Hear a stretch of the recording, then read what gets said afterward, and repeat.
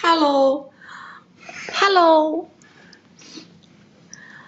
大家好，哎，我都不应该，我不都不知道应该说早上好还是应该说晚上好了，下午好，嗯，大家下午好，对，没有办法，因为酒店里面的光都很暗，我们带的灯不够，没有带灯。所以说每一次，每一次我为什么这么四年以来，你们看我几乎是不动位子的，几乎能在家里就不出去，对吧？就是因为一到外面那个灯不行，外面灯不行，就是很昏暗，再加上这个是软件没有美颜，这个软件没有美颜，对我们现在这里是下午的。两两点，嗯，现在是迪拜的下午两点。我后面是高速，高速桥，高架桥后面，我后面是高架桥。对，我现在人在迪拜，然后这一次我们是闺蜜圈，一共来了，嗯，来来了差不多二十个人，这样。然后呢，现在他们都出去玩了，我一个人在酒店里边给你们直播。我们是昨天半夜里头才到的，嗯，昨天半夜才到，然后这边比国内是要早四个小时，所以现在是国内的六点，但是是迪拜的下午两点。待几天啊？我们大概要待七天吧，然后我就直接飞杭州，呃，去跟大家搞这个跨年跨年活动啦。你们看，我在这么。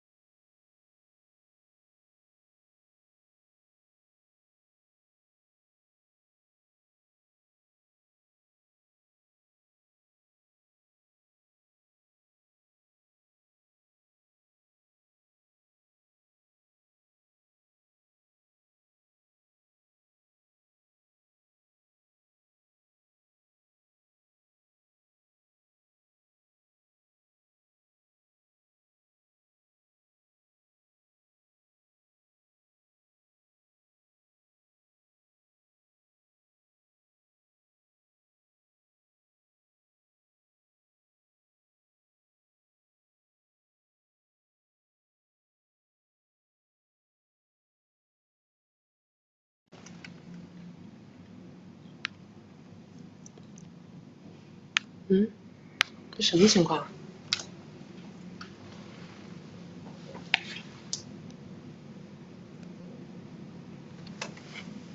看不到啦，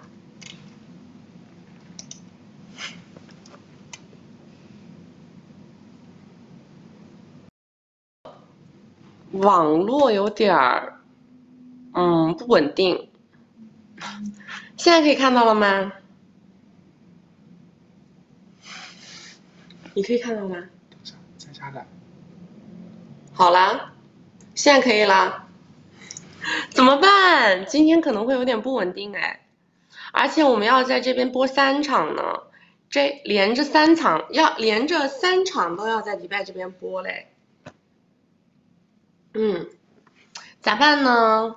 要是万一网络不稳定怎么办呢？你们会难过吗？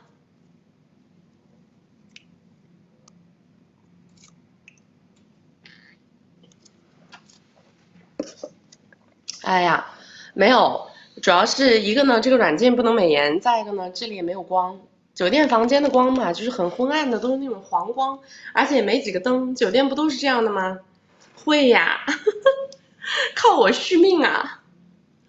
好吧，我们这我们克服一下吧，好不好？我们克服一下啊，嗯，然后后面我们反正都会有切片出来的。嗯，如果说 语音语音连上来，如果说顺畅的话。我现在不知道，我现在不知道，嗯，靠才华就可以了。看看风景，这个看不到什么。你们看，我这后面是高架，嗯，我这后面是高架，我前面有那个迪拜的那个什么河啊，迪拜河吧，在我的斜前方。但是因为阳光是从这个面过来的，如果说我用那边做背景的话，会背光的更严重，所以我只能这样了，嗯。哎，大家那个都是从我们的微信进来的吗？有不是从微信进来的吗？有不是从微信进来的宝宝，从别的地方还没有我们微信的，从别的地方找到我们直播间的宝宝有吗？扣个一，我看一下。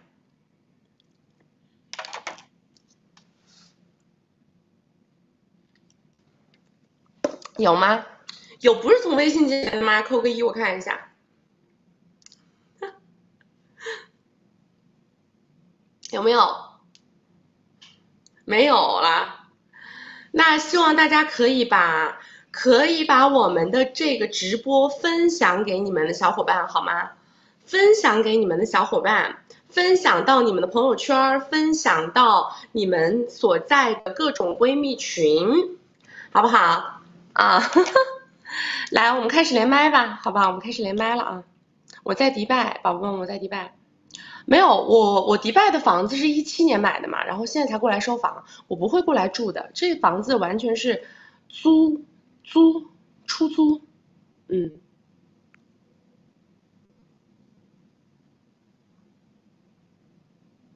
我们连个麦看一下，信号稳不稳定？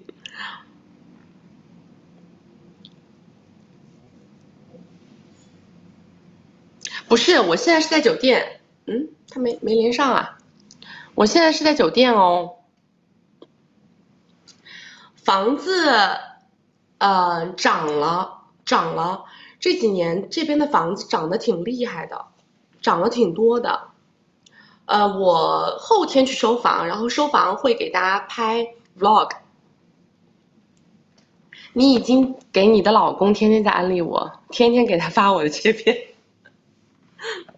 我这个房子是一七年的时候买的，然后现在已经六年了，是吧？六年了吧？就是因为口罩嘛，然后这边工程一直在延期，然后延到现在才交。但是呢，嗯，现在涨得挺厉害的，嗯，现在反正我这个房子当时买的时候不到三百万人民币，然后现在的话可能要四百万多，嗯，四百多万吧，可能要。租金比较高，悠悠没连我，刚刚那个是陈丽，陈乐乐是吗？我再连一下。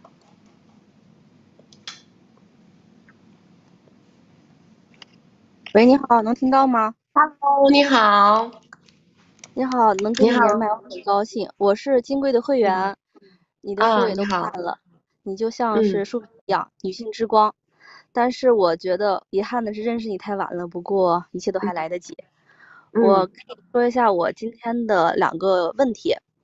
嗯，第一个问题呢是关于情感上的，就想让你帮我把把脉。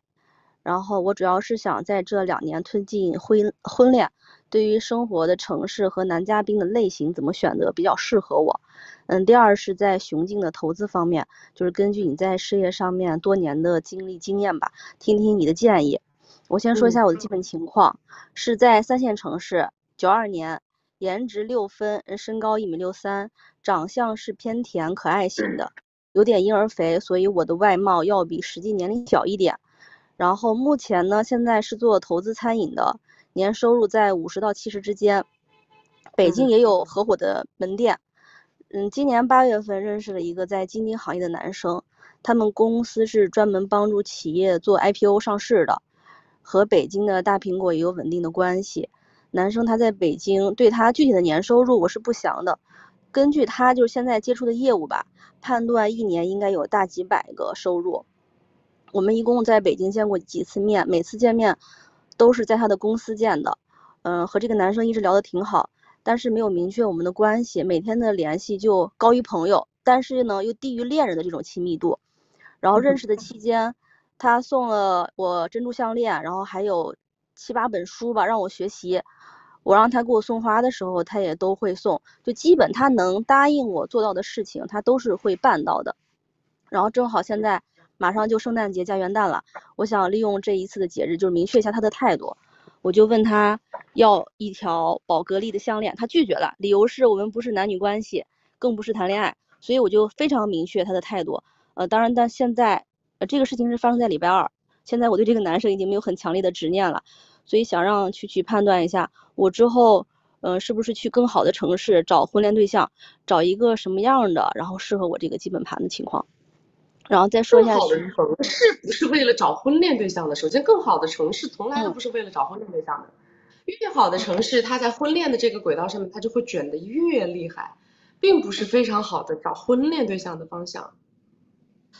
是现在在我们这个地方，你看九二年的，我是没找到合适的了感觉，而且，你像在我们这块介绍的都是可能，比如政府单位的一个月三四千，他们还看上我那几个散子儿呢。所以就几线城市啊，三线，三线城市，嗯嗯，你自己你的事业是，你可以把事业再再再再想一想吧，再发发力吧。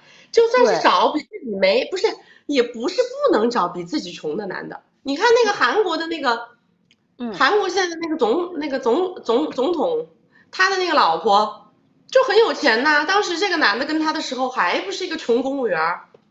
四十岁都还在当一个穷公务员，这个不能这么讲，因为你首先是你，你如果说是为了说啊找一个什么更有钱的男的，我跟你说，那比你更有钱的男的就年入百万了嘛，对吧？嗯，年入百万的男的，你想象当中的在哪儿啊？在超一线城市。你认为年入百万男的在哪儿？这个就接着跟这个接下来的雄竞它有一点点关联吧。我给你先讲完雄竞这个事儿。嗯嗯。就是这位男嘉宾，他不是在北京嘛？然后就前几天有聊到，以我的能力就可以去北京发展发展。然后他也认识，就他认为我也适合去大一点的地方，然后也有不错的关系吧，答应我和人家见面聊一聊我这个就是想开店的事情，但还没落实。所以其实我心里想，也是要利用他一点的这个人际关系，在北京做一个我擅长的餐饮行业，因为我在这个行业做了有八年了。嗯然后就即便跟他没有这个恋爱的这层关系，在北京开一个店，其实我也挺开心的。就是你就跟他聊业务嘛，对，就聊就是聊业务聊业务就好了呀。嗯，对，但是就是目前的市场情况，这个投资餐饮应该还是可以的吧？就是当然是在一个商圈好的范围内，对吧？我没有办法跟你说投资餐饮可不可以，这你比我专业呀。啊哈哈。行，那就餐饮你不比我专业啊？那就看他能不能把这件事情往前推一推了。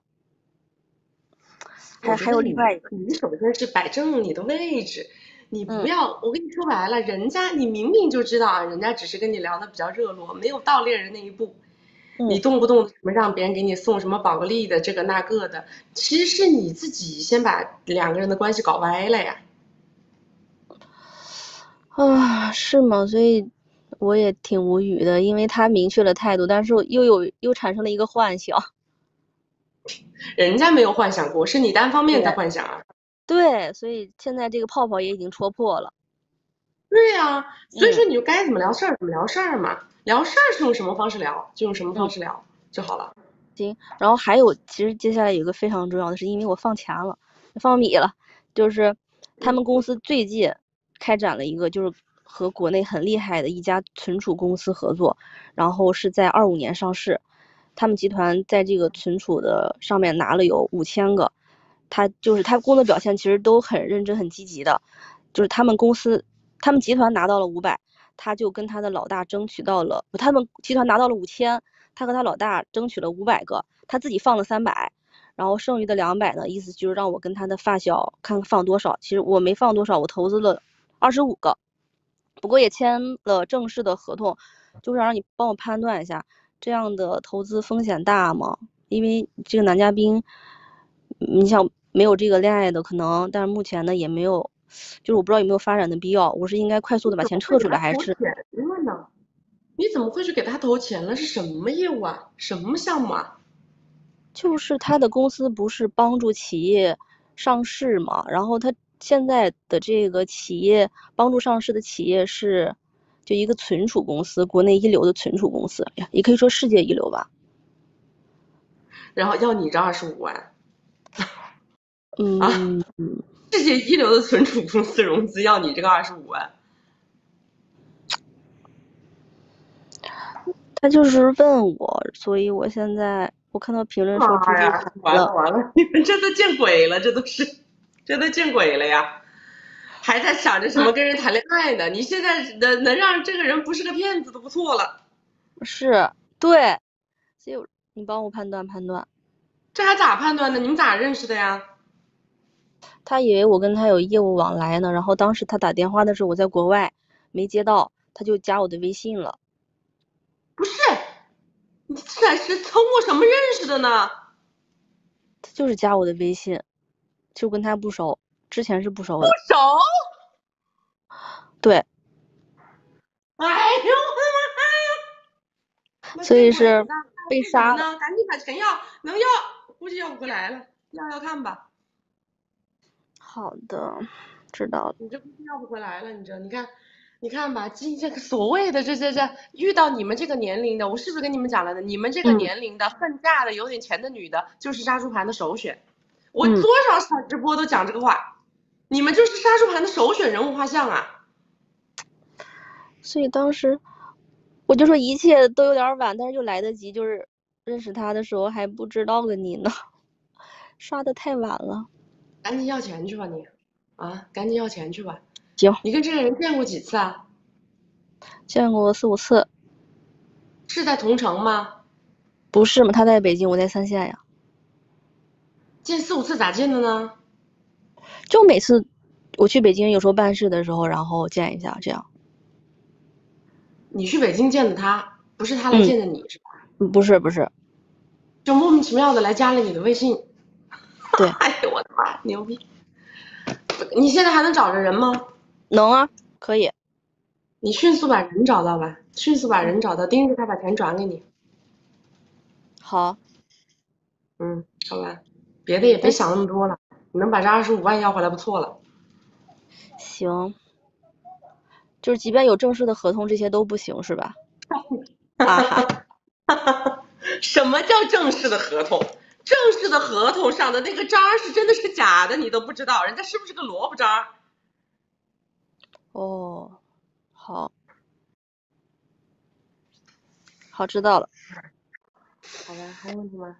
没了。啊，就这样吧，拜拜。嗯嗯，我是不是跟你们讲了的啊？我说三十岁左右的啊，这波有点小钱的，然后呢还想找比自己条件好的啊，对爱情有着不切实际的期待的女人是猪猪盘的首选，对吧？猪猪盘有很多种方式的，他们有的就是这样莫名其妙的来加你微信的呀，然后要不然就是通过社交软件的。你不玩社交软件的话，他们就是有各种各样的渠道去加微信的嘛。所以你知道我的微信是什么方式都搜不到的，就是我个人的微信号是把所有的能够搜到我的方式全部关闭掉了，能够加我的方式只有面对面，不是面对面的话就加不了我。我不认为我会比那个猪猪盘的人更聪明，知道吧？我觉得人还是要有敬畏之心。我一点都不认为我比别人更聪明。我觉得一个人之所以还没有被骗，只是因为这个骗局没有那么适合你，或者说这个骗局它的档次还不够，仅此而已。但是我们没有任何一个人能够说我这一辈子能够不被骗，这个是不可能的。嗯，所以我们只能够尽量的去规避啊。首先是掐断自己的恋爱脑，长了恋爱脑的女的不被骗，这个概率很小，好不好？嗯。来，大家右下角的这个微信二维码扫起来。还有不是我们微信的宝宝的吗？有没有我们的微信的？从别的地方进来的吗？让他们发一下，让各个地方发一下我们的这个链接啊，发一下我们这个直播链接。有从别的地方进来的宝宝吗？还有没有我们微信的？右下角把微信添加一下，微信添加一下。然后提醒一下大家啊，我们的跨年哼哈专场也就剩一天的报名时间了。只剩一天报名时间了，大家赶紧赶紧赶紧的去找我们的客服去问询，好不好？然后右下角的小黄车点开，可以看到我们团队所有的付费内容，我们的咨询、我们的闺蜜圈以及我们的金贵的关系正版课程啊。大家拍了金贵的关系以后，可以去找客服拉你们进金贵的社群。我们每一个社群都有管理员会在社群里边每天给大家去呃更新我们的直播的十个经典案例总结，好吧？对呀、年底了，骗子都出来了。伙伴们，骗子都出来了，与其莫名其妙的被骗，还不如还不如来参加我们的跨年，咱们还不如搞点明码标价的活动，对不对？起码我知道我这个钱花哪去了，我花了干嘛了，对吧？别整一些啊，别整一些莫名其妙其妙啊，钱也花了，花也不知道花哪儿了，人也没了。还被欺骗了爱情，这太惨了。好的，好的啊，好的，好的啊，答应啊，好的。来，下一个。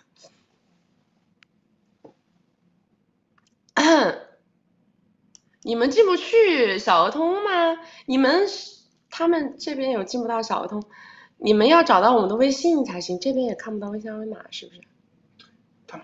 那个的话是可以在主页上面看得到。哦，好吧，这个软件上不知道哪里来的。等一下，Hi Tomorrow，苍老的小孩儿，帽子，嗯，现在只有帽子连了我，其他几个都没连我。好，听得到吗？Hello，你好。我一直你好很喜欢你，也有看你的直播。哎呃，我这个不知，不好意思，可能有可能又是个杀猪盘。嗯，男嘉宾，完了，年底了呀，这，嗯，对说，男男男嘉宾比我小九岁，然后呢，呃，我们是在地球号认识的，呃，算是网恋。他之前有一直提过见面，但是那个时候提见面的时候呢，就是说我以各种理由拒绝他，对他印象不是很好。然后呢，我们聊天很频繁，有会从，呃，会从天就是晚上一直聊到天亮那种，有时候白天也会聊。然后就是提供情绪价值不呃比较多，呃，按照他的描述，赚钱能力是不错的，年入千万这样子，呃，他，但是他聊天的时候呢，呃，他有时候打电话就是他会和我一直开着语音，他和他父母打电话的时候，他也不会关掉我的语音，所以呢，我就有点疑惑这个事情的真假。他我不知道他的行业能不能说，他是做彩票行业的。然后因为我我我我当时找上他是想让他赚钱的嘛，然后就是，但是他就把赔了十几个吧，大概。然后呢，他他说他自己，他他，但是他每次会打票，打完票以后呢，呃，会会把单子发给我看。然后他说他帮后来也帮我贴了十几个，说是帮我赚回来，但最后都亏了。然后我因为情绪很崩溃，我我就和他提了分手。然后呢，他当时以及第二天都是在挽留的。然后后来第三天的时候，呃，他就说已经呃，他就已经不接受了。那我想问一下，这个情况是是一个什么情况的？你已经被搞了十几万进去了是吧？啊呃，对，到现在为止没见过面。他说一月中旬会来见的，然后微信我问他，他也对，微信微信也没有删。啊，我不好意思，地图号也没有删。有什么有什么意义嘞？没删放着，你就能怎么着？你找不找得到人家？找不到。呃，你跟他视频过吗？视频过，啊，看过这个人长什么样？呃，还可以，经常视频吗？呃，呃，两三天视频一次吧。嗯，视频。嗯，他在哪儿啊？他目前在呃贵州，因为他家里有人去世了，他之呃之前在守灵，然后就他那边办葬礼要两个多月出不来。你在哪儿啊？我在深圳，哎，哎，你要是贵州的，被深被深圳的杀猪盘骗了就算了，你在深圳，你被别个贵州啊，没有，他？有店在深圳，他之前在深圳，他之前是啥时候啊？呃，之前就两个月前嘛，他葬礼之前，前你见过他？呃，那个时候我拒绝见他。你没见过他，你知道他在深圳，就是因为你拒绝了，你就觉得他在深圳。啊？啥脑子呢？我天！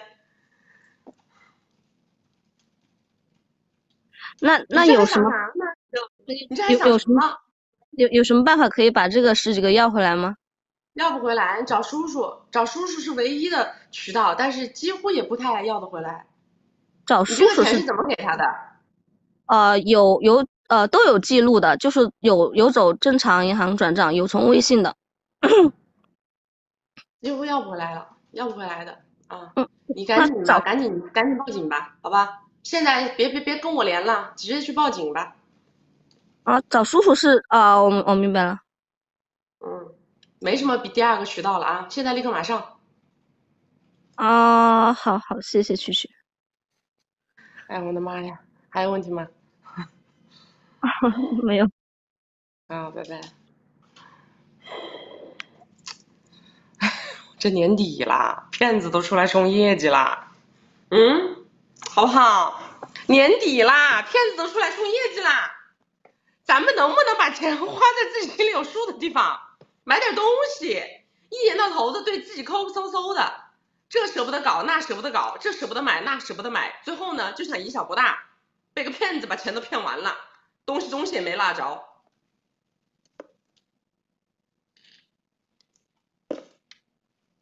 我成反诈 APP 了，我又不是我反诈 APP，我要被你你们被诈之前找我家，你转钱之前来跟我连，你别的转完了再再再跟我连什么东西呢？警察都解决不了的问题，我解决得了啊！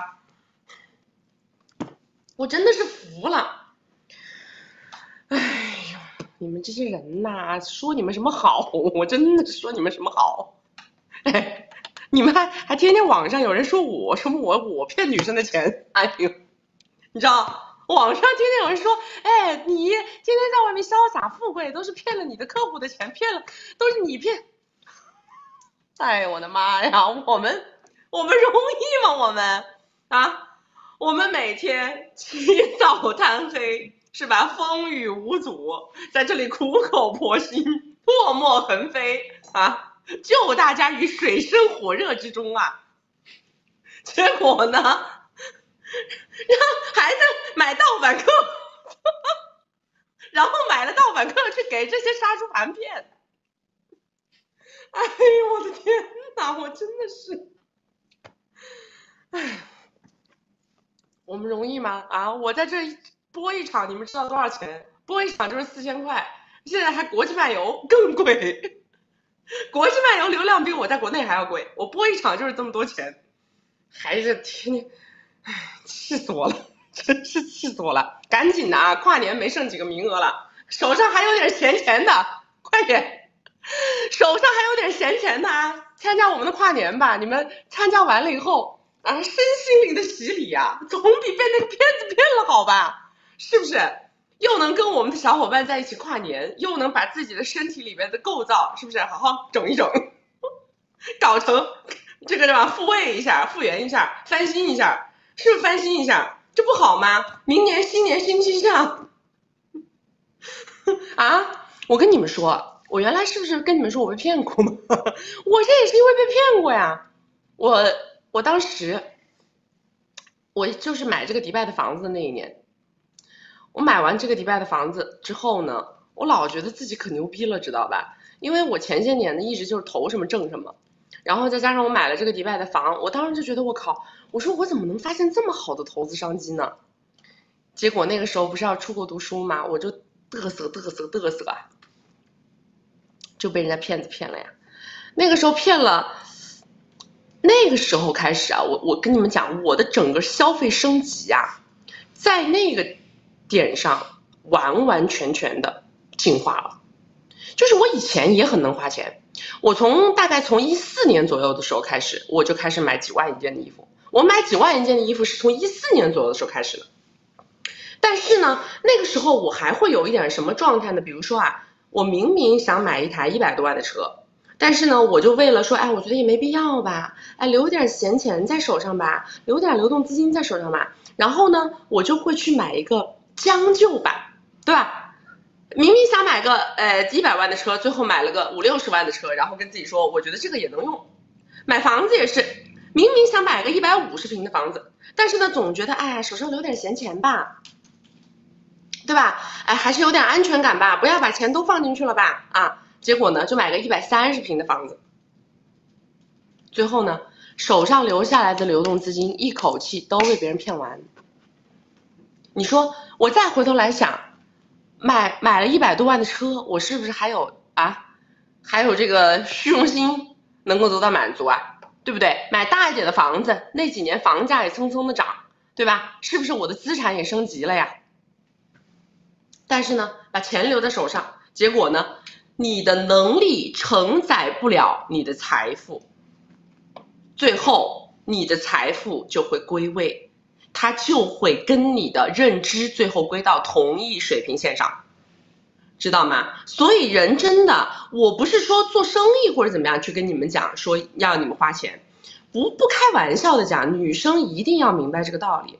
我们宁可把钱呢花在这些能够让我自己变得高级的地方，对吧？我用到爽到，是吧？我吃了喝了玩了花了用了，我这些东西起码让我自己变得开心了，变得好了，而且有一些东西。它还有保值增值属性，尤其是花到自己的认知上、花到自己的身体上的东西，这些东西还会给我带来很多很多不一样的圈层，对吧？眼界，它是不会贬值的。你钱留在手上贬值不说，最后还一口气被人骗走了，你说是不是见鬼？女孩子一定要把自己手上的钱，要不就花掉，要不就给它锁死，知道吗？听了我说的话，决定去把保时捷买了，买啊买，对吧？我今天还说了一句话，在我们的人生的高光时刻，我们走的就是 T 台；在我们人生的低谷时刻，我们走的就是战场。所以任何时候，我们的配置、我们的战衣、我们的武器一定要精良，设备要精良。所以无论是走 T 台还是上战场，我们都不带怂的，对不对？来下一个来，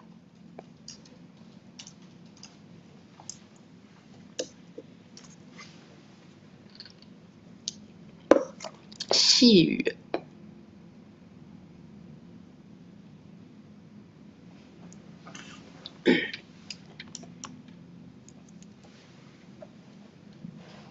Hello，能听到吗？Hello，你好。哎，可以。嗯，我是我们那个一 v 一的学员，然后今天我要主要咨询的，我先讲了啊。然后我是零三年的，珠三角城市，靠近珠海那边的，身高一米七，外貌七八分，年收入十万。然后对方的话是一家上市公司的大 boss，然后年龄的话是四十六，然后有一个篮球，一个粉球，是我在上班时候认识的，呃，然后是综合美容的这个客户，呃，然后我们是去年三月份加的微信，十二月份确定的关系。对方买礼物加房子七七八八的，将近付出了有两百个 W，然后一开始的话是给现金的，后面直接给转账到两到三个 W，怀孕之后，呃的时候给了五到八个左右，然后孕中期的话就提。主动提出了给买房，然后知道后面快生了之后才给兑现。有几次聊天的时候，男嘉宾还会发错信息给我，很多信息明显是发给别的女嘉宾的。他几乎都不打视频或者电话，我给他提供的建呃情绪价值很多，他反馈回来的情绪价值几乎没有。目前球已经落地一个多月了，也一直没来没来看，说不方便什么的。等一下，等一下，慢一点，慢一点，慢一点，慢一点。你自己现在是有球了是吧？哎，对对对，就因为前面付出了两百个。嗯，对，七七八八的有两百个 W 左右，然后球的话现在已经落地了，有一个多月了。嗯，然后之前谈好的说两百八十个 W 的房子，然后他只给了首付六十五个，然后还是分了三次给的。嗯，然后但是他分了三次给我，剩下的让我贷款还，我觉得特别被被动，没有安全感。现在我就是死马当活马医，希望群女神能给我出出点主意。嗯，你这这是还有什么是主不主意的呀？你不就是要拉感情，没有任何其他的路径啊？路走到这一步了，球都已经落地了，你就是要跟这个男的绑定啊！绑定你大道至简呐，感情处处干净，处处清爽，你最后的目的才有可能达成啊。不是一味的现在就是抱着你自己那个买房子买房子买房子，感情不到位，这个男的情绪不被你牵动，你的那个诉求是达不成的。但是现在这个房子就是我只给了定金，然后剩下的首付他已经给我了，但是我一直犹豫，不知道要不要买。不买干什么？哦，要买的是吧？啊，然后？还有一个问题就是，你不买你是有什么别的选项跟出路还是怎么样？我是主要就是怕买了房子之后。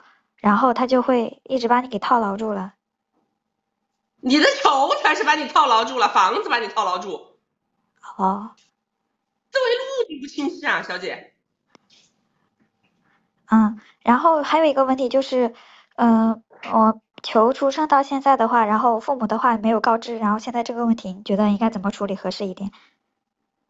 挺着个脑袋告知啊，你这怎么处理？你这求这个东西塞又塞不回去。装又装不了，你还怎么处理？直接说就完事儿了呗。哦，我这个时候我这个也跟男嘉宾讲过，男嘉宾就不让我讲。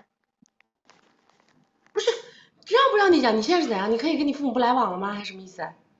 就是一直来往的，但是我一直没告知他们。对呀，该告诉告诉呀，但是你要把他们的情绪稳住啊，不要让他们去闹啊或者干嘛的。哦。然后你准备不抬头做人了？以后你就跟你的家人朋友都不来往了。主要可以，我意思就是瞒着嘛。瞒得了一时，瞒得了一世吗，这个东西。但是主要什么时候呢？主要男嘉宾现在呢，就是反正，嗯，也感觉我跟他聊这个事情的时候，他也一直在逃避，就说让我不要说。不是你聊，你跟他聊是干什么？你想得到什么？我是因为没有办法，所以我想问他，然后看他那边是怎么说的。没有意义啊，这个事情是你的事情，跟他没关系啊。你要不要让你的父母知道你有小孩？这个事儿跟他有什么关系啊？哦。你为什么要去问他呢？你问他，选择是要他去面对，他肯定不愿意面对啊。啊，那我现在最好的解决方法就是，我现在应该要怎么做？该告诉告诉，该说说嘛。你父母要打你，你就受着嘛。怎么办呢？然后那个房房子呢？房子就该买还买。然后房子贷款的话，估计七七八八加利息要还三百个 W 左右。嗯，对呀。我跟你讲啊，你现在没有别的选项，没有别的路。你们已经走到这儿了，咱们就叫四个字：视死如归，破釜沉舟，知道吗？你不要觉得你好像有退路，你所谓的什么啊？我这个房子不买，不买干嘛呢？不买是想着啊，我还能带着钱带着娃跑吗？你是想跑吗？就这么点钱够你干什么的？嗯嗯嗯，然后这个男的，什么？嗯，我不不不不不然然后呢？你自己一个人扛着。往哪儿扛？你没有退路，小姐，你没有那么多的选择。你现在眼前就一条路，就是跟这个男的绑定。怎么往深了绑定？怎么搞？哦，主啊，主要他现在一直也没有过来看过什么的。你们还有没有沟通？沟通也就早上早安晚安，然后分享一下宝的日常。我的妈呀！那你咋会生这个娃的嘞？啊？哎，所以怎么生这个娃的呢？这是沟通的话就很少很少，然后一般有的时候。你要这个球是为了什么呀？你要这个球的目的是什么？为了跟他长期绑定。那不就结了吗？那不但是现在又不想了。现在不想了，那他能把你球抱走吗？你自己一个人走能走吗？我是想着把球给他，那你就给他喽。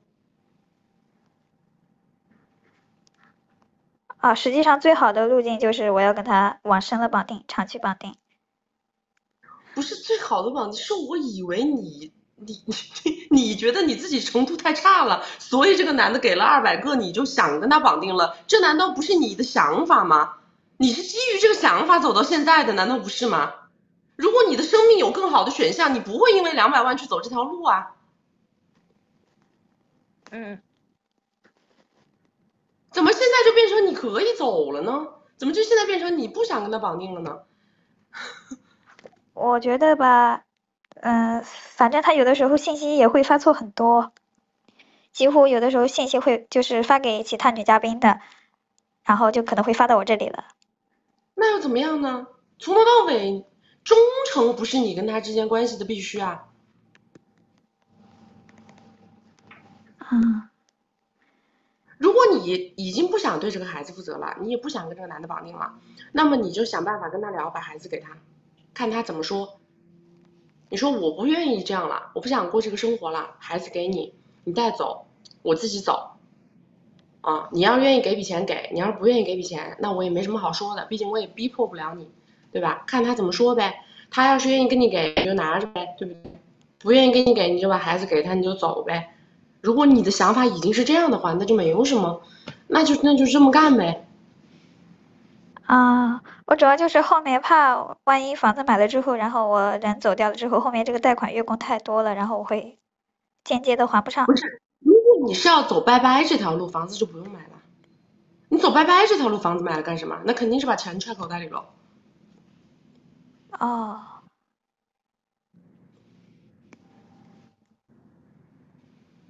啊，那如果房子买的话，然后就是相当于就是跟他长期的稳定绑。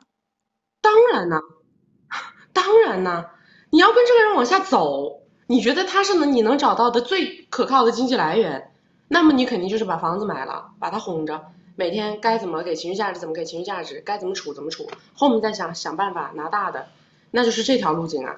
如果说你现在想的都是什么拜拜了、撤退了，不，那肯定是钱就自己收收起来，不要买房子了，孩子给他了，看他跟你给什么条件了，肯定是这样的喽。啊，现在也就这两个条件，两个选项。啊，嗯。然后这个男的话，男嘉宾的话，他是属于是皇帝男还是？我没看出来，我只是觉得你们两个人之间好像沟通不多，还看不出来他是皇帝男还是什么男。因为他有的时候会把就是发给其他女嘉宾的信息发到我这边，然后有的时候很早的时候，这只能代表他多偶，跟他皇不皇帝有什么关系呢？啊，我之前以那个一 v 一的时时候，然后之前那边导师都说他应该是皇帝男加生意男。所以呢，你想得的这个结论，你是要干嘛？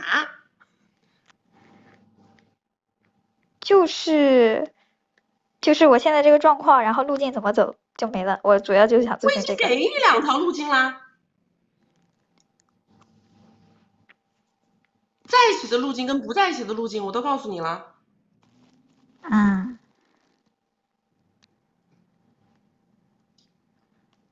好的。好，拜拜。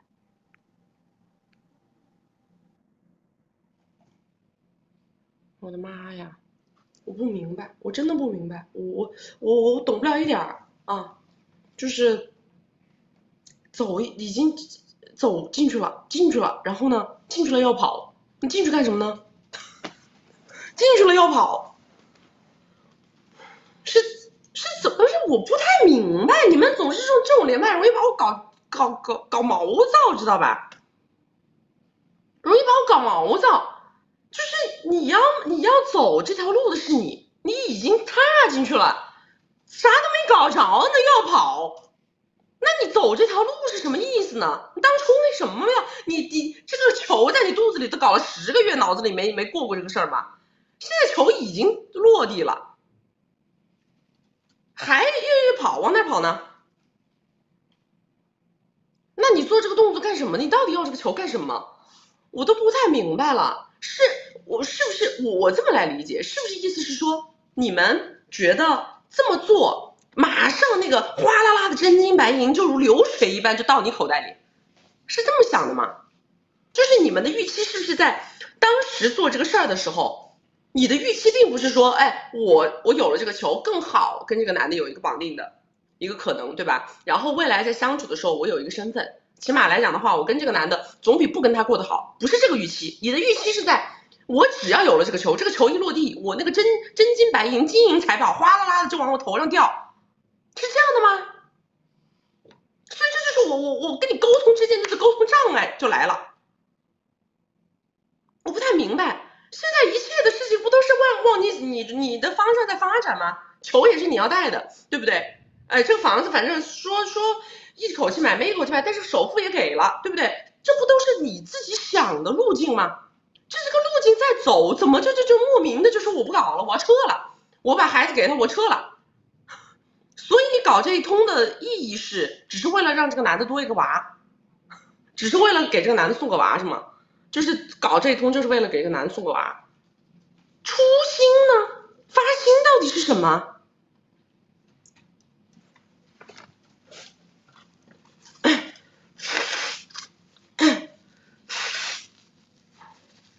我不太懂，不是，哎，不是这个男的说有了娃之后对他不好的，有娃之前这男的也没有怎么对他很好呀，从头到尾就付出了两百个，就带球了呀，就付出两百个就带球了，就怎么能证明对他很好呢？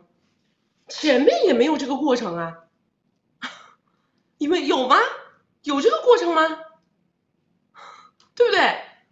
前面没有什么五百一千呐。前面也就付出了二百个，而且到现在为止，你看这个这个女生的父母都不知道这个男的的存在，他们之间没有这样的情感关联呐，没有这样的深度维系啊，不就是就为这个为要这个娃来赌一场的吗？你这个娃当初要搞的时候，不就是在赌命吗？不就是为了赌这一场吗？那你就赌呗，要赌就赌到底呗。我跟你们说啊，你们是这样子的一个思维路径的话，这一生。没有办法在任何一个事情上拿到结果。我跟你们讲，如果说你永远都是那种走两步退一步，走两步退一步的这个状态，走的时候没想明白为什么要走，退的时候只是因为觉得好累，那就废了，知道吧？那就废了，是不是？哎，走之前没想明白，我就觉得，哎，我就觉得走了就好，哎，我觉得到那一定风景非常好。你的就全部是美好想象去推动的，然后走两步之后，走了以后发现，哎呀，跟我怎么不是这么美好啊？哎，要想变得美好，好累呀，好累啊！我跑了，我跑了。你的一生就是走两步退一步，走两步退一步。请问你在什么事情上面能能能够拿到结果呀？这就废了，这种思维路径就废掉了。我跟你讲。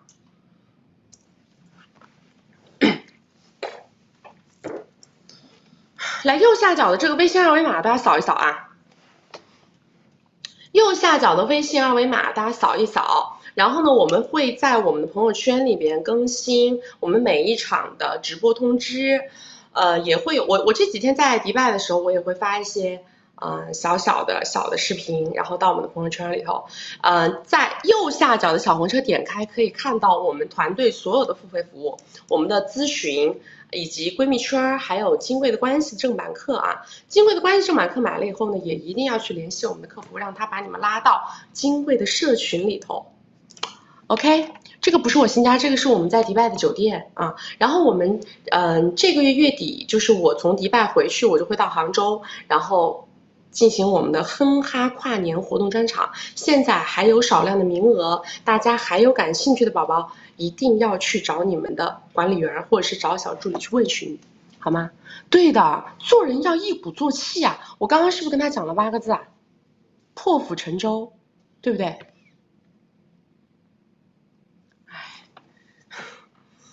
来下一个。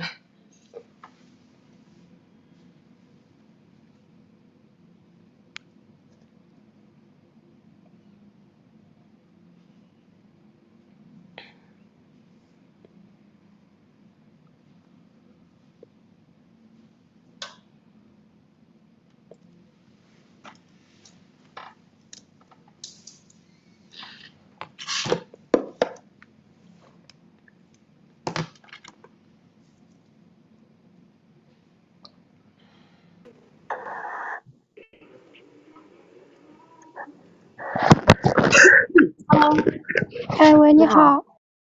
哎，你说。嗯，那个我是呃金贵的学员，然后我特别喜欢你，因为我觉得我就是研究男人，也是因为就是我喜欢男人，并不也不全是我想要在他那儿得到什么经济的这些利益。嗯嗯，就是也想成为那种大女主的那种感觉。然后呃，我说一下我的基本盘吧，我的基本盘是。呃，身高一七一，体重一百四十五斤，然后二十四岁，呃，艺术专业，高中是学播音主持的，大学学表演的，然后呢，现在在做自媒体，美妆穿搭类目，年薪两百，然后还没有直播，就我这工作是完全接触不到异性的，然后呃，这个工作目前只耗费我三四成的体力，呃，明年准备用两成雄再雄竞一下，然后从来没有做过任何的整形项目，颜值普通，素颜普通，但是比较会化妆穿搭，突出自己的优点，然后 正常正常现在在健身跳舞，然后还有什么塑形啊提提升气气质的项目，基本算是没有谈过恋爱，然后不是出厂设置，家庭非常普通，父母月薪四千，但是好在有五险二金，呃，有一个弟弟学习很好。嗯，家里也是不重男轻女的。然后有两个问题，第一个是，呃，我想找一个呃比较满意的婚恋对象，呃，有能力，然后呃年薪百万以上。那我在对对碰机构的时候，我应该如何包装自己？我的优势是在什么地方？你刚刚说你身高体重多少？身高一七零，体重一百四十五斤。嗯，是，嗯，你走出去是是，因为我对这个可能没没太有概念啊。你走出去会感觉是身材就是凸凹有致的那种，还是比较胖啊？嗯，现在应该是属于不是那么胖的，因为我线下上过那个哼哈课程，就是有的老师是见过我的，但是就是他们也说没有那么夸张。嗯，是这样的啊，我觉得如果说你是想。嗯，找一个比较优质的男生的话呢，主要还是要看有没有平台。你看你是搞主持的对吧？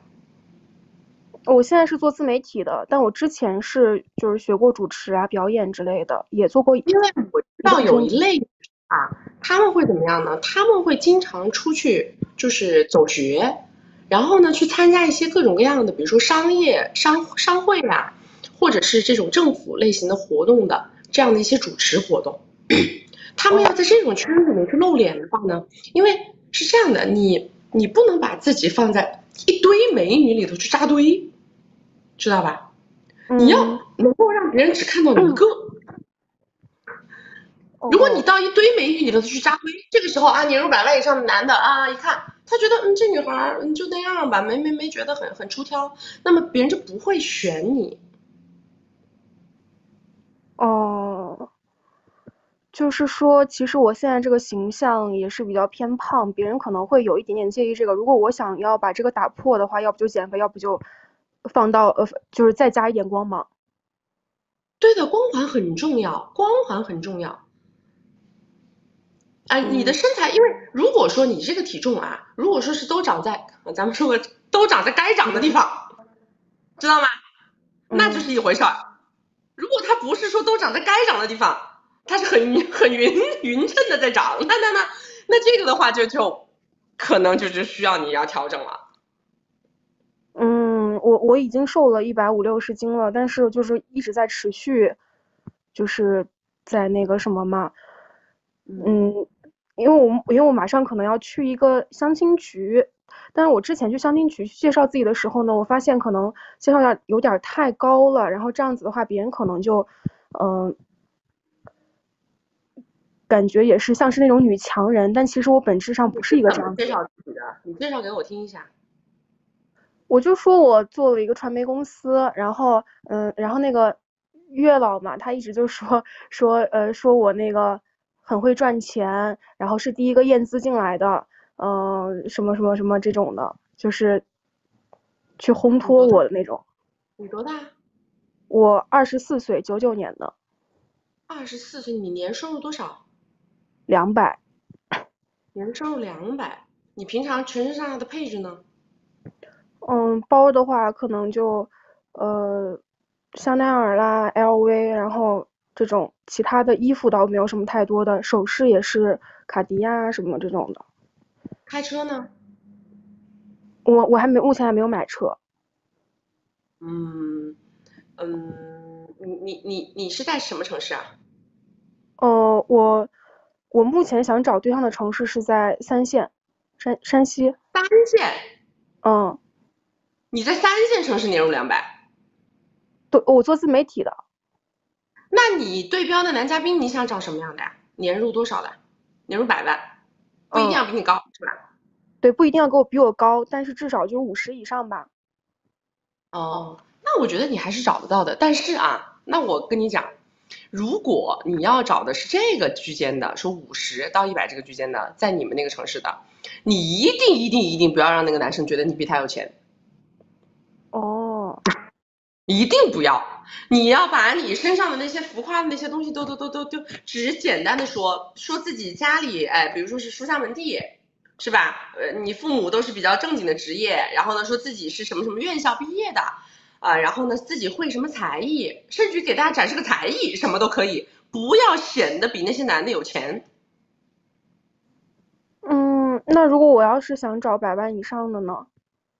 不是，主要是你的地域决定的。如果说是在一线、超一线，女孩子显得有钱是没毛病的。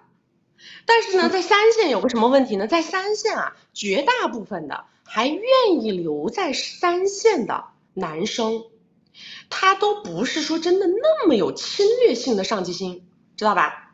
当他的年收入已经达到五十万往上的时候，他只想享受大男子主义的感感觉，他不想去享受那种所谓的势均力敌。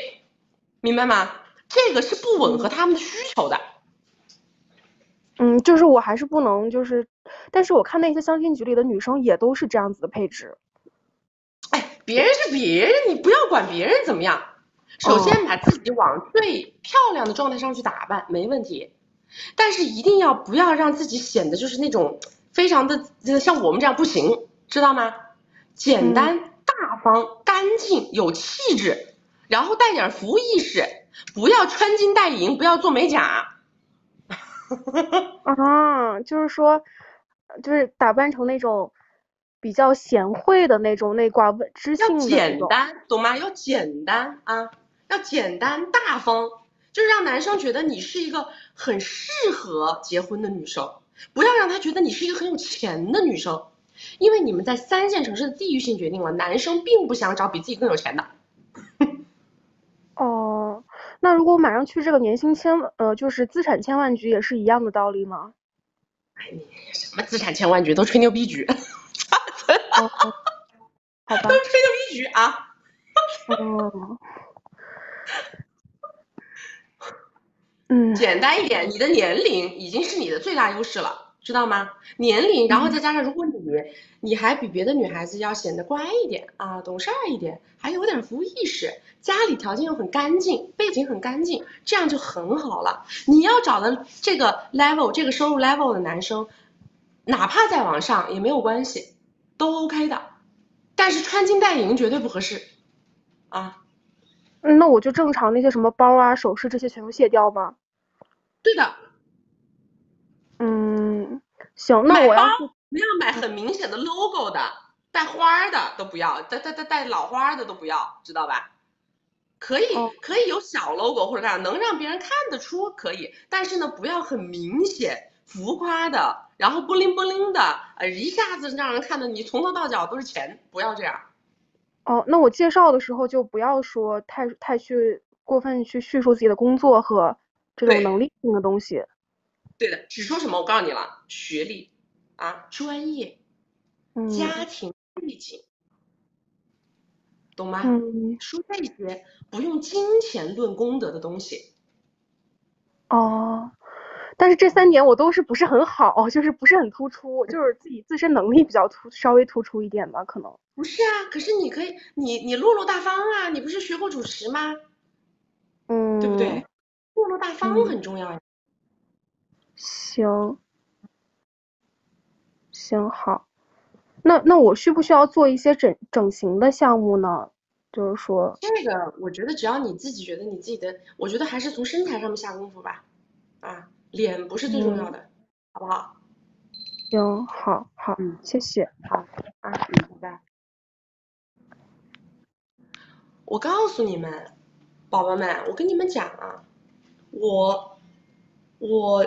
每一次，只要是不打扮，戴个框架眼镜儿，我都会被搭讪。从小到大，坐飞机也好，干嘛也好，只要是我穿的一身，比如说穿一身运动装啊，或者是穿个什么简单朴素的毛衣干嘛的，戴个框架眼镜儿啊，就这样出去，绝对会被人搭讪，而且搭讪我的人条件都不差，真的条件都不差的，而且我人生中，我不是跟大家讲过了的，我原来一眼被人家一个上市公司老板单身的上市公司老板看中，是那天我给那个男的去介绍女朋友，然后呢，我根本就因为我不想喧宾夺主，我就非常朴素，非常非常的朴素，就一身运动装，就是同色系那种一身运动装，什么首饰什么东西都没有，然后我只是为了去烘托人家那个女孩子的，结果就被那个上市公司老板就一眼看中，疯狂追求，真的是这样。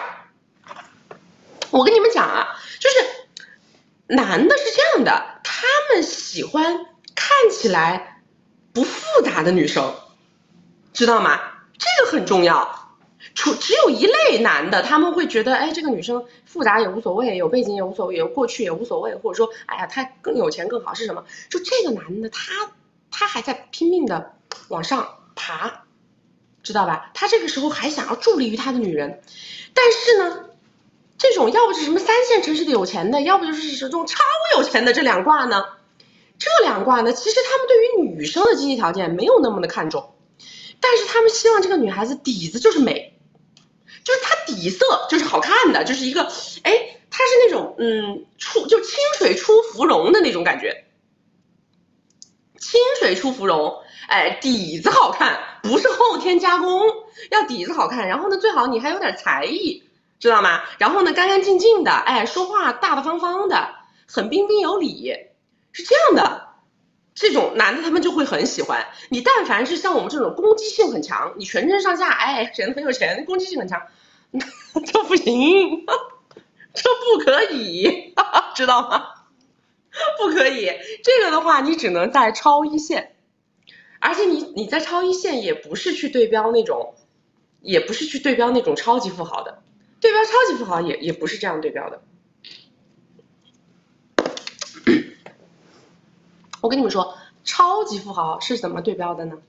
超级富豪对标的是你的那种读过的书、看过的世界，然后呢是你的性格里头那个生命力，这个就是可以去对标那些超级富豪的。那有有才艺，这个走到哪里都是这，知道吧？才艺这个东西，我跟你们说，虽然很多人吐槽我唱歌。但是毕竟啊，咱们从小到大都是上青歌赛的这一挂，知道吧？我是最受他们那老板喜欢的了，因为我都是唱什么呢？唱谭晶，唱那一挂的，就是唱那种很大的那种歌。我好多，我好多好多好多机会都是因为唱歌被撬开的，好多大老板，超级大的老板。每次看我唱歌，哎呀，眼睛里都是星星眼，然后就给我录视频啊。然后后来就想找机会跟我说话的时候，不好意思跟我说话，不知道说什么，他们就把他们偷摸给我录的视频发给我，说：“哎呀，你歌唱的太好了，我经常听，我听了好多遍，每次听我都觉得唱的，真的。我我现在都能翻出来，最近的都还有，最近的都还有大佬给我发的，动不动。”看我不咋说话，夸给我录的这个唱歌视频就发来了，动不动看我不说话，夸这个唱歌视频就发来了，完了以后发发我唱的，完了以后再发原唱唱的，说，哎呀，我觉得你唱的好，我觉得你看，你就你就是小谭晶，你跟他一样一样，真的不骗你们，才艺很重要。然后就是你那个落落大方的感觉，然后呢稍微清淡一点、淡雅一点，攻击力不要太强，这一类哎就是好价，知道吗？啊，来大家那个扫一扫我们右下角的这个微信二维码，扫一扫右下角的微信二维码。还有没有加我们微信的宝宝啊？扫一扫微信二维码。然后呢，呃，我们的微信朋友圈里头这几天都还有在更新我在迪拜的一些小日常啊什么的，大家都可以看到。因为现在我的微博没有啦，所以说大家暂时只能看我的微信朋友圈了。不过我又申请了一个微博，叫曲曲的日常，目前还没有人关注我。我偷偷的申请了一个微博，叫曲曲的日常，你们可以去搜一下，嗯。然后我还是会正常的发一些日常在上面，我也我也会更新到我的朋友圈里。啊、我们的右下角的这个小黄车点开，可以看到我们所有的付费服务啊，我们的语音咨询、文字咨询，还有我们的闺蜜圈以及金贵的关系的正版课。金贵的关系的正版课可以进到金贵的社群，我们的社群管理员也会在里面每天给大家整理我们的十个经典的直播案例总结，好吗？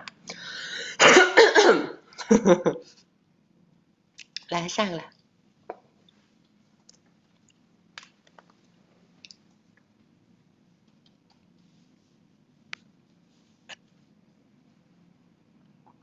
Lily 未来可期，珍惜啊，珍惜。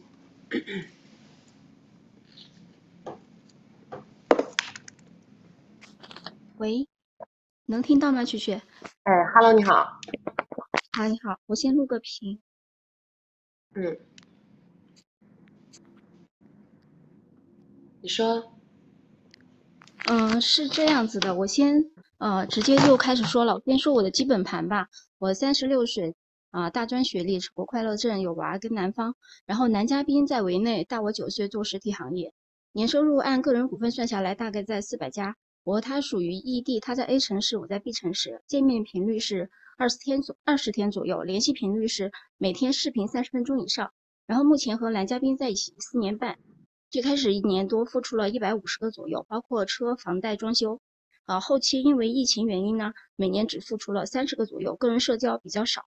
这期间我其实学过打球或其他途径认识人脉，但目前没有接触到比他愿意更愿意付出的。那今天我主要是想咨询的是我的一个事业的问题。那接下来我介绍一下我的工作状状况。啊，我的工作是和他确定关系后，在他 B 公司的，在他 B 在 B 城市的他的公司上班，上了四年多，月收入呃几 K，然后了解公司财务的状况。起初呢，呃，他觉得我有个工作在他可控视线范围内就行。啊，第一年上班我属于打酱油状态，但是后期因为疫情焦虑，然后再加上呃关注你这么久，然后就觉得自己的状态思想发生一些改变，然后就考了成人大专会计师，然后在工作上也做了很多积极的学习。职业目标呢，现在是呃所在行业的嗯经理人或者合伙人啊。目前直属，我缓一下，有点紧张。好，继续。啊，目前直属领导、总经理很认可我的工作，并亲自带教我成为了他的助理。啊，公司领导不知道我和男嘉宾的关系，会在男嘉宾巡店时汇报我的表现。这期间，男嘉宾在精神上很支持我。啊，我遇到不懂的，甚至于或工作中每一种某一件事怎么做、怎么说，啊，他都会啊在每天的联系中来教我。因此，经过我的努力和引导呢，他对我的事业规划，从最初的这种啊什么超市呀、文具店这种小事业，转变为了啊为我规划成从事我现在的这个行业。那么觉得从事这个行业啊熟悉的行业不至于赔，所以这个行业呢，呃起盘投资会比较大。如果自己做最少的投入都得五六百个。那么鉴于疫情后回血还没有太多的可支配现米。啊，与公司股东也进入扩张阶段，啊，给我承诺的是这个规划在我四十岁之前给我实现。你现在多大？那行业三十六，还有四年。那嗯呃没事儿，接下来听我说，有一个转折点，行业情况和回本时间我基本掌握。那目前遇见一个转折点，就是有一个可收购的在营项目在 C 城市，预计投资一千六百个左右。他一直有一个共同体的股东。啊，一方面他有想法让我上车参与这个项目，另一方面顾及股东的想法，因为他们投资是以股公司名义贷款或者向共同的朋友去借款，他个人手里没有现米，让我上车的话，如果只是分公司的借款做股份说不过去，因为没有我，他们也可以借到这么多米，且避免股东产生猜疑，给了我两个方案让我考虑。方案一，我的房产两百个，其中贷了五十个，他想办想办法让。啊，把那五十个给我还上，然后把房子做抵押，贷出来的米作为我投资的股份，因为有一个实质性的投入，便于他和股东沟通。同时，他们共同股份中，他把他个人的啊分给我百分之十，概况就是我实际出百分之十的米，可以占到二十的股份。啊，他考虑这样的占比能保障我以后的正常生活开销。然后方案二就是，如果我觉得不妥，再等几再等几年啊，他手上有现米了，然后我们再找属于自己的项目。那么现在是因为出现了一个突发状况，啊，嗯，这个项目呢比谈判预期的要快，原计划是四月份才能谈成，那甲方现在做出了退步，现在是通知一月份就要进行交割，需要提前准备合同款项，等不了办贷款了，这样子，嗯，他们和股东之间相当于走贷款，他们也来不及了，所以这两天他们都在到处借米，给我的方案肯定，现目前就实现不了了。那么问题，我现在问题是我是否需要抓住这样的事业转折机会，先上车，自己想办法借米？因为谈判内容和项目分析，我认为这个项目是很有优势的，接手就能营业，且是旺季。我提出的办法是去凑五股，五股是一百万，但目前我只能凑到五十个，不够的让男嘉宾借到打到我卡上，他答应了。然后我还提出来后期写股权。权益时想办法把他自己的呃百分之五再给到我，让我能共同占到百分之十，呃，这就是我的第一个问题，可可行吗？可行啊，可行哈，可行啊。那那有，那好，那我继续下一个问题，嗯，就是这边的话，嗯，股权协议需要注意些什么？股权协议需要注意什么？这个不能问我，这个得问律师。这个得问。如果说我们能，我们判断这个事儿，只能从什么维度判断？第一个维度是你跟这个男的知根知底，对吧？嗯。第二个维度是你对这个行业很了解，对，对吧？你对这个男的知根知底，你对这个行业了解，然后呢，这个男的对你也是有所付出的。嗯。我们只能看到这三件事儿。至于你这个行业真的是不是如你所说的，或者如他所说的能挣那么多钱，这个不在我们的专业范畴，这个在你的专业范畴。嗯，对。那还有一个问题就是，他说如果我这次呃凑钱比较困难的话，他就说让我就不要投了，他直接给我百分之五的股，但是是按股。嗯，所以说如果说是这种情况，代持了嘛，那就是等于代持了嘛。对，他就意思就是，呃，有有这个想法，我就说先提出来，我是否要，呃，如果说退一步的话，我是否要答应这个？是这样子的，我觉得呢，你是不是能够在这个公司里面起到经营性作用？我我目前是在他另一个城市的店里上班，能起到经营性的作用。所以说，还有一个问题就是，嗯。呃，还有一个问题就是，我目前所在城市是因为生活习惯和离孩子近，我是否需要放弃我现在这个城市，去到这个项目参与管理？如果你对这个项目非常有信心，你也很了解这个行业，你认为这个一定能赚到钱，那么当然是躬身入局比较好。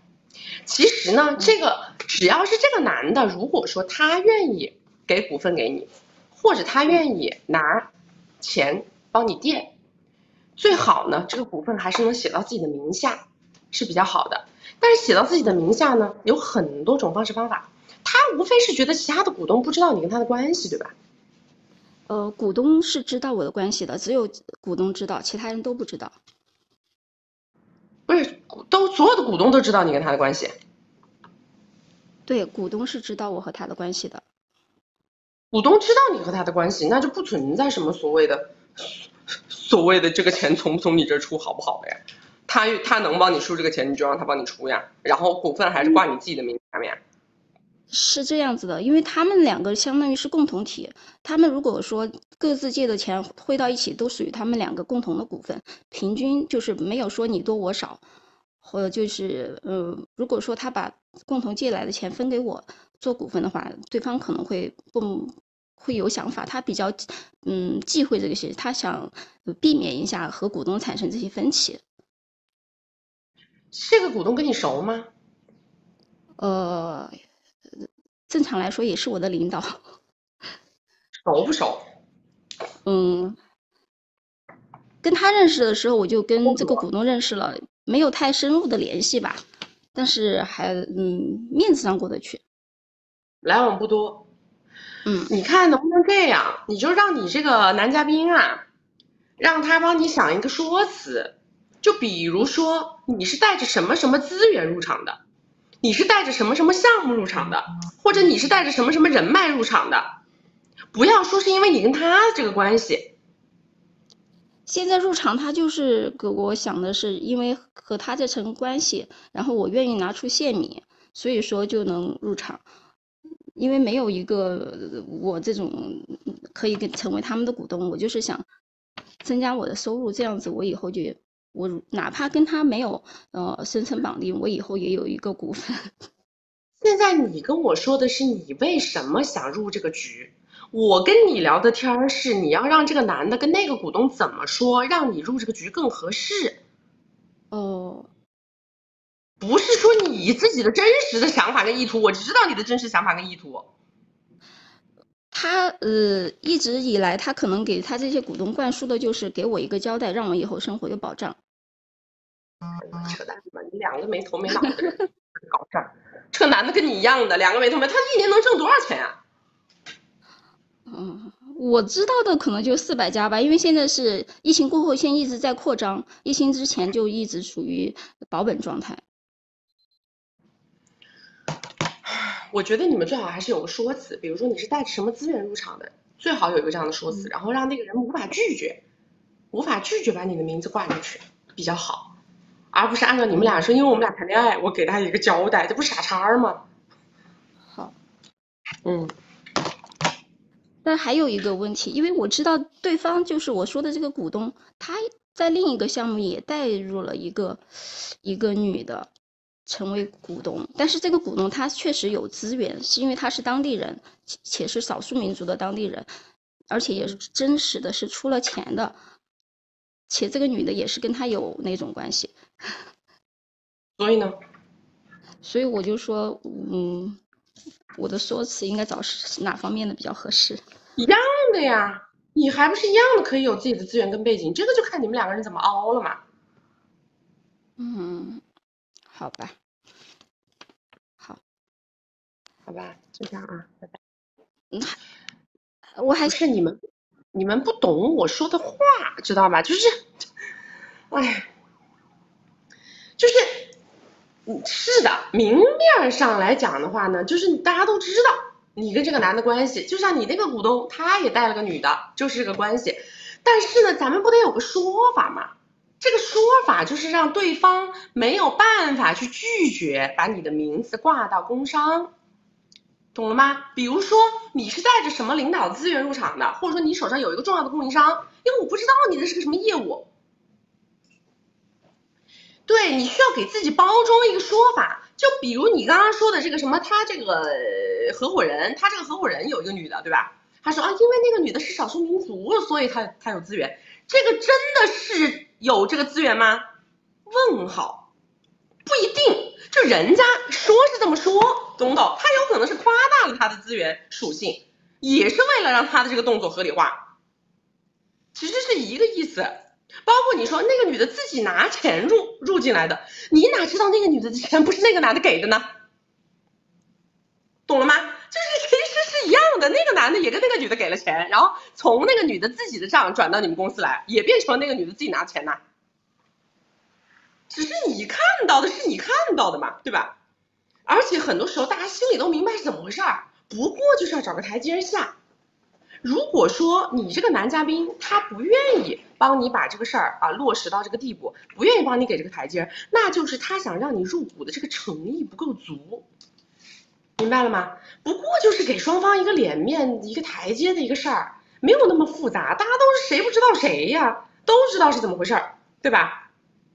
而且所谓的什么暗股，暗股那也要写签非常清晰的股权代持协议，但是股权代持协议。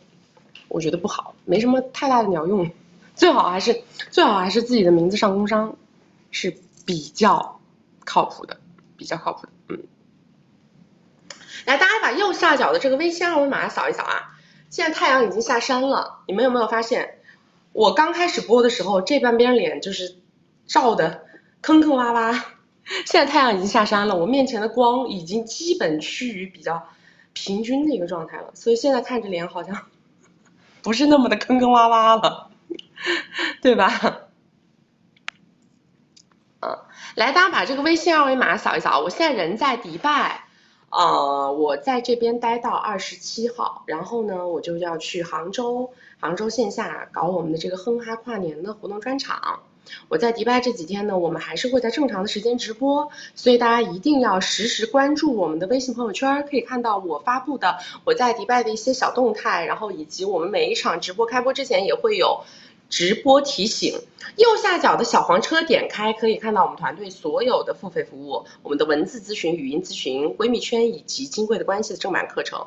有需要的宝宝可以自己去下单啊，下了以后呢，也一定要去找我们的微信的这个客服，告诉他你下单了，然后让他帮你拉群，开启服务，好吧？嗯，来下一个。对，没有光，主要是灯光不够。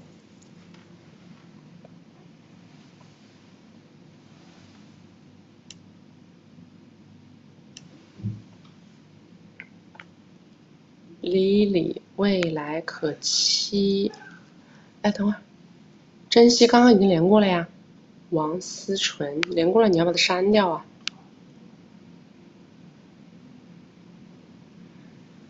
把那瓶喝的给我，桌上有一个小盖子的喝的。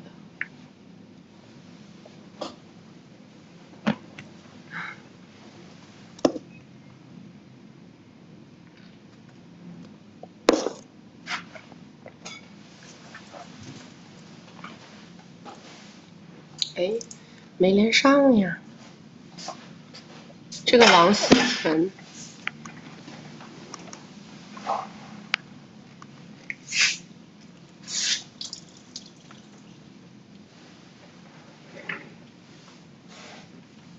王思纯连不上，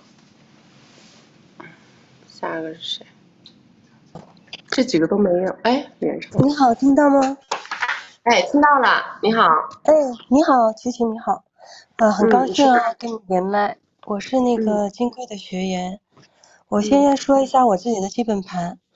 我呢是十佳姐姐，嗯，长相漂亮，身材性感，会打扮，就走的白富美路线，看起来比实际年龄年轻。那个在外面我通常都少报十二岁。然后无业，之前是家庭主妇，老公照顾。五年前扯了快乐证，嗯，带两个娃，一个蓝宝，一个粉宝，嗯，有限米一千个。两年前不到吧，两年前认识了我的男嘉宾，他是那个维内身份，大我十五岁，他对我慷慨，每个月给我十五个 W 的零用钱。嗯，他对我的付出很慷慨，每个月给我十五个 W 的零用钱，还会买东西送礼物出去旅行。然后现在我们相处了十九个月，嗯，全部加在一起加上零用钱，为我付出了七八百万米吧。我们是生活在国外的，他是做 WA 投资的，然后现在经济不好，他受到那个。全球经济不好的影响，所以这个月他突然跟我说不可以给我零用钱了。他说他全部的米都在股票里面，说那个不是没有米，只是要等股票好起来，让我陪他熬过这一段时间，等市场好了啊，什么都好了。他说我跟他相处这段时间，他也比较了解他的为人，说他不会亏待我的，就是想让我跟他在一起。陪着他度过这段时间了。我对他的了解呢，是他这个人还蛮重感情的，是挺好的一个人。只是吧，就是心眼比较小，就是那种，呃，标准的皇帝男，就不喜欢我出去见朋友啊，不出去玩啊，只能陪着他。然后他现在呢，每天还是继续的早安晚安，随时都等着跟我见面，就是不像以前那样会死缠烂打了。以前他约我出去，如果不想去啊，他会生气。现在可能是因为他不能给我米的原因吧，所以他尽量都忍着不发脾气，但对我依旧还是像以前那么好。我现在的诉求就是，我不知道我该怎么办。我不知道我是要答应他，等着他陪着他一起度过这段时间，还是说，还是说，还是说就直接离开了，找别的人了？但其实以我自己的条件，找到更好的人也不是很容易。如果我答应他呢？对，如果我答应他呢，我也不知道能等多长时间。这么长时间，我也会很内耗。然后我也担心说，如果我时间长了，他不给我米了，以后他有米了，如果他不给我了，习惯了，那怎么办呢？还有他不给我米，我就不想跟他有十点半，所以我就想听听曲曲的意见。嗯嗯，几个问题。第一个呢是跟这个人，你肯定是需要自己给自己设一个时间止损线的。嗯哼。那么你的时间止损线在时间止损线之内，要倾尽一切的去好好相处，要不然的话，你的这个时间止损线的这个时间就是荒废，没有意义，因为钱也没有，情感也得不到拉伸，然后也没有办法完成温水煮青蛙的动作。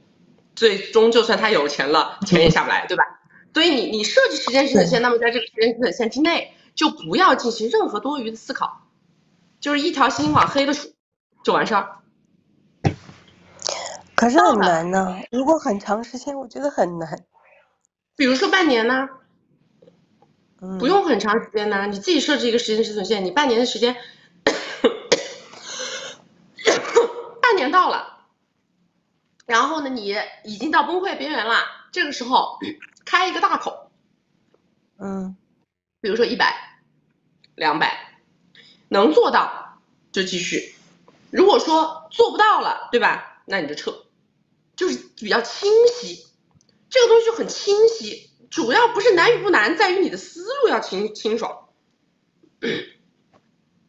这是 OK，这个。然后呢，就是你其实有一些事儿吧。你就是想的非常的多余，什么呢？你说，哦，那如果他有钱了也不给我怎么办呢？他不给了怎么办呢？你现在，你有没有想过，如果这个世界上都没有男的给钱你了，你要怎么办？那 防微使不了倒是。对呀，嗯，对呀，这不就结了吗？你都这么大了。花男的的钱能花到几十？这个男的，你跟他之间又没有小孩儿，你们又不可能终身绑定了。他无非是时间长短的问题。你本身你跟他在一起，他有钱没钱，他都是个时间长短问题。要不就是等到他没钱了，拜拜；要不就是等到你年老珠黄了，他不想花了，拜拜。你们两个人他现在不就等于没钱吗？他现在就等于说没钱呢。还没，这不是还还还最后一口气，不是要试一试吗？OK，嗯，反正我就是不能放弃他了，对不对？就先这样。现在没有其他的下家，对吧？你只能先赌个半年呢，你不可能说哦，人家刚刚一没钱，你立刻就撤退，万一他一个月他就回暖了呢，你不就崩溃了？是是，我也是担心这个，嗯。不就是这样吗？你设置时间止损线，就是在这个时间止损线。说白了，我觉得他为我付出了六百万，这个六百万，我认为在我这里能管多久？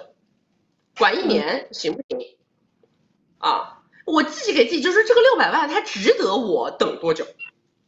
按照他原有的这个付出，你想一想，值得你为这个人再等多久？那么你就把这个时间设为一个时间止损线，在这个时间止损线之内，我无以复加的去对你好。跟你好好相处就好了。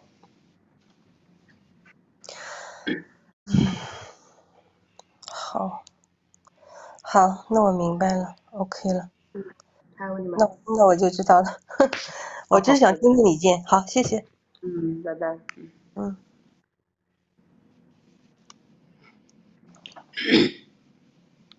你要是说你们是。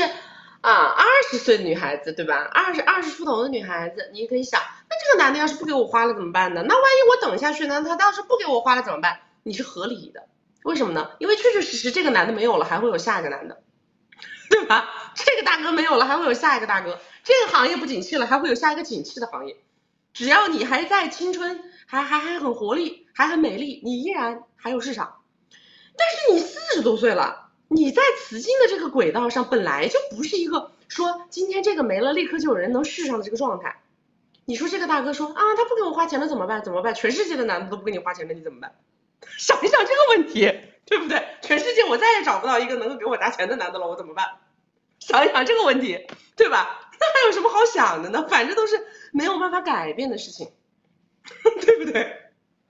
因为你到这个时候了，下桥了嘛，该到了，这是就是下桥的时间阶段了呀，是不是？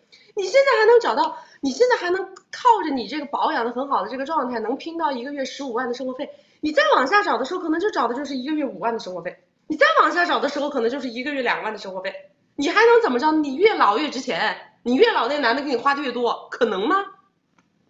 不可能嘛！是岁月的流转，它是不会停止的，对不对？所以男人不给你花钱的这件事儿，它只会是一个确定性事件，它不是一个说我我害怕他就会啊，他他就不会发生了，不是的，你怕不怕这一天都是会来的。这个男的，这个男不在于这个男的给不给你花，而是在于你下桥了，对不对？你在雌竞这个轨道上下桥了呀。这个雌竞这个事儿不能搞到六十岁吧，是吧？搞到个四十几岁、五十岁那一到到顶的顶的顶了吧，是吧？你还还能怎么搞呢？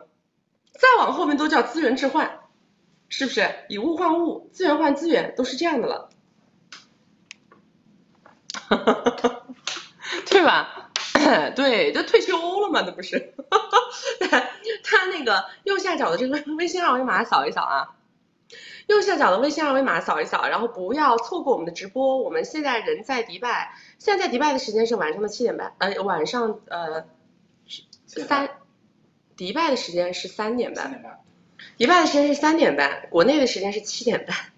然后我还是按照正常的国内的时间在给大家直播。我在迪拜七天也还是会准时准点的给大家开播，嗯，大家如果怕走丢的话呢，一定要到我们的微信朋友圈实时关注啊，我们每一场直播之前都会发布直播通知，啊，然后呢，大家如果呃有任何的需要找我们团队的，右下角的小黄车点开可以看到我们团队所有的付费服务，我们的语音咨询、文字咨询、闺蜜圈以及金贵的关系的正版课。嗯，还有金贵的关系证满课买了以后就可以进我们金贵的社群了。我们的社群也是终身服务制的，只要居居大女人这个品牌还存在，我们就会一直在社群里面为大家不断的去充斥新的服务内容啊。来下一个。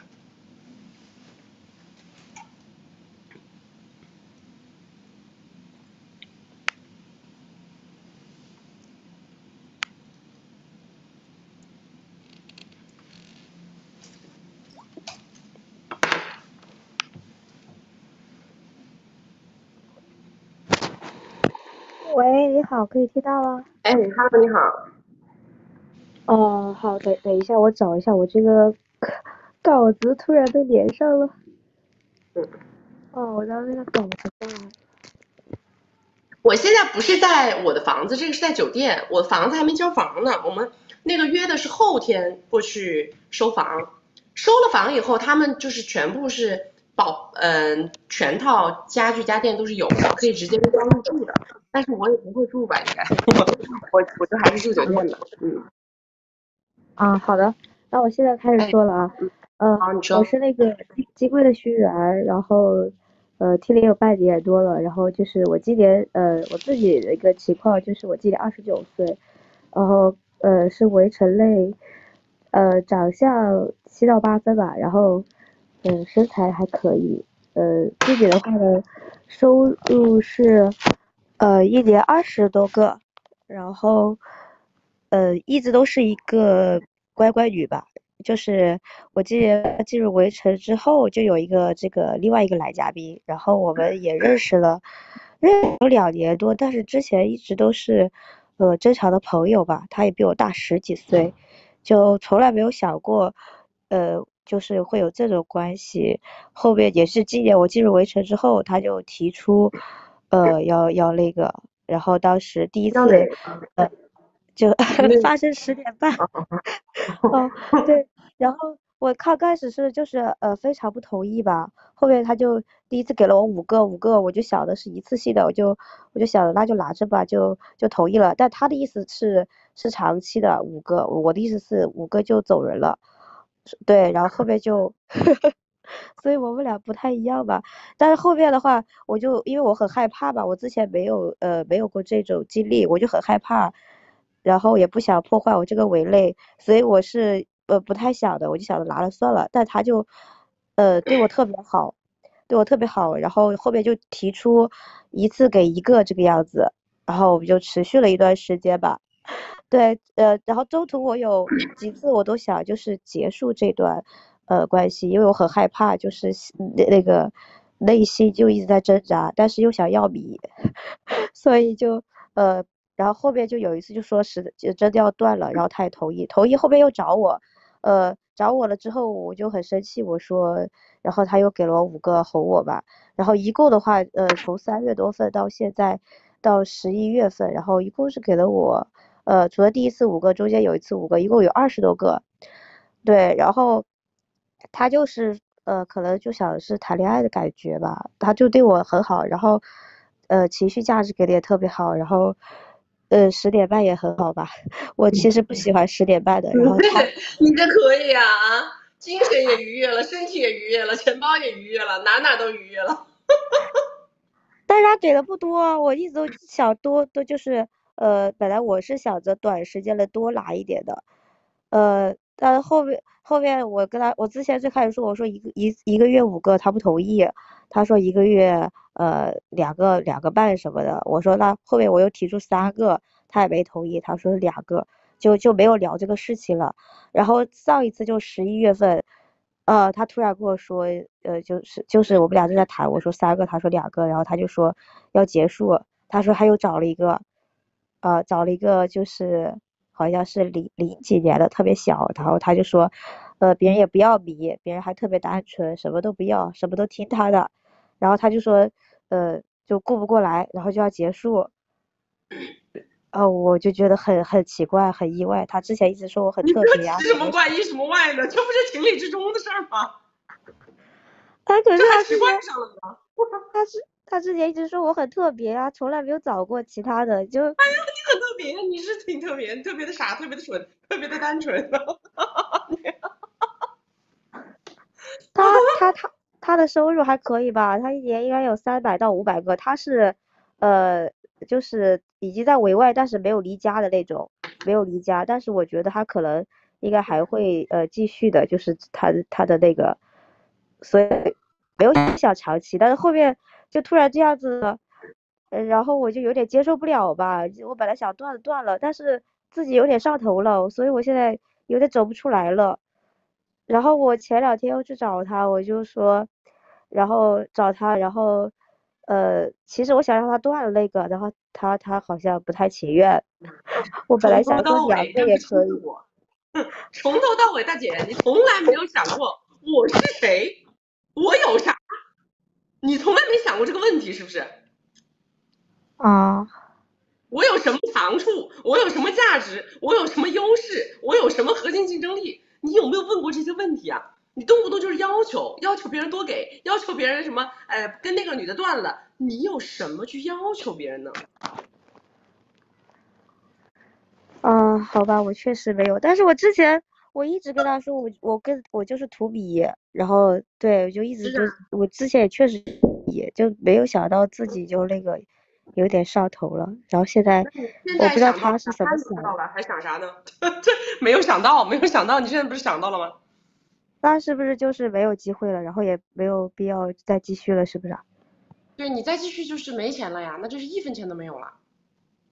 啊，哎呀，他本来还说如果他后面说如果我同意两个还可以就是一辈子那种，我也不知道是不是真的，他还那样说。那你赶紧抓住机会啊！再犹豫下去一分都没了，还得自己倒贴了。他说现在没有机会了。他说之前我如果同意的话，那那那你看我说吧，我说吧，我说没机会了吧？你搞了半天这已经是之前的 offer 了，已经过期了，过过期 offer。哦，所以我我就是不太明白他的想法，他就是真真的就呃对我一点想法都没有了啊。啥想法？人家有啥想法呀？我不懂哎。哎，小姐，你是咋想的呀？你你觉得你们俩是什么关系啊？啊，不知道。不知道，花钱买快乐，人家在你这花钱买快乐。现在花钱买快乐是这样的啊。首先呢，第一叫有快乐可买，啊，有快乐可买，就是你确实能给人提供快乐，这个就是花钱买快乐的第一个条件，对吧？第二个条件叫什么？第二个条件叫价格合理，对吧？花钱买快乐是两个条件，一个是有快乐可买，一个叫做价格合理。在你这儿，快乐不够，价格不合理，你们俩什么关系呢？这就是这个关系的本质。那我现在就是有点有点走不出来，怎么办？走不出来，走不出来，慢慢走，多多走会儿就走出来了，多走会儿就走出来了啊！认清自己很明确说过。哦，但是我之前很明确跟他讲过，我说我不愿意什么什么，他他都同意了，怎么现在就就不同意了？为什么呀？为什么呀？我就跟他说的很清楚啊，我说就是图比呀，然后他还。人家该给给了，还怎么样呢？人家又没有欠你的，又没有不买单。但是我觉得他就是。不是每次都买单了吗？怎么还不能不允许不能再吃了？不想吃了，我换个地换个地吃不行了？又没有，你们两个人之间所有谈的所有的东西都是还是成立的呀，没有任何东西被推翻呢。啊，好吧，好吧。嗯。那那还有什么别的建议吗？没建议，啊，没有建议，认清自己啊，好不好？嗯，好。那我就是我我自己那个围内的，然后呃十点半不行，我怎么我要不要学一下教他？你去学一下，是这样的，你去学一下，不一定能改变你老公行不行？是吧？我们是这样的，我们学一下完了以后能干嘛呢？能够提升自己的敏感度是可以的。可能你老公原来他只有三分，然后你提升敏感度之后，跟他之间他能能有五分。这个五分是因为你的感受变敏感了，所以从三分变成五分。但是并不是你老公的实力从三分变成五分，这是两个概念。你明白了没有？哦哦，好的。那我就是改变不了他哈，觉得就是。你怎么改变他呢？那他你改变他得让他去学习的，得让？他做项目，对不对？你做项目只能改变你这一部分嘛，改变的是我们的敏感度，我们的愉悦度，但是不能改变他的硬实力。嗯。哦，那还有没有必要去学了？那要看你的需求了。啊，好的好的。好吧。好，那那就这样吧，感谢收听。嗯嗯嗯嗯。我们说我们很实在，对不对？我们是不是很实在？你提升自己的这个方方面面的功能，方方面面的设备，你变得更精良。可能说，可能来讲的话，看看你觉得你的这个目标对象有没有这个必要，或者说这个关系于你而言有没有这个必要？你说不管我这个老公三分也好，一分也好，我只能跟他过，对吧？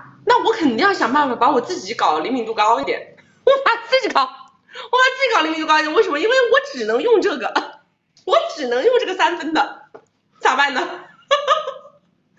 对不对？这是这是一个一个理由，一个原因，因为我必须要用这个三分的，所以我只能通过提升我自己的敏感度，让这个三分的体验给我带来五分的体验，把三分的设备给我带来五分的体验，对吧？要不然呢，就是什么呢？要不然就是。我拿着更精良的设备，哎，我还能出去找更好的，对吧？我找更好的，能够让别人对我更上头。同样的都是女生，但是呢，这个男的他但凡是跟我好，他一对比他就觉得我比别人都这个 YYDS，对吧？那他相应的来说，他肯定对我更上头，他对我更容易倾注他的注意力和付出，就是这两两件事儿，对不对？但是我不可能通过改变我，然后提升这个男的的硬实力，这玩意儿咋提升得了呢？对吧？啊，来，那个对这个十点半哼哈感兴趣的宝宝啊，也直接去加我们的微信客服，加我们的微信客服啊，或者是找你们的那个呃管理员，找你们金贵的社群的管理员，好不好？然后呢，去去去去问一下，去问一下，好不好？我们这个这个月月底的跨年哼哈跨年专场还有少量的名额啊，来下一个。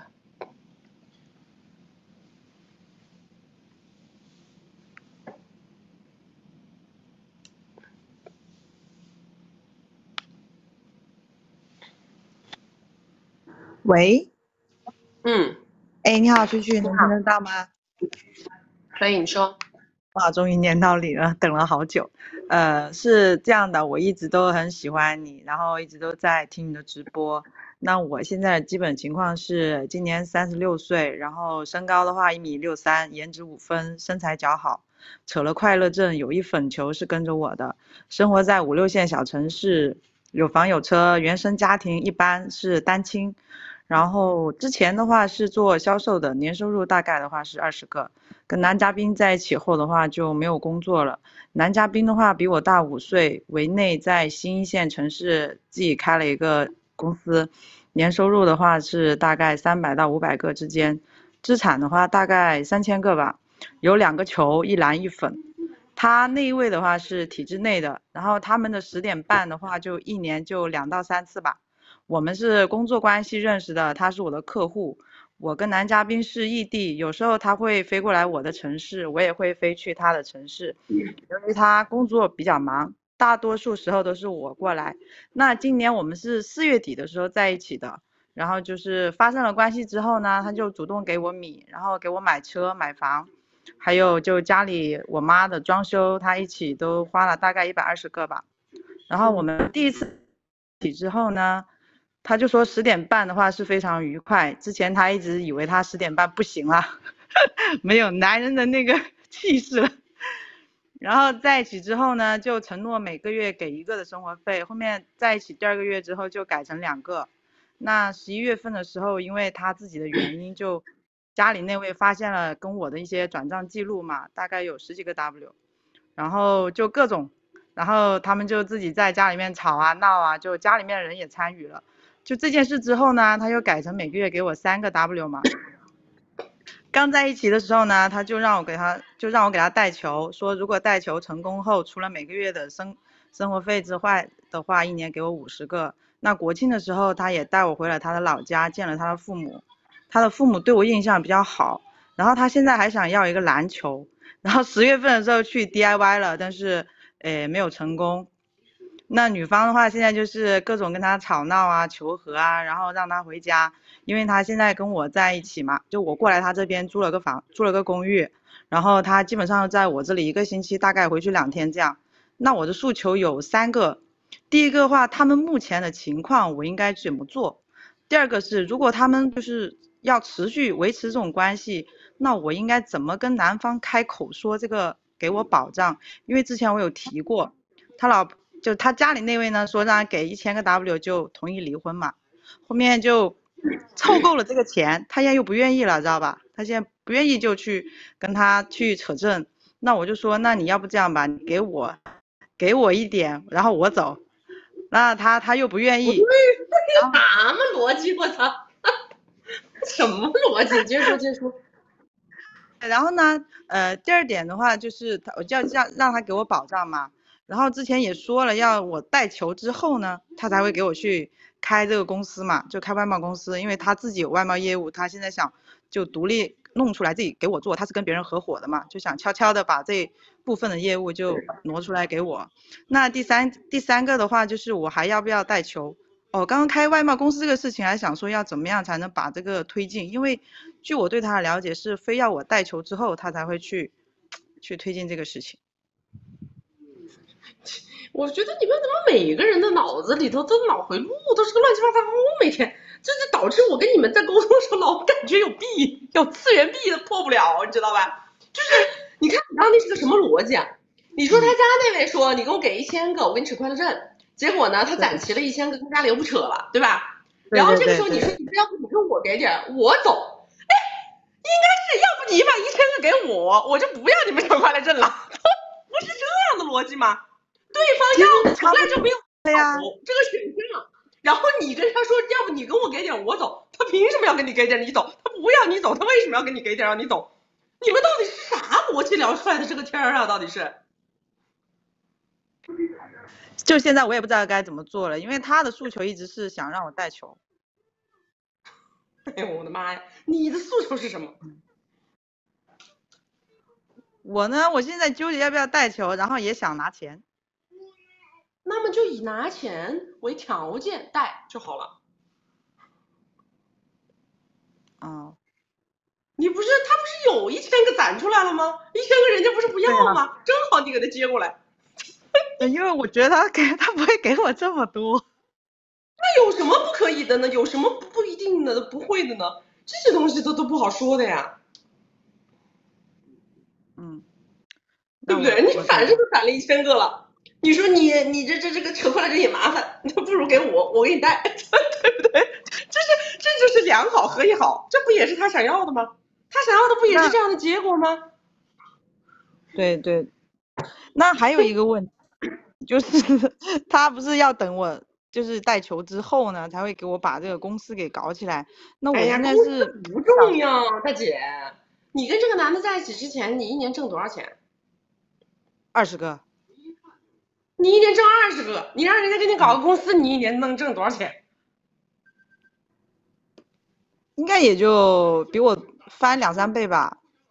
你看，你又挣不了几个子儿，天天想着搞公司搞公司，你搞得好像蛮强个女强人一样的，你没有到这个这个 level 上面，你这琢磨的个什么东西呢？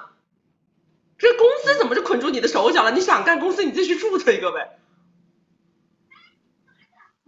明白了，明白了，明白了。哎呦，我跟你们讲话真的是次元壁破不了，我去。哎，找找到重点好不好啊？嗯，那我跟你聊了之后，我懂了，我懂了，明白了。哎，我谢谢啊。嗯，好，拜拜。嗯嗯，拜。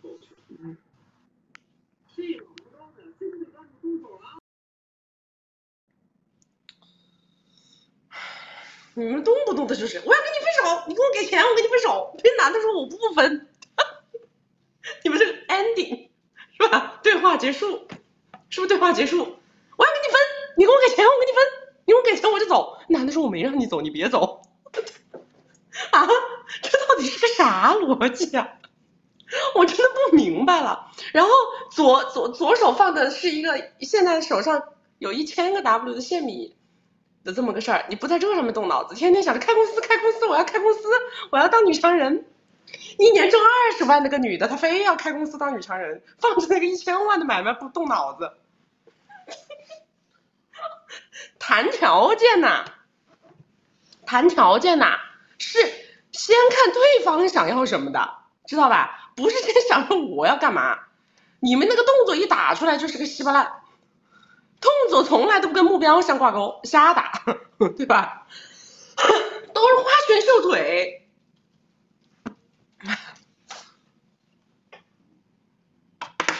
哎呀，那个他他家那个也是想不通，是不是想不通呢？真是想不通。他应该先把那个一千个拿了再说，再。这这这女的到底脑子里装的都是啥呀？啊，爱吗？就爱到这个地步？啊？那男的一千个都准备好了，他都不扯快乐证，他已经十点半不和谐了，心也飞了，已经都带着外面的女的去见家长了。完了以后，这个女的还在，我不扯快乐证啊！一千个一千个都到位了，他还不扯，是怎么这是 啊想不通呢？啊，你拿着一千个，你去找个什么男的你找不着啊？他非要跟他耗在这耗。哎感情没有了，身体也没有了，尊严都快没有了，还不肯走，给一千个还不肯走，先把一千个拿过来了，拿过来了以后，你再回头再去勾搭他啦，对不对？是不是这个道理？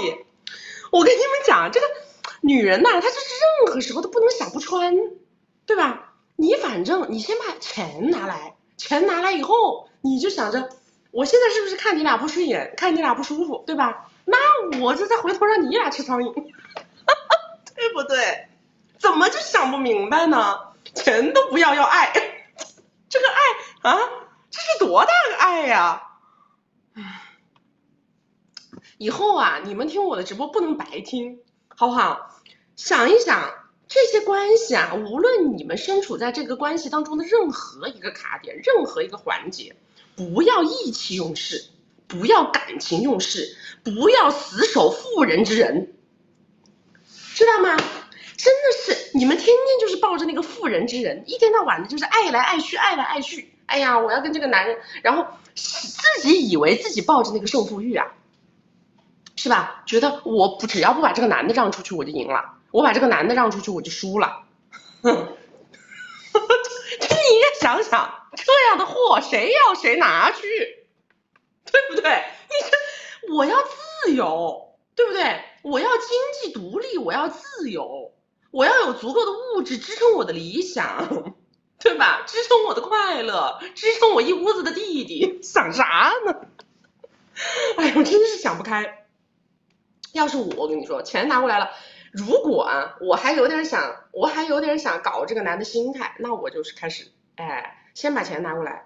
反正呢，钱拿过来，不管扯不扯快乐证，总而言之，钱要到位。钱到位了，如果这个快乐证还能不扯，我就先稳着不扯。如果这个快乐证是非扯不可才能给我这个钱，我就把这个快乐证扯掉。扯完了以后，我再天天去照顾老人、照顾孩子，嘘寒问暖，拍美丽全家福，对不对？这个步骤得搞明白，这都什么玩意儿？这都我都看不懂。来，那个右下角的右下角的小黄车点开啊，可以看到我们团队所有的付费服务。我们的语音咨询、文字咨询啊，闺蜜圈儿，呃，以及这个金贵的关系，嗯，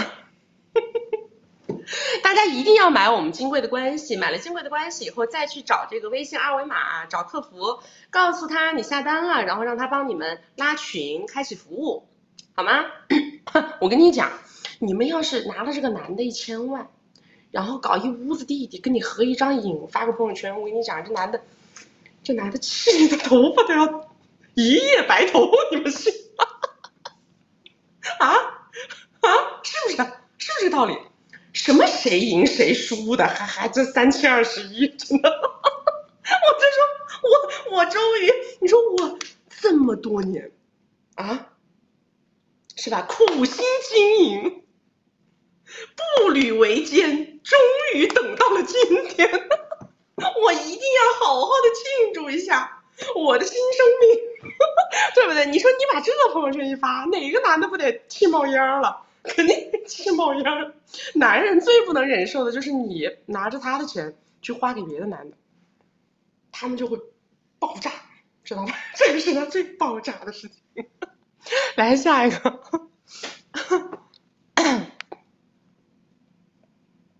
是这个。是这这个吗？你过来看一眼。是是这个吗？没有这个人啊。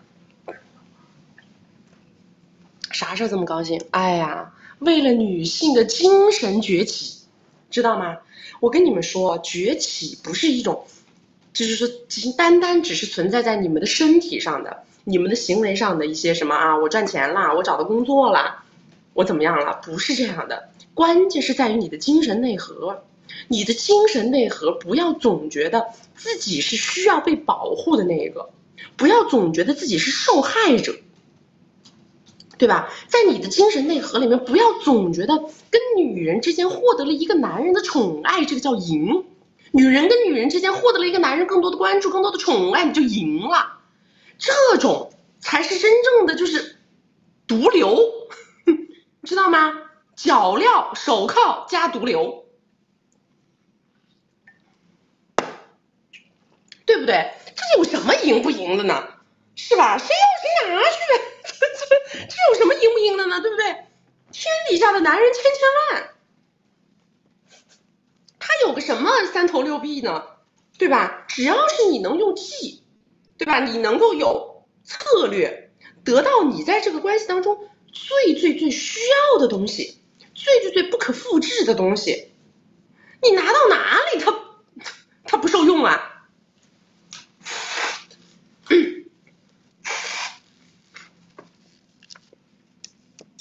没有哪个男人是这个世界上独一无二的。我告诉你们，无论这个男的长得多帅，身材多好，十点半多行，或者是认知有多高，没有任何一个男人在这个世界上，他们身上所用的这些特征，其实都有很多很多人都有，对吧？顶多就是说，这个男的身上有他的 A 特征，那个男的身上有他的 B 特征，那个男的身上有他的 C 特征，一个不行，三个肯定顶够。对吧？想明白一点，想通透一点，把时间跟精力放对地方，放在自我的成长性上，放到自己看更大的世界，享受更多的这个世界上更多的美好，对不对？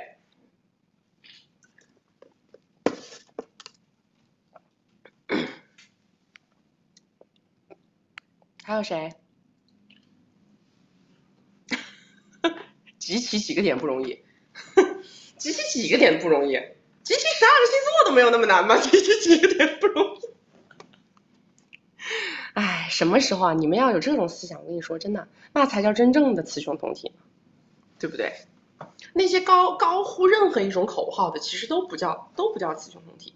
高呼我不需要男人，高呼啊我有钱要男人干什么？啊什么那么那些东西都没有用，真的，一切皆是术，知道吗？一切皆为术。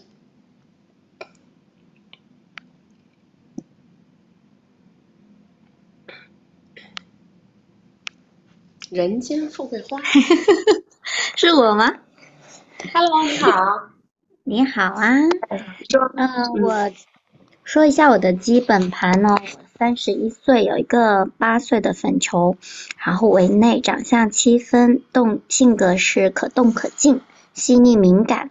年入十五万，有一个代步的车，无房。年入十五，嗯，对。哎，我第一个问题是我现在在一个少儿教培行业，那这个行业这几这一年是有一个比较大的冲击的。那我现在是刚刚单独带一个新校区大校区一年整整了。那在老老校区的时候呢，我业绩成果很不错，然后新校区的业绩成果并没有达到我自己的目标咯，也。然后我个人是文艺综合能力比较强，有三本教资、口才、中国舞以及以及小学语文这样子。我执教十年，前面七年在小学里面，但后面三年就在待在这家公司。那这三年呢，呃，也是快速成长的一个时间哦。有我的能力会让有能力的家长认可我，然后把他的个人资源对接给我，比如医院的，比如。呃，国企的一些行业的家长，但是呢，这一年在管管理层，我感觉自己没有提升，反而做的事情非常非常的杂，然后我就在考虑，我是否要退出，退出这个公司，或者说我要去跟家老跟老板沟通薪资的问题。嗯嗯，这是第一个问题。或者你手上现在认可你的老认可你的家长资源多吗？嗯，多的，就是这十年积累下来，忠实的家长还不错。嗯，那么你为什么不考虑去做一些更加一对一的服务呢？嗯，比如说呢？自己去给家长上门服务不就好了吗？有学生有需求的，你可以直接去上门服务啊，做定制化的服务呀。这样的话，你不就有溢价了吗？啊。就是之前家长会来主动找我，但是我都推掉了。对呀，你自己规划一下，对不对？那我在这个地方，你想想看，你们这个机构你能拿的是多少？嗯嗯，十五吧，就十五。百不是，我是说百分比。哦，百分比吗？对。嗯，如果我这个新校区的话，应该是在八分一。我的薪资，呃，百分之十吧，能拿到我们。他给家长给他交一万块，你拿一千，是这个意思吗？如果平摊到我的工资上来说是这样子的，但是我的薪资其实很低的。对呀，那你为什么不直接去跟家长说，我去给你们做一对一的服务，一个月给我五千呢？嗯嗯嗯对不对？如果说是家长要给他交一万，那么你你去给他们交一对一的服务，你只收五千，那实际上你能对吧？你也拿到的是你原来的五倍，但是对于家长来说，他可能还少付了一万，那那不是两好合一好？嗯，但是现在这个行业可能更注重的是一个平台的问题。不不不不，不是的，你做你要试，所以为什么我问你有没有这些资源？如果有这些资源，个人依然也可以成为品牌，对吧？嗯，关键是看你的能力是否达标，家长是否足够的认可你。嗯，好的，我因为我已经非常非常的纠结，自己纠结了半年，不 不不，三个月的。我跟你说，人只要有本事，走到哪儿都饿不死，知道吗？跟别人一起合伙干还是自己单干，它无非就是个性价比的问题。对对。然后第二个问题就是换一个地方。第二个问题就是，我觉得我现在婚姻比较鸡肋，是否应该早点断掉？因为我结婚八年了，然后家里大的付出都是我，呃，老公一直想创业，也有去做创业，然后各种原因失败，他个人也有一点点，呃，其他因素被那个给抓进去了一段时间，但很快就出来了。然后疫情三年呢，他也是他负债最高的时那个时间段嘛。嗯，我帮他还了二三十万呢，然后现在这里面的钱就有我主业赚的，也有我副业赚的，对，然后因为我之前是有做做微商嘛，然后有赚的还不错，比主业赚的好，然后现在问题就在于它好在于我们俩是共同抚养这个粉宝宝，然后我们的粉宝宝我们共同付出的精力都是平等的。就他他不像别的男生那样子完全不管，他会管，然后对我也算是细心体贴，但是呢，就是我现在八年了还是看不到他赚米的能力。嗯，那就是没有能力。对，就是我一直会觉得，之前会一直觉得他是一个很不错的人，但是。可能是没遇到平台，但实际相处下来八年，我也仔细的去分析和剖析他了，他确实没有赚钱的能力。那我们现在不是呃有车有房吗？那车也是我自己买的，然后房呢，嗯，没有房，但是是长辈给我们一个呃商品房住了。但我就跟他说，今年年底一定要去找长辈要到房子，我要重新装修。但是我估计他是要不下来，那我就不希望我自己一辈子越过越差，所以我就想要结束掉。嗯嗯，问题我都 你要结束掉就结束掉呗，有啥问题？没问题。就是我会留恋说他是一个好爸爸这一点。你不跟他当夫妻，他也是好爸爸。我也这样想，但是因为你说的他的他的这个主语是爸爸，对吧？不是老公。你们是不是夫妻都不改变他爸爸的身份，改变的只是老公的身份。他是在爸爸这个属性上是好的，这个属性从头到尾不改变，那么他就依然是好的。就是他会一直这八年，他会一直推着我往外走，推着我往外出去赚米。对这一点我是挺感谢他，但是我就觉得到现在到今年我就好累啊。你感谢他什么呢？你感谢他什么？他你感谢他什么啊？我感谢他什么呀？到底感谢我自己啊！感谢他在后你你屁股后面抽鞭子，让你出去赚钱。嗯。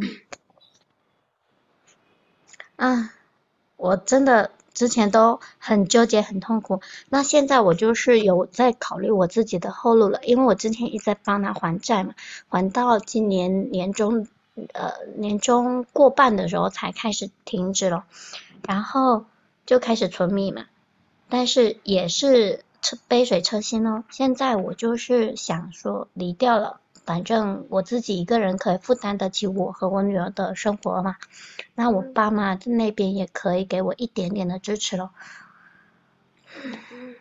所以，我虽然有一个相对来说比较有米的追求者，认识三四个月也没有付出，但所以我就不考虑嘛，完全就不考虑他了。然后我更倾向于自己贷款买房，自己住一段时间了。嗯，可以啊，都挺好，没毛病 啊。讲好了就走，是吧？真的吗？就是哪个地方有问题呢？哪个环节有问题？就是我会。担心走出去，或者说我把这个工作辞掉也好，把婚婚姻离掉也好，会遇到更多更糟糕的事情，我会有这种担心。呢？比如呢？比如？过得更差。比如什么事能让你更糟糕？你也啥也没有。啊？没钱。你本来就没钱。啊？不是。你们挺搞笑的，你们有啥呀？还怕更糟糕？啥都没有，还还还有更糟糕吗？嗯，嗯，没有什么东西值，没有什么东西值得你去纠结的，因为你没有什么东西可失去，本来也啥也没有。那我除了说。我回到工作这个点上说，如除了除了去做这种私人定制，那比如说我要跨到别的行业去，有没有合适的或者说您给的建议吗？这个东西我给不了你们明确的建议。跨行业，这个世界上的行业千千万，各行各业都有好干的，都有干的差的，所有的行业本质上来讲没有什么区别。嗯。关键是看一个做事的人，做事的思维。嗯，就像你刚才说的一句话，也是我我我自我的一个现状，就是反正我自己有能力，我到哪我都能养活得起我自己，反正我到到哪我都能赚到钱。是的，好吧，好好干啊。好，非常。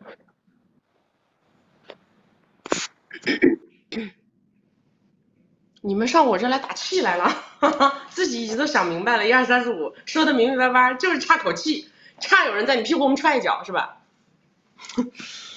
为了感情拖拖拉拉的，有什么好拖拖拉拉的嘛？我我我跟你们讲了的，在一个关系里扯快乐证，是吧？然后呢，离婚不离家，这个离婚不离家对谁好？对谁好？离婚不离家，一定是对这个关系里有经济的这方好，明白吗？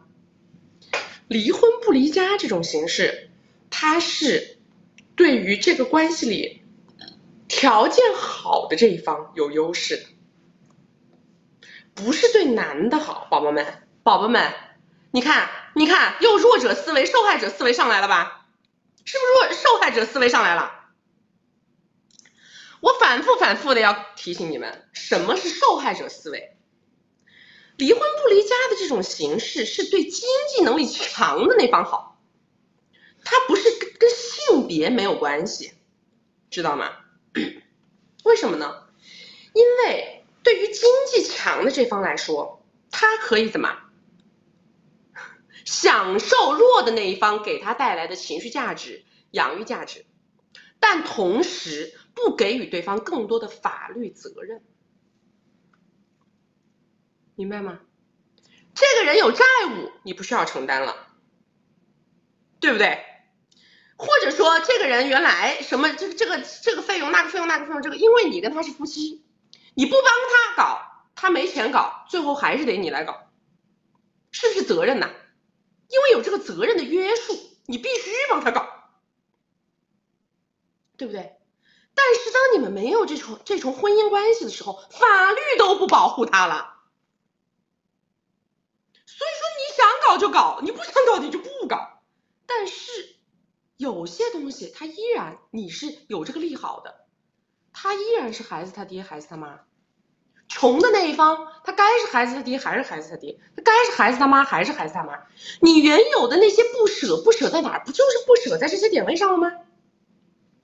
你的不舍，你的下不了狠心，你的优柔寡断，都来自于他能够给你带来的那点情绪价值和对于孩子的这种关心、照顾、时间陪伴，对吧？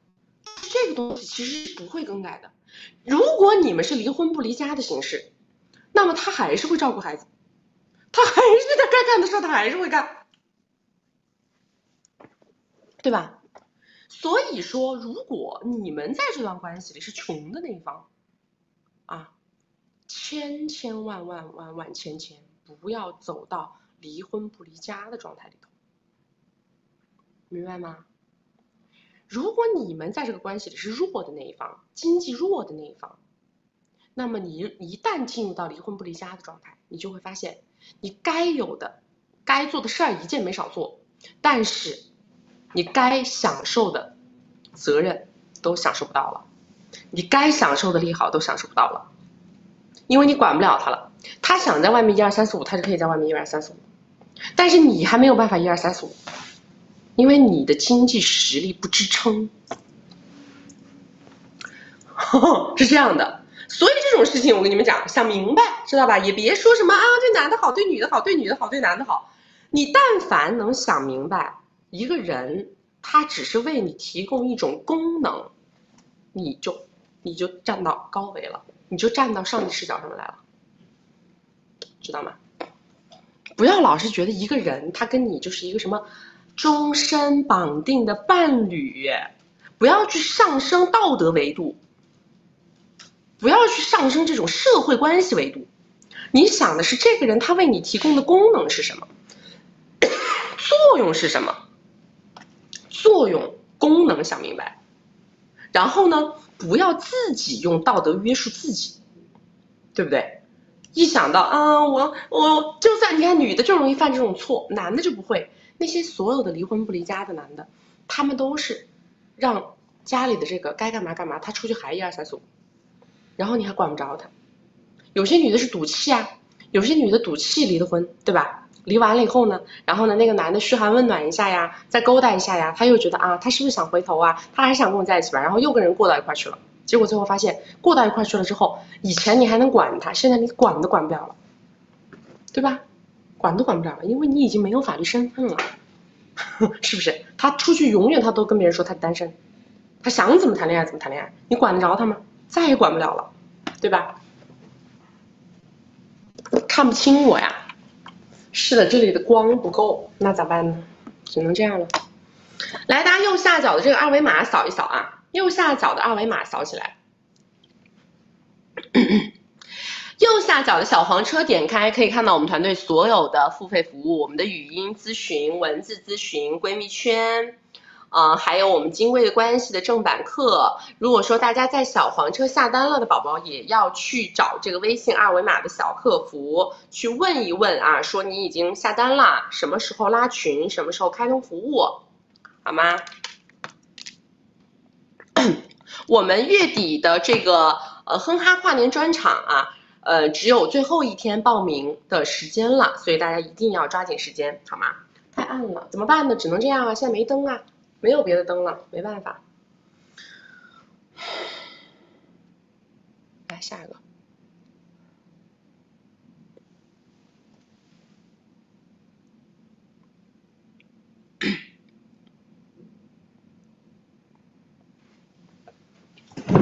喂，你好。Hello，你好。你好，居居老师，你好，就是我想咨询一下那个挽回的问题，就是我的问题可能会比较下沉一点，就是希望您一会儿不要生气。然后我的问题就是想问一下他现在是怎么想的，就是我还能挽回回来他吗？嗯，我的情况是二十八岁，对方是三十二岁，嗯，在三线城市，然后都是独生子，嗯，家庭都是普通家庭，但是他的家庭会比我的家庭稍微好一点。然后我俩是对对碰认识的，谈了有一年多，然后是在推进婚恋关系的时候，因为彩礼谈崩了，因为可能是因为我家这边有贷款，然后他爸妈呢就想把这个彩礼再领证后给，然后我爸妈有点不同意，所以就谈崩了。然后目前我俩已经分开有半年，然后在分开的前两个月的时候，我找过他三次，第一次的时候他态度还挺好的。就后面两次他就不愿意跟我说话了，然后后面我就再也没找过他。然后分开之前呢，有同居过，是住在男孩的家里面。然后前段时间就是我有找过他最后一次，是去单位找的他，就是我没有想到他的态度还特别的好。然后因为我原来找他，他就是不理我，直接就走掉了。然后这次呢，他就是也态度挺好，然后就很积极的问我，就是我想跟他聊啥。然后呢，我就问了一下他，就我和他之间的一些我我比较疑惑的一些点，就比如说为什么要领证后给我，是不是就是和我家贷款有关？他说是的。然后还有就是，嗯，还有就是说，嗯，我俩关系其实也不是说我家贷款这个事情。然后他说是因为我和他最后的吵架，因为那会儿可能我住在他家里面，然后呢，我。爸就是他爸妈跟我爸妈说这个彩礼要领证后给，然后呢，我爸妈可能有点着急，就认为他家不会给，然后一直找我，然后我爸我我妈一直找我呢，我可能就会觉得，嗯，他毕竟是上了年龄的人，可能说话有有一些可能会比较有经验吧，然后，嗯，所以他一跟我说，然后我可能就会回去跟他吵架，然后可能这个吵架的时间持续的比较长吧，就因为半年。呃，不是有有半个月的时间，所以呢，他可能就有点受不了，然后他怕就是说以后跟我结婚之后呢，我也会像现在这样，就是呃，我妈跟我说啥，我就会去跟他吵架。但其实呢，我是因为我家里面催我，然后我是想让他把这个彩礼领证钱给了我之后，我也可以向我家里面人证明，然后就是他是很在乎我的，但是他可能不太明白，他就觉得是。我我死要这个彩礼是因为要给我家还还这个贷款，然后呢，嗯，这是嗯我问他的，然后最后呢，就是嗯还有就是说他很在意我的原生家庭，觉得就是我身上的一些问题都是我父母导致的，因为他就觉得如果说是不是我父母跟我说那些话呢，嗯我可能嗯就不会跟他去吵架呀啥的，然后所以最后呢就是呃聊。嗯，聊到最后呢，他说他要工作要走了，然后我就觉得我没有啥理由，也没有啥身份再去跟他去说其他的事儿，嗯，然后所以我就让他走了。但是我没想到他就是往前走几步，还跟我开玩笑，就说啊，那我真的走了。然后我我就觉得是不是他想让我把他叫回来？然后我就说那嗯，那你陪我打车吧。他就又回来了。可能这两三次之后，我就觉得挺没意思的。然后他就走了。走了之后，我没想到他走了很远。然后又翻过头来又看我，就就给我一种感觉，就是好像还对这段感情很留恋，所以我就不知道，就是说他对我是不是还有感情，就是，啊，太下沉了，你这故事 不在我的专范畴啊，在我的在我的认知里头，这种关系是没有意义的，好不好？只能说在我的认知里头，这个关系是没有意义的。但是在你的认知里头，或者在你的圈子里头，我不知道，在我的认知里头，这个关系没有意义的。彩礼如果不在婚前给，那叫什么彩礼？嗯，是呢。那 这就是一个很简单的一个道理，好吧？这男的最后整的那出，在我看来完全是他妈琼瑶上了身，他自己估计在 自己估计在那玩呢啊，哼哼，演上了啊，戏精上身了，好吧？嗯，那嗯。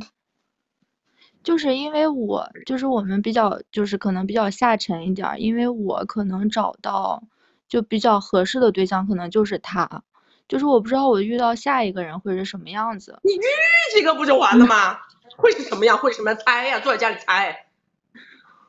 哦，就是体育老师，那我如果就是想挽回他的话，就是还有可能吗？你不要彩礼了呗，便宜价。便宜价那不就简单了吗？那这个事情去了也结了婚也不会有啥好结果吧？如果知道哎，你知道就好，好吧？你知道就好，那非要倒贴，那那那那那谁整得了你呢？对不对？嗯，是呢。那这件事情就是无解，就就只能是这样子，就是分开就行了。对呀。你多找几个不就马上就明白了吗？这个世界上男的那么多，你这个男的他也没有那么喜欢你，还跟你在那 PUA 呢，就是什么方面 PUA？这不是很清晰吗？什么叫啊？给了你钱，你就一定会拿去还你们家的房贷？这是说的什么话呀？你长厚眼睛了？你在我们家开摄像头了？彩礼就是彩礼，在我这混淆什么概念啊？嗯，彩礼给我，至于我要干嘛？这也不是你该关心的事儿。嗯，是呢。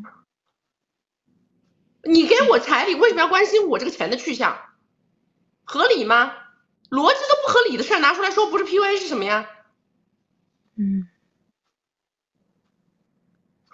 是。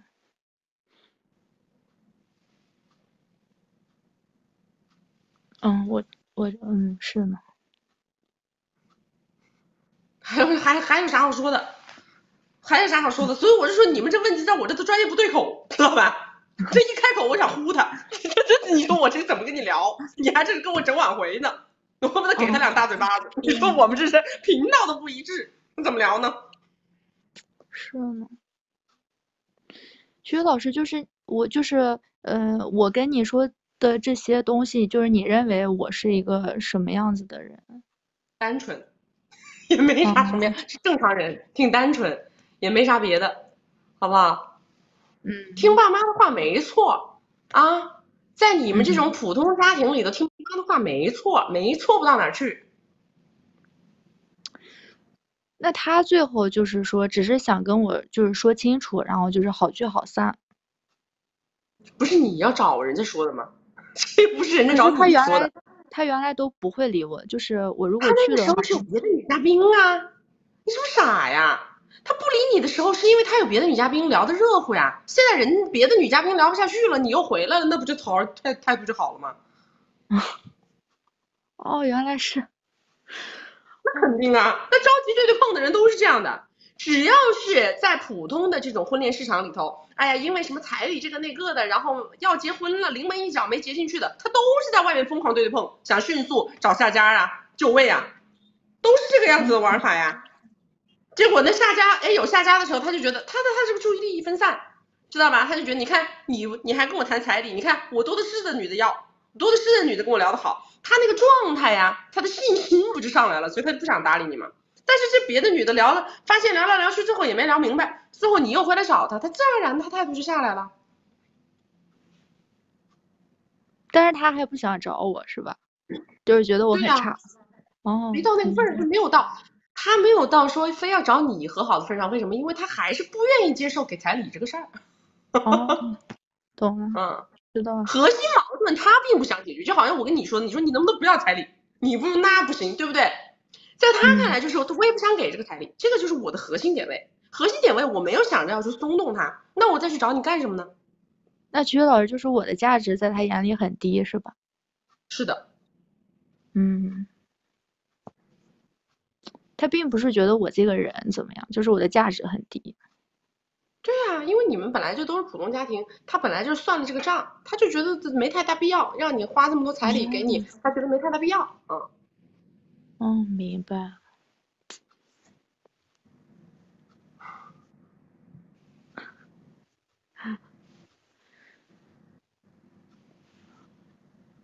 知道了，菊菊老师，谢谢。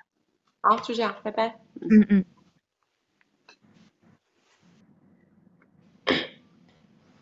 我我有的时候吧，听到你们的问题吧，这这这这都是。算计来算计去，那些男的算计来算计去的这个鬼心眼子，我听着我都不烦，我又怕呢，我又怕吧，我三句两句的是吧？你们你说你们挣的又不多，上来花了个八百，连个十分钟，我夸夸两句给你干没了，我又怕你不高兴，知道吧？我的难难就难在这儿了，我觉得你们都是普通家庭的小孩儿，你说你们花个八百块钱上来连个麦。我一听这男的就不是那个事儿，我还得跟你掰扯半天，是吧？我还得跟你绕着兜兜兜兜兜兜跟你说一二三四五 A B C D E，还跟你说一大堆，在我看来就是都没啥好说的，就是赶紧滚就完事儿了，怎么还要分析呢？我就这这这咋还要分析呢？但是我又怕我三句话给你骂下去了，你说你这钱白花了，是不是？又不高兴，我还不怕你们不高兴，说这事闹的。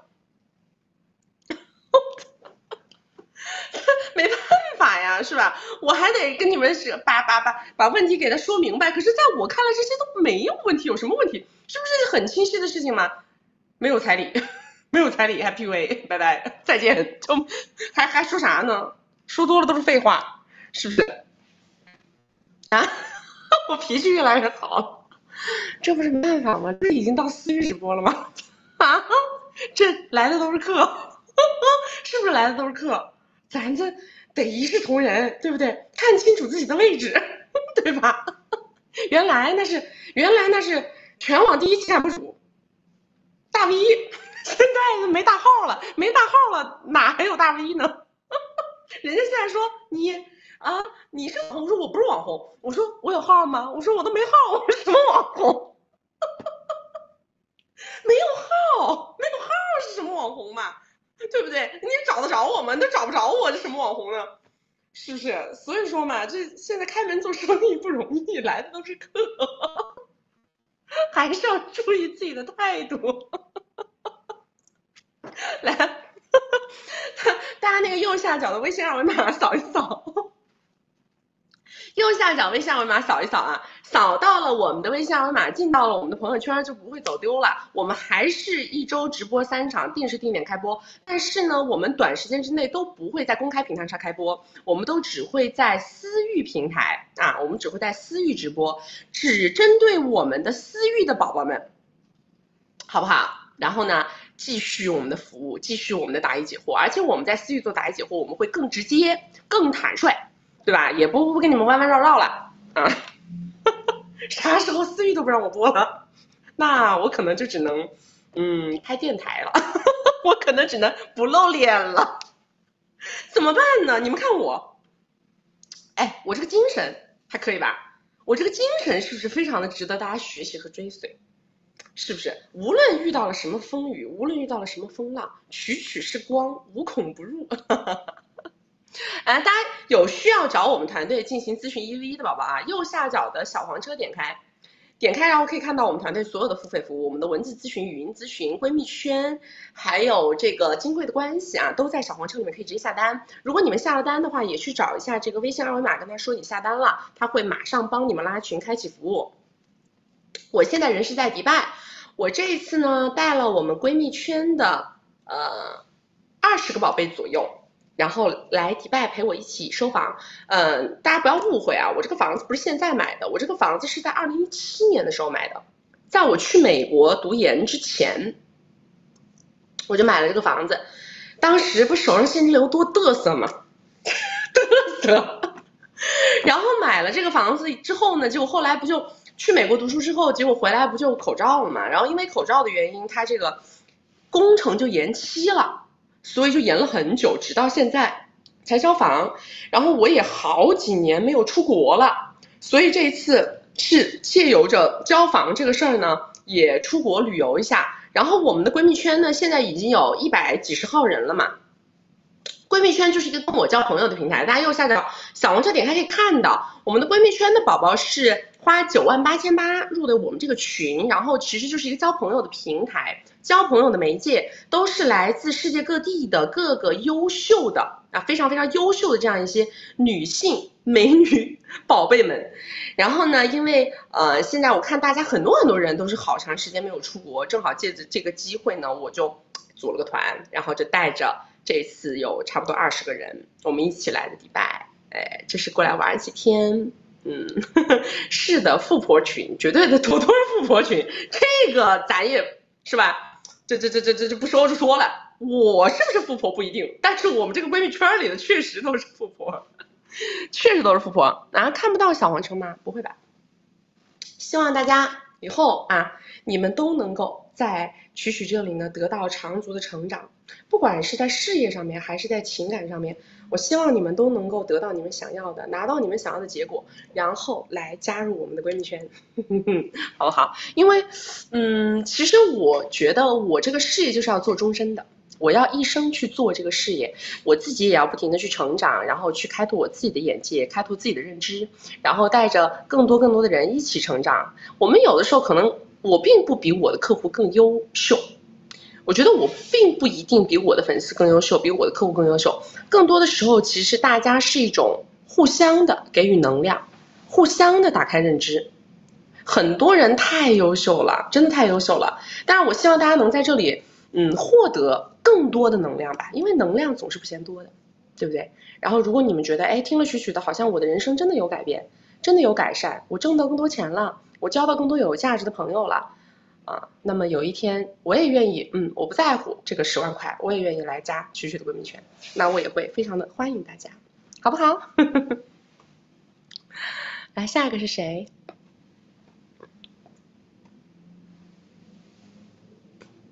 小西西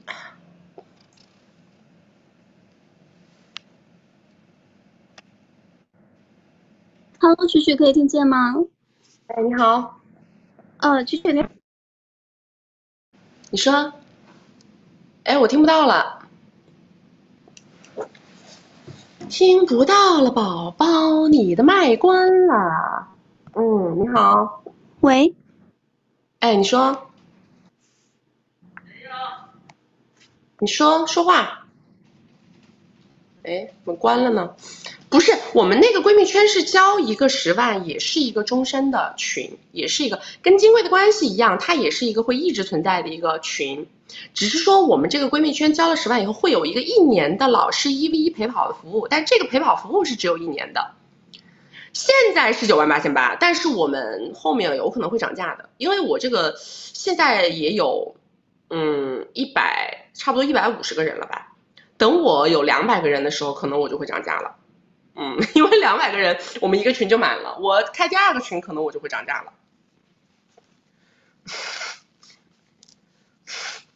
我们这个没有没有所谓的，现在没有所谓的续费续费机制，我们只是一个交这个钱，只是一个门槛费。大家就是进了这个圈以后，大家往后就是可以经常有机会可以一起玩、喝茶、吃饭、旅游啊，参加活动都可以。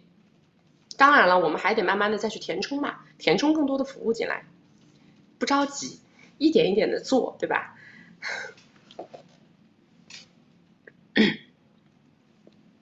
呃，下一个是谁？我再连一下这个吧，小西西。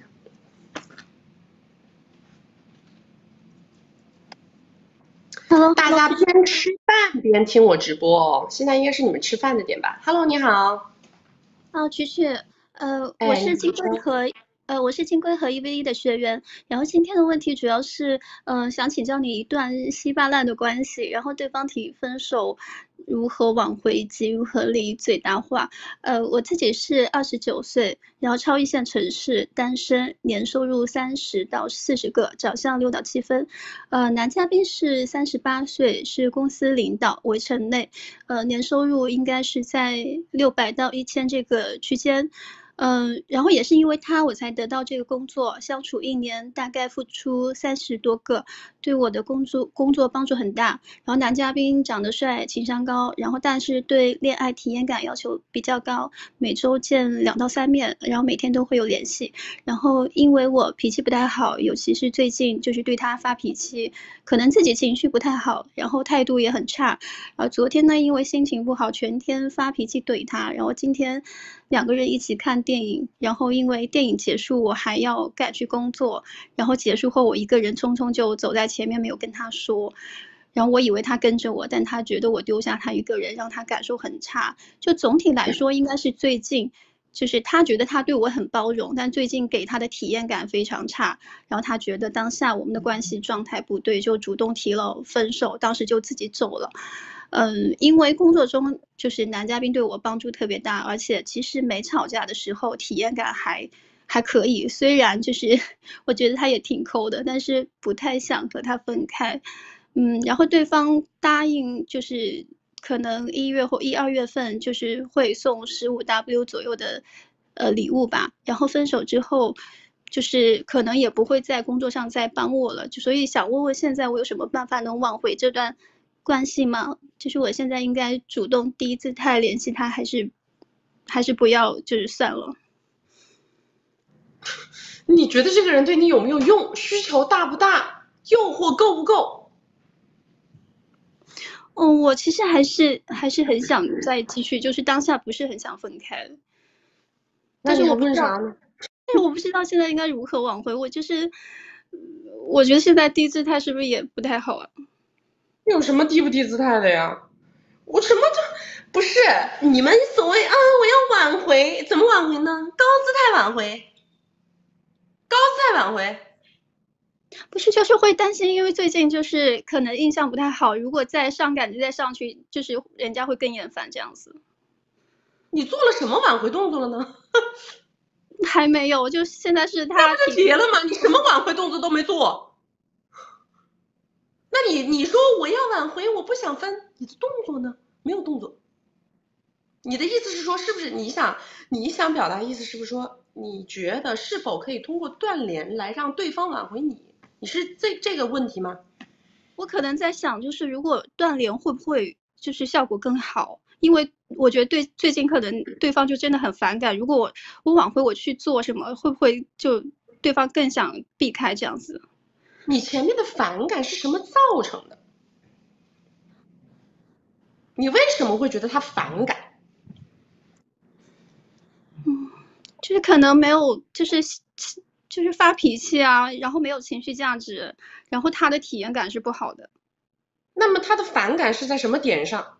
是在你发脾气的点上，还是在你找了他的点上？哦，这样想我明白了。那应该是还是还是我就是对他的这个给他的态度不太好吧？对呀，你态度也没没没没咋好过，你就你就来谈别人反感你了？你们挺挺挺能当受害者的，真的。但是，呃，还有就是，如果说能挽回，就是和他就相处如何利益最大化呢？就是，呃，因为我其实觉得他付出是有些少的。我我在想，会不会因为我脾气不好，就是他忍了我的脾气，就是对我，就是他提供了情绪价值，所以就会就是同小姐，小姐，搞这个呢，你就换人，好吧？什么又高又帅？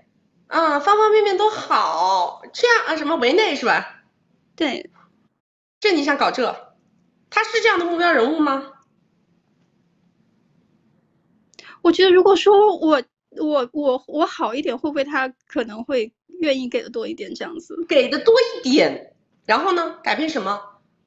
给的多一点就怎么着呢？多吃几顿好饭，一年多买了一两个好包。嗯，确实也确实应该也不会太多了。对呀，对呀，它达不到那个量级嘛，对不对？你所谓的多一点少一点怎么样呢？它不改变根本，不改变阶级，它的量级就这么大。是。嗯，那我没有没有什么问题了。嗯，好，好的，好，谢谢学习。我有的时候不喜欢直接回答你们的问题，我喜欢通过问问题的方式让你们自己回答问题，知道吧？我不想直接回答你们的问题，你们你们不要觉得这个世界上一切的美好都会降临在你身上。我找的这个男的又帅，身材又好，个子又高，十点半又强，然后还能带我跨越阶级，你哪位？你哪位？是不是？咱们先想一想，我是谁？啊，我有啥，对吧？我凭什么？这个男的是不是除了我，他找不着找不到别的女的啦？没有比我更强的女的能够给他泡了，是吧？这个世世界上没有啥女人了，就剩我一个了。想想这个问题，今天前面有个连麦不就是的吗？那个女的说，我跟他什么都好，十点半也很喜，但是我我找他要钱。嗯，我就是让他给我花钱，我说五万，他说两万，他说三万，我不同意，我非要五万，然后最后他走了，他怎么走了呢？他为什么找别的女的了呢？我不理解，我不理解，他为什么找别的女的了呢？他不是这样，他不是，他难道对我就没有感情吗？就是这这这这个问题问的呀，莫名其妙，对吧？是不是莫名其妙？我老跟你们说了的。如果你觉得这个男的方方面面都看着挺顺眼，那应该你给他花点，对不对？这个才合理，这个因果关系它才成立呀。我觉得这男的长得也帅，身材又好啊，哼哈体验又好。曲曲，你说我给他花多少合适？对吧？你就告你先告诉我你一年挣多少，然后我给你盘一盘，你一年在这个男的身上花多少合适？对不对？这个事情他才合理吗？怎么你们什么都什么好都被你一个人占着了？你哪位？哼对吧？想一想，好不好？个个都不是白雪公主，搞什么呢？嗯，啊，我觉得在这种关系里，不花就是挣，对吧？你你没花，你就已经已经赚了呀。然后这男的还给你花了点儿，你不已经觉得自己是中中头彩了吗？对吧？是不是中头彩了？这个时候还要求什么呢？那不要要求了呀，是不是不要要求了？你们为什么都要抠吴千语呀？你们是想说吴千语啥呀？你们你们是想说吴千语啥呀？啊？你们是想表达什么？你们抠吴千语是想表达什么？你们是想表达吴千语找的那个男的是又帅又高身材又好还舍得给他花钱的这个男的，还是想表达你跟吴千语一你跟吴千语一样也能找这样的男人？你们是想表达哪一个？啊？你是想表达这两头的哪一头？我用提问的方式回答你们的问题，啊，好不好？用提问的方式回答你们的问题，你们是属于这俩头哪一头？哪一头？现在是要跟我讲啊？咋做到的？你是吴倩语，你就能做到？你是吴倩语，你就能做到，对不对？长相、身高。身材、光环、收入量级，好不好？哎，我不是说了吗？第一件事儿，我们说第一件事就叫我是谁，我是谁，对吧？我有啥？我是谁？我有啥？这个事儿一盘，你不就明白了吗？还要问什么呢？你能不能成为吴千语？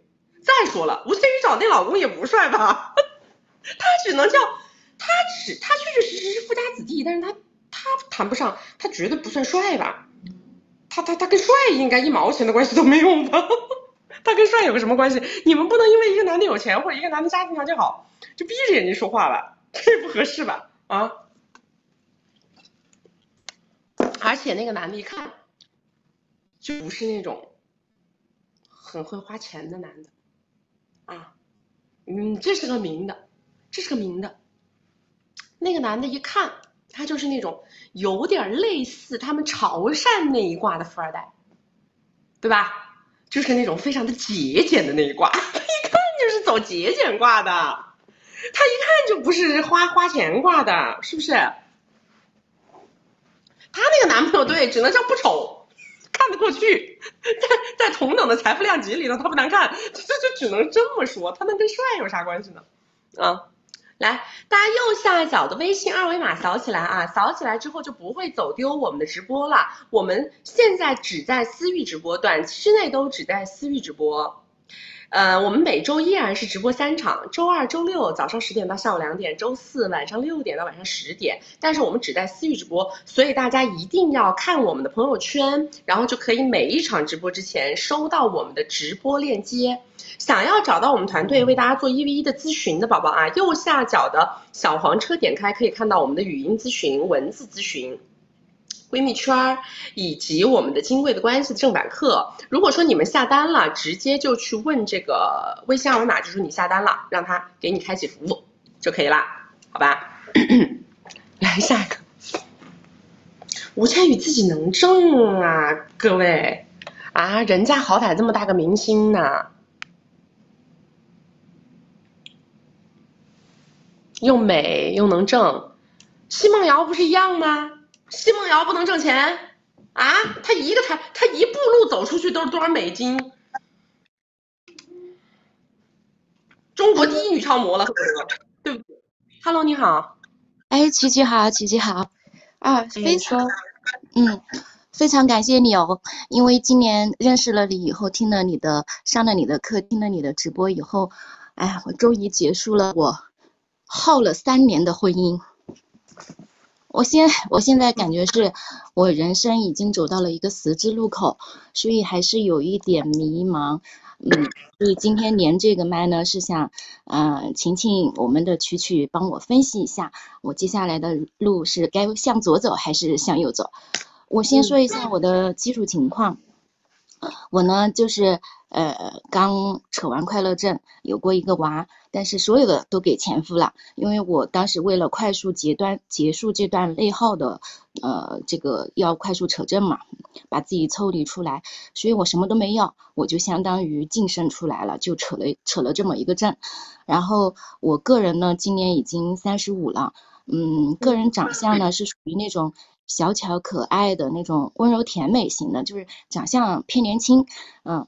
然后工作呢是属于基金行业，啊，曾经呢还是三年前，就是在两年前，我还就是曾经还有一个呃一个呃中层的这么一个光环，那个时候的收入年收入是差不多呃五十个左右的样子。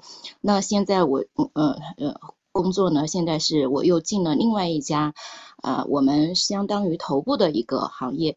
也是金金行业，但是是从头开始，年收入呢就很少，就呃差不多十十多个这样的样子。我的学历呢是我的硬伤，因为我的家庭出身呢是这个，嗯很不好，就是家庭出身是一个呃。很偏远的一个地区，因为当时没有家里姊妹多嘛，就没有钱供我读书。我出来以后呢，我是自己自学，呃，然后考了二幺幺的一个本科。这个学历是在我的工作和人生当中真的是成了我的硬伤。然后我现在的情况呢，是因为现在困扰我的情况呢，是因为我在这个行业呢，嗯嗯，年龄算大了，呃，但是我要往上走呢。还我没我的学历我没有背景，然后我我走还是有一定的呃困难，但是因为我是沉在这个行业还是沉淀了一些经验，像今年的话我也有一些业务落地，也慢慢走上了正轨，呃，但是还有一个问题困扰我的原因是我当时跟我前夫出来的时候嘛，我帮他背了债，背了一百多个的债。然后现在因为我的收入跟以前差距蛮大，然后我这个债务压力又比较重，嗯，就是现在有一个情况摆在我面前呢是，呃，因为我主我这个行业会经触经常接触到我们这个地区的一些头部的一些大佬，然后我自己还做了一个表格，我们这个四十四十家啊董高监的这些东西，我我都有都有做资料，然后。呃，有有一个，嗯，男嘉宾呢，他其实年龄会比我大很多，二十大二十多，然后呃，是因为之前两年前的工作关系，呃，一直有联系嘛，嗯，就是前段时间就中间有一段时间是断联了，然后上个星期的时候是在一个公共场合我们又碰见了，然后我还是当做。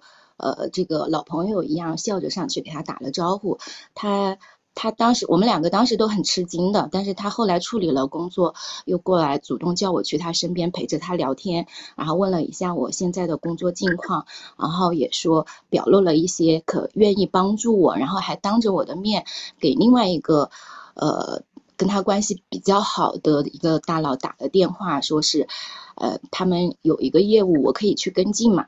但是这个业务是被我们圈内的另外另外一个团队去跟进了这个事情，我我也就只是笑一笑，也没有接话。然后后来，呃，他身边的秘书、司机以及我们一起一起学的那个教练，就私底下就找到我，就跟我说了，呃，说说这个，呃，他。呃，希望身边有个人这样子去陪伴他，他还是需这个有人说说话这样子。然后他那个秘书就说的很直接，就说，嗯，陪他几年，给多少，呃，这样子的哈。然后这个话我也没有去接，因为中间他曾经也微信上问我，呃，对我现在就是想，嗯，这个大佬我要怎么用？我我我不知道我现在的工作上他如何。呃跟我工作上如何搭上关系，让我生活的更好一点。因为我这几年都是一个人勤勤恳恳工作，就是过来的。废话，你差多少外债？嗯，一百多个。一百多少？一百一百二，差不多。一百二。OK 啊，你你下次他传递这个，你就直接跟他说，你说我现在更想努力工作，因为我刚刚从一段失败的婚姻里头出来，并且呢，我为了离开这段失败的婚姻，我现在身上一共背了一百五十万的债务。我说我现在得想尽一切办法，得快速把这个一百五十万的债务还掉，这个就是我现在生活当中的重中重中之重。结束，信息抛出去，就让对方接不接走，完事儿。嗯。但曾经我给他发了一个，就是他曾经给我呃发了一些微信，我我我我曾经发了个小作文，跟他断联过一段时间。我的小作文意思就是我愿意，我想退后一步，然后保持朋友这种关系。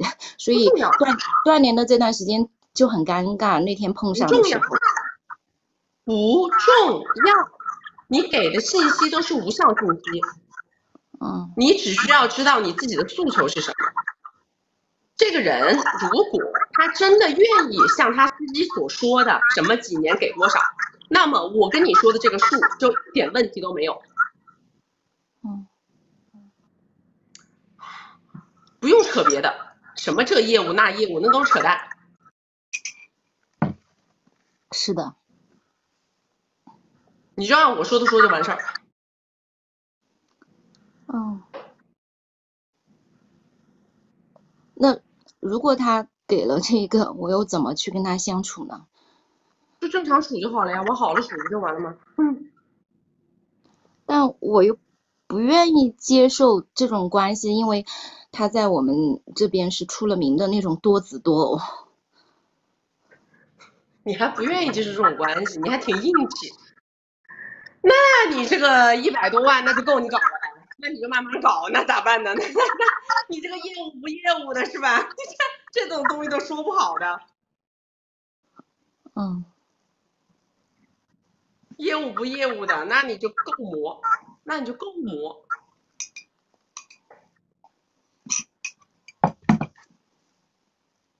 那你这个债务问题，你就得，那那就难了。那我只能这么说。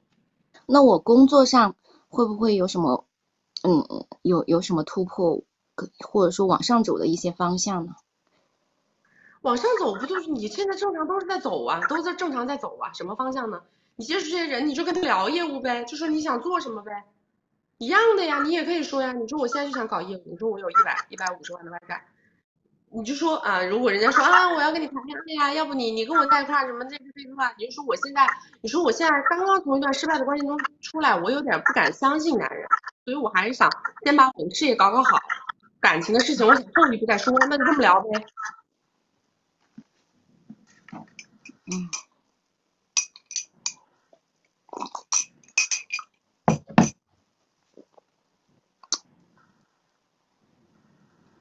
好吧。嗯，你有什么问题？还有什么问题？我现在就是不知道怎么选。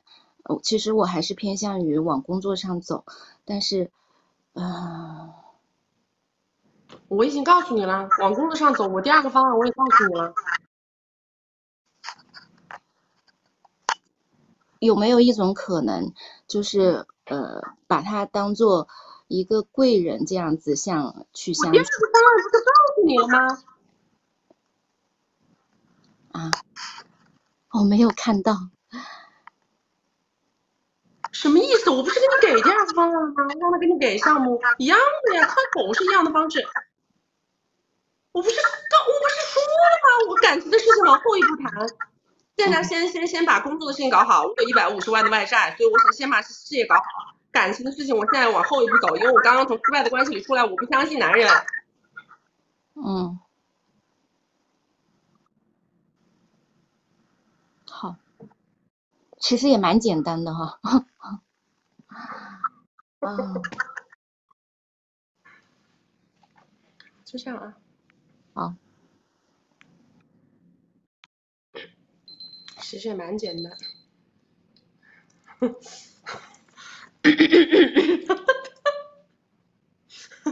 我跟你，我们我是不是你们是不是指望我在这个地方要跟你们给一个商业计划书啊？我给你们给个商业计划书好不好？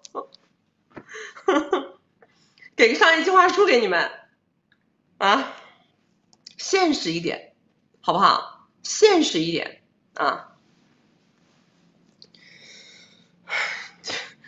女人呐、真的是啊，天天就是自己要要要要正视问题，干嘛呢？死都不肯让别人知道你现在有一百五十万的缺口，是吧？说来说去不就是这？说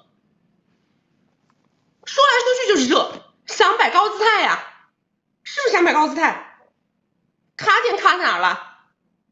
卡点卡哪儿了？希望永远自己以一个光鲜的、亮丽的、实力强的、有能力的状态出现在别人面前，不示弱，对不对？是不是嘛？所以我说了半天你不听嘛，我说了半天听不进去，我说了半天，因为我让他示弱。我无论你是跟这个男的搞搞搞男女关系，还是跟这个男的让他给业务，我是不是开口第一句就是示弱？你们就是不示弱嘛？你说来说去，嗯，这样啊，哎，挺简单哦，这样干嘛呢？想让我跟你完成一个什么样的版本？想让我跟你完成一个，我能不能不示弱？我依然在别人面前，我还是哎挺强的，我工作能力也挺强的，我这个也挺厉害，那个也挺厉害，我怎么通过我的业务的方式跟他讲，我能拿下这个业务，我能干好这个事儿？愚蠢，我只能这么跟你讲，愚蠢，知道吧？示弱就能够让你激发这个男的他最喜欢的叫做英雄主义情怀。英雄主义情怀，无论是你想走男女关系，还是你想走业务，你能用这个点，你能用这个点撬动，因为什么？因为你现在就是一个年入十万的女的。你的能力没到你想的那个份上，你没有办法通过一个年入十万的成绩跟别人构建一个能力的蓝图。天天想那些不切实际的干什么呢？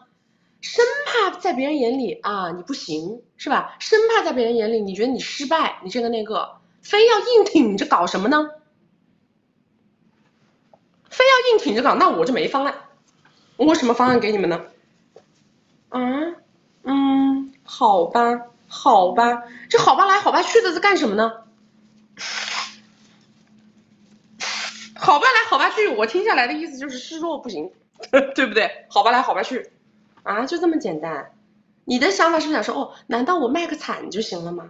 我示个弱就行吗？你示弱不行，你卖惨不行，你搞你搞能力更不行。你用什么说明你的能力啊？你用什么证明你能搞得好啊？你用什么东西能说明啊？我就是比其他那些竞争对手都强。用什么？你你你就准备什么？只谈利益置换啊？只谈我有我能做什么？我多牛逼？你谈这些东西，别人的几十年的饭白吃了的吧？对不对？不搞情绪，只想只想只想说道理，只想一二三四五的，哎，跟别人讲我有啥，我我会啥，我我多牛逼。你要有这个盘子，懂吗？你没这个盘子，现在这个招你就用不了。你要有一个基本盘在这儿，你现在一点资产都没有。我跟你们说，包装要有壳才能包装。我们也愿意招别人包装啊，你的壳呢？你没壳怎么包装啊？你现在净身出户，没有资产，一百多万的负债，年薪十万。这个就是这个就是你的盘子，你让我在你这个盘子上给你包装，那你还不如去搞诈骗，嗯，对不对？是不是？那搞诈骗都还要成本呢，那哪里能搞呢？对吧？你最现在无非最大的一张牌就是示弱，是什么呢？来，大家把那个微信二维码扫一扫啊！大家微信二维码扫一扫。然后需要我们一 v 一，需要我们陪跑的啊，那个小黄车点开，小黄车点开可以看到我们所有的所有的服务，咨呃语音咨询、文字咨询、闺蜜圈，还有金贵的关系的正版课啊。如果说你们在小黄车下单了的宝宝，下完单一定要去跟小助理说你下单了，去跟他说你下单了，然后让他快速的帮你们拉群开启服务啊。来下一个。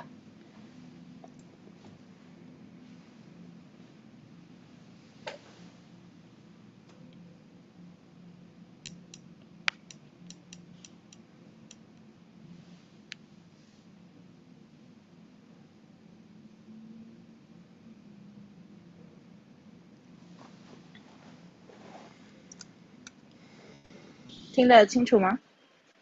哎，Hello，你好，听得清楚吗？啊，你好，你好，蛐蛐你好，对我也在等这个连麦的一个小时，我是既不敢坐车，也不敢进室内，所以一直到处找地方，看哪里有最好的信号。啊，然后我说一下我的基本盘，我听了很长时间的那个切片和直播了。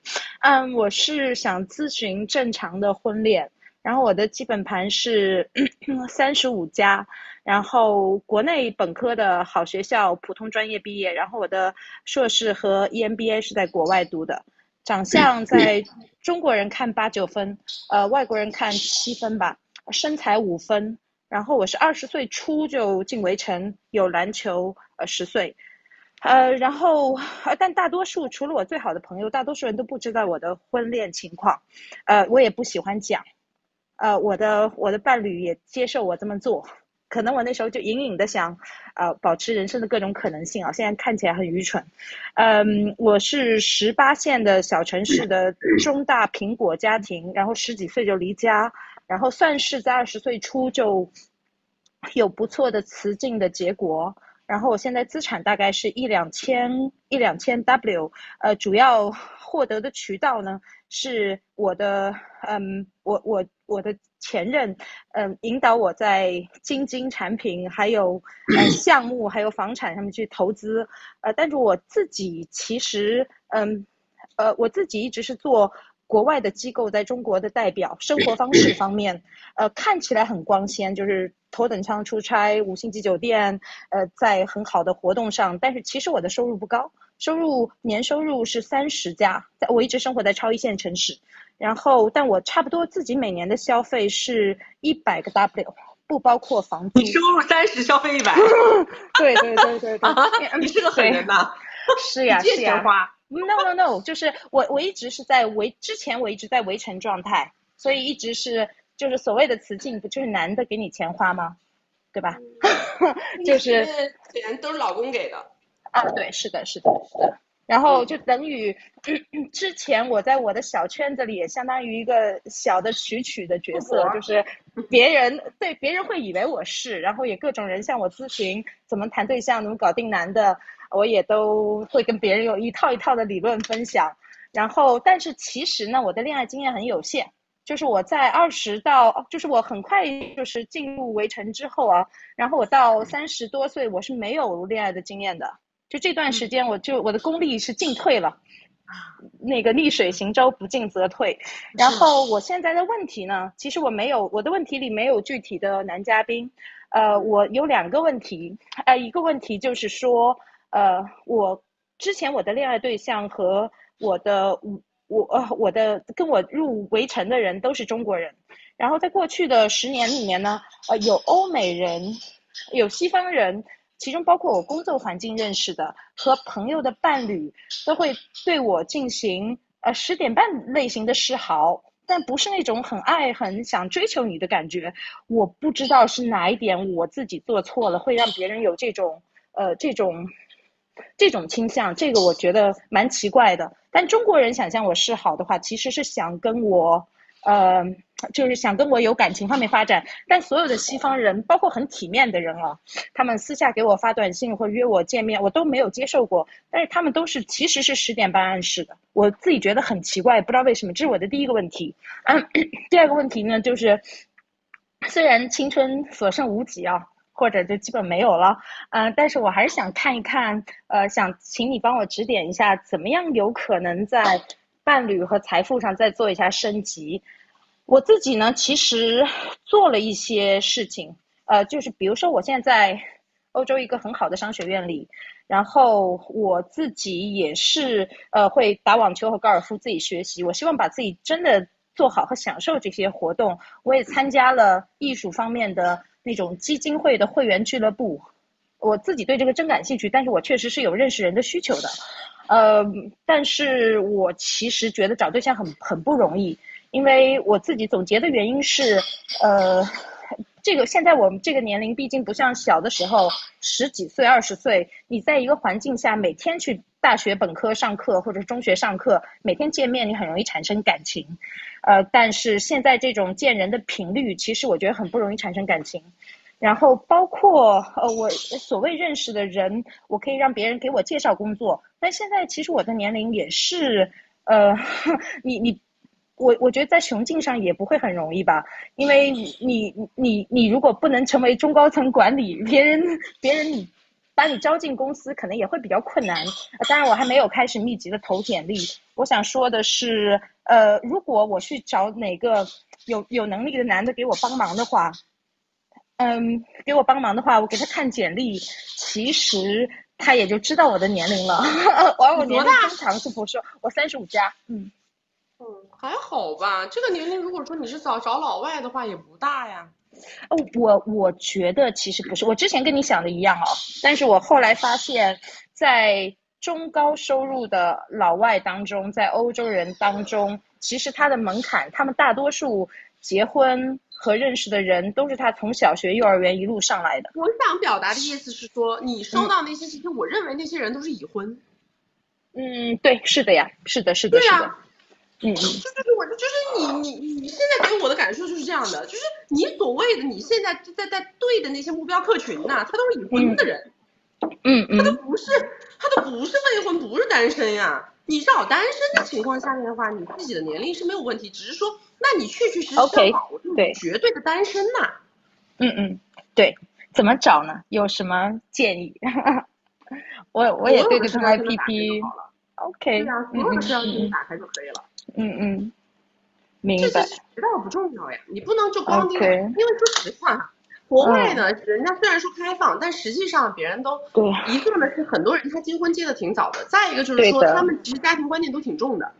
对的，我我感觉到了，我感觉到了，就是所谓的，嗯，就是好的社会圈层，其实比中国固化更更明更明显。对，但是你也可以把年龄啊什么这些东西更放开了去看。哦，对，是。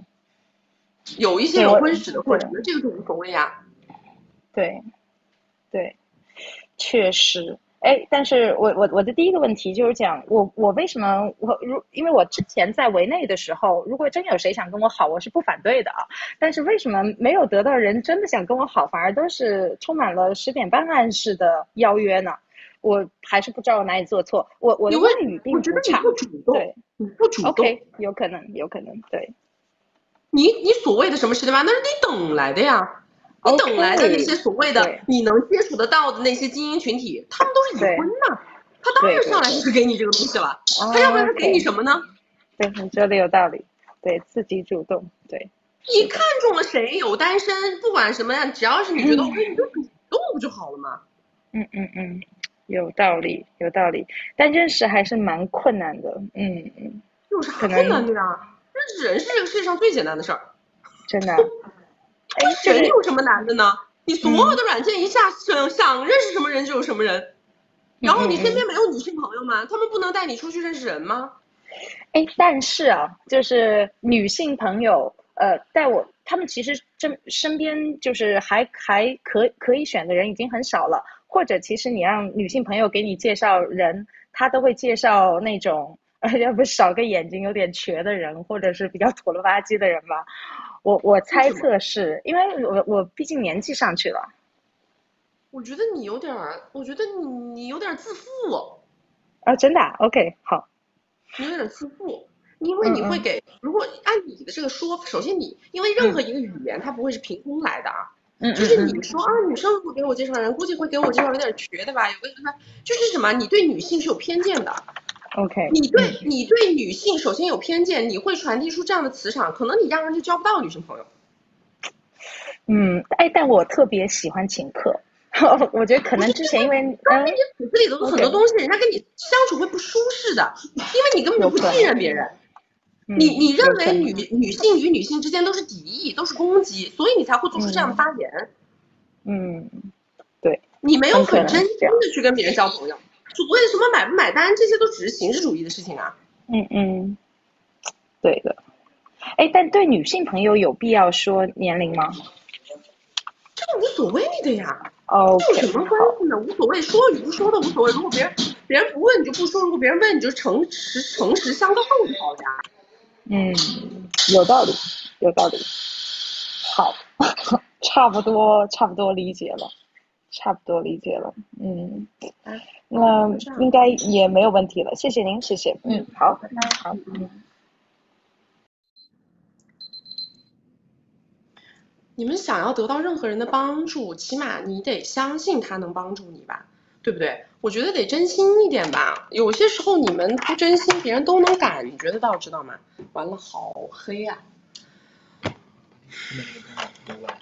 以后我们出来，你们就能不能带大一点的灯？每次都是这个问题，每次都是灯的问题。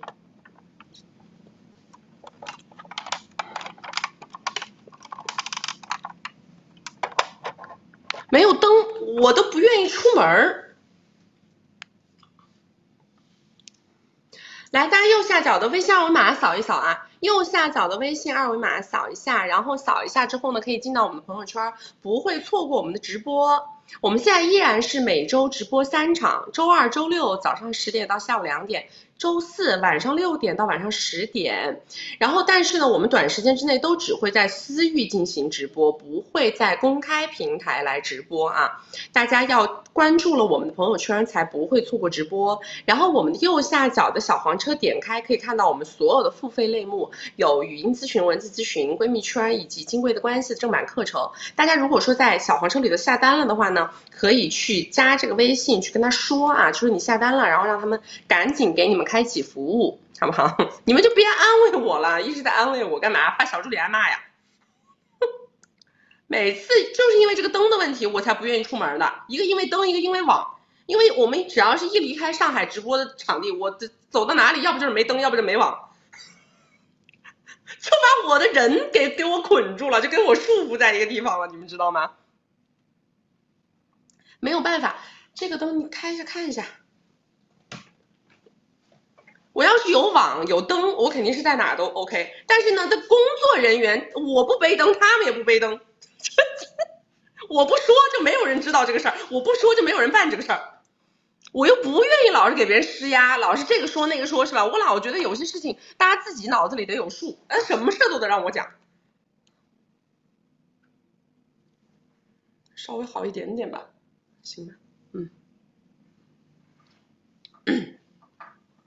我平时真的是什么都不说，我确实是大家就是我觉得我觉得你们自己想办法把自己的工作做得更好一点。我有的时候呢觉得有些事儿我说我浅浅说一句，我希望别人能知道，但是我浅浅说一句没有人听，我不说了个十次二十次，最后不发脾气，他这个事儿他就搞不成，落不了地。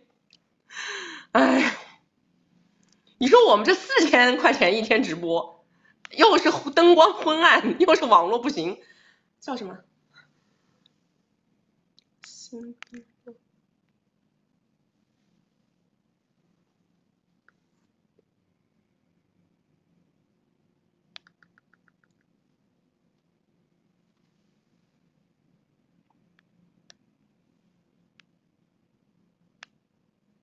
很贵的呀！我们现在直播一天就是四千块，这个小鹅通它是按流量付费的，流量越大费用越高。哎。你好，能听见能听见吗，蛐蛐？哦，你说。现在可以听见了是吧？嗯。哦，是这样的，蛐蛐老师，我想咨询您一个，我我这是一段稀巴烂的关系，然后我先说一下我的基本盘吧。我今年二十八岁，未婚，在三四线小城市，颜值差不多七分左右，本科，原生家庭的话是比较稀巴烂的，我现在的资产都是靠自己挣来的。呃，一辆一辆车没有房，然后有存款。我对婚姻吧没有没有诉求，我还有个弟弟。然后男嘉宾是是我的领导，嗯，是维内的，他是我之前的领导，我是他助理。他是维内的多偶男，三十三岁，大我五岁，创一代，资产差不多三个小目标左右。但是他外面有个二加一，我相当于他的二加二。嗯，认识，然后吧，但是今年。因为八月份的时候出现了意外，我被人陷害，让二加一知道了我，然后他就选择让我离开了公司，但是没有就是没有跟我断，中间也给我生活费，然后今年吧，他主动，但他他很抠，他之前的话对我没什么付出，他从今年差不多开始有了大额付出，嗯，今年但是今年主动跟我提过很多次，让我三十岁左右的时候带球。然后最近发生了意外，我带球了，他给我的第一反应就是比较倾向于做手术。然后吧，他其实我是想知道他是你想有哪种想法，然后但是他一直在说做手术，然后我就反问了一句，我说你就这么不喜欢他吗？然后他态度接着就转变，说可以留下来，但是因为我离开公司之后一直没有工作嘛，他最近给我在新一线城市安排好了工作，近期要办入职，他说如果留球的话，我就不能去上班了。然后后来昨天晚上我就跟他在电话里起跳，他的意思是两条路可以自己选，而且之前的时候他是答应我六月份的时候，在今年十二月三十一号之前买房，但是最近一两个月他出现了公司上出现了很大的变动，然后不是不是经济上的变动吧，但是也对他个人有是有很大影响，一直在配合调查，所以我想问一下曲曲老师。我该怎么处理我这个球？其实我现在多大了？嗯，刚一周。那就赶紧处理呀！我的妈，想什么呀？不要命啦！但是他他是跟我说是，他是跟我讲了可以就是处理，然后嗯，但是我觉得我处理了，我觉得这是我的第一个，然后我很。很难受的点在于，为什么二二加一是给他生了？为什么我他之前一直给我画饼让我要让要，那突然出现了要，为什么呃出现了？为什么又让我？他说的是说你选择可以生，呃物质什么不用担心，但是物质是不用担心，你生吧，一个月给你补贴五千，好吧？没，嗯，那肯定是不可以的。你凭啥说不可以？我就五千。他正常是现在是一个月三 W，在我们三四线城。那你怎么着呢？我就一个月给你个五千，你能把我怎么着吧？所以说，我是觉得他对二加一那个是很有责任心，而且二加一比他还大一岁，然后他自己本身有一篮一个篮球一个女球，二加一我不知道是男的女的，然后我就。我难受的点就是在于为什么他他想他让他留下来了，而我没有第一反应是让我做手术。人家让给你留你留呗，你留呗，成本问题没说不让你留，你爱留留。五万一个月可以可以养，五千一个月也可以养，你生下来就五千一个月，你养不养？没有人不让你留，好吧？这是你自己的事儿，你爱留留。你在纠结什么呢？什么叫啊？凭什么让他留？凭什么不让？让让让！只要你不花我钱，你想怎么搞怎么搞。所以，嗯，所以就是我如果想跟他长期绑定的话，这个也也不可以留球，是吧？为什么要长长期绑定的意义是什么？你为了什么要长期绑定？你告诉我。因为我觉得他可以带我跨越阶级。哦，对，是不是为了这个嘛？但是我更更注重的是他的人，我没有，我从来没有开口问他要过任何。哎呦，你个稀巴烂呐！你在干嘛？你在跟我在一个不道德的关系里面谈爱情啊？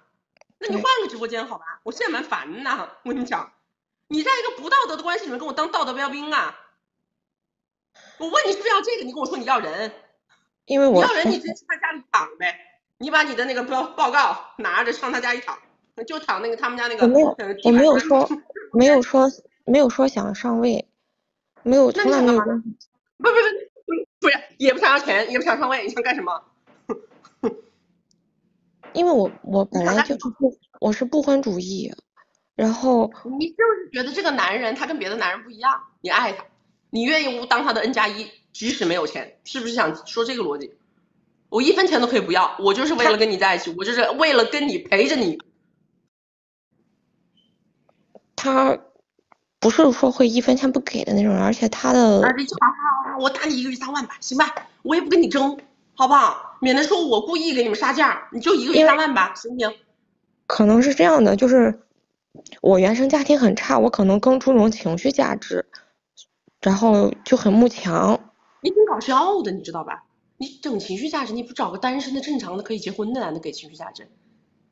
你搞这个男的给情绪价值？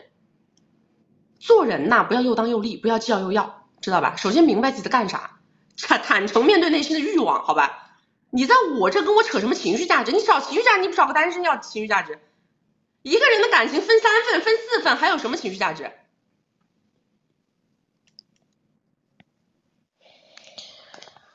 啊，所以曲曲老师的建议就是尽快处理掉，是吗？赶快处理掉就完事儿了嘛。那我要那情绪价值找单身好吗？那如果说你是想搞米，你现在就去找他闹，往死里跳脚，就是说我现在要去找你二加一，我要去找你二加零，我全部要去闹一遍。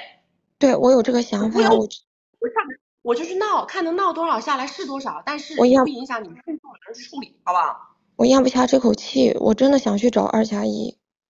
去呀、完全没问题，只管去呀、嗯，有什么关系？去就完事儿了呗。我是去闹之前先跟他提一下，让他提一下条件，还是我直接去闹？你想要的是什么？闹闹的结果要的是什么？我就是我一直在跟他说，我说我想分开，但是他觉得我在跟他我在跟他闹脾气。我是说我说我想分开，但是我又觉得我跟了他一年半了，我也不能这么随随便便就分开。是不是要这？对，你累不累呀、啊？你累不累呀、姑娘？你天天兜圈子，你累不累呀、没，因为我想让他提，我不想自己提。是不是要这？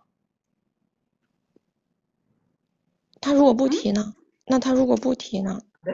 我真他妈服了，牛啊啊！我跟你讲啊，你来我这个直播间呐，已经是全世界最透明的了。你在我这儿如果都不能直面自己的欲望，你什么都得不到。如果我要了，然后我还可以去找二加一闹吗？当然可以，前提是，请你承认你要这啊，要不然的话，你去闹，你去搞这搞那，最后呢，又因为这个男的跟你谈感情，又因为这个男的给你画饼，然后又因为他跟你说啊，我还是想要的，我还是喜欢你的，我还是爱你的，我还是觉得你跟他们不一样的。哎，你为什么变得这么现实，这么功利？如果你不能坦诚的面对自己要这个，那么你最后就会要不到。这个就是我想跟你给的结论。我我有抱着要不到的心，但是我想问一下，如果我跟他彻底断了，那他给我安排的新一线的城市我还去吗？你去干啥呀？他能给你安排的东西，你自己就能搞得定。一份破工作，你自己投简历就能投得到。是是我，但是我是觉得我从三四线城市，然后我要去新一线的话，可能有点，因为我年龄在这儿了，可能有点迈不出去。之前是这么想的。然后那我还想再问一下徐老师，那我和他就是这段关系也没有再继续下去的必要了，是吗？因为他是多偶男。我说了一切以这个为前提，有可继续，没有不可继续。其除了这个以外的其他东西都没有价值，因为你们的关系不道德，不受法律保护，不受任何的社会的价值观的认同。你们这个关系如果没有这个作为前提，所有的东西都叫扯淡。如果他前面没有付出足够的这个东西，不代表后面他就能付出。他只有前面已经付出了很多，才能证明他后面有可能会付出，好吧？好，行，谢谢薛老师。嗯，再见。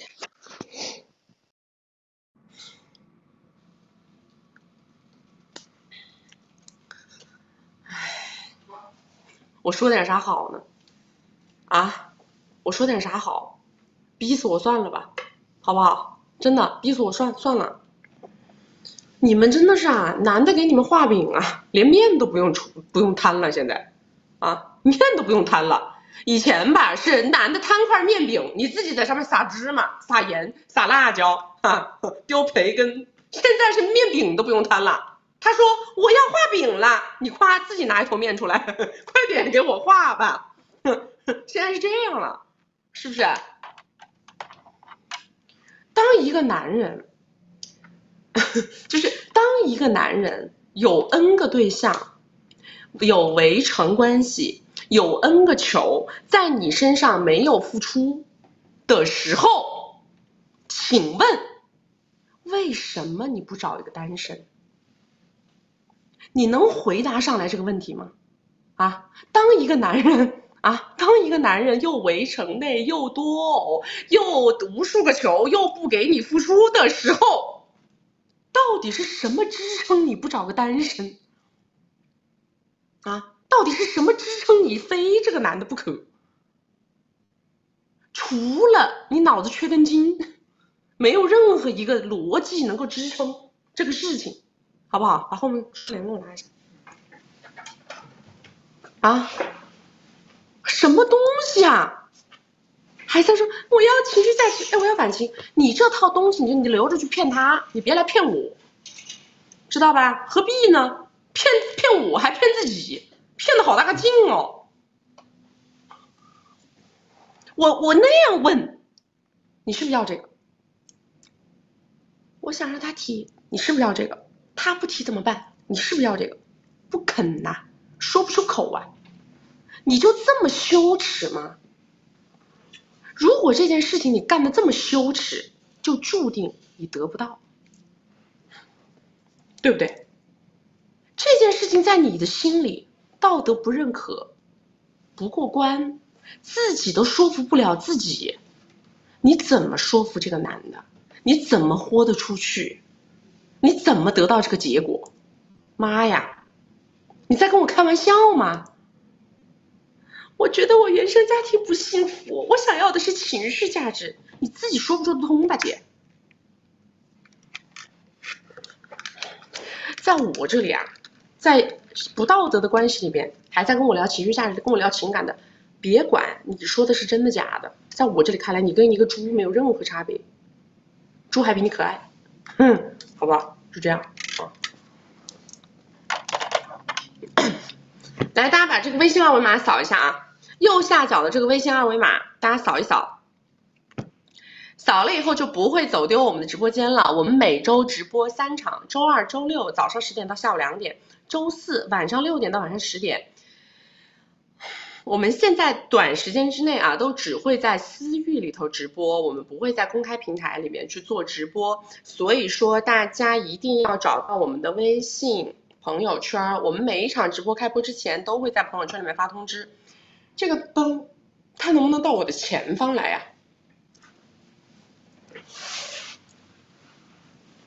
嗯，可以到我的前方来吗？嗯，可以。妈呀，现在太黑了，我已经受不了了。哎，这不要照着我的眼睛，不要照着我的眼睛，我现在眼睛一晃，我都看不见留言板了。咋办呢？现在已经黑的，我已经快看不见自己的脸了，已经快看不见自己的脸了。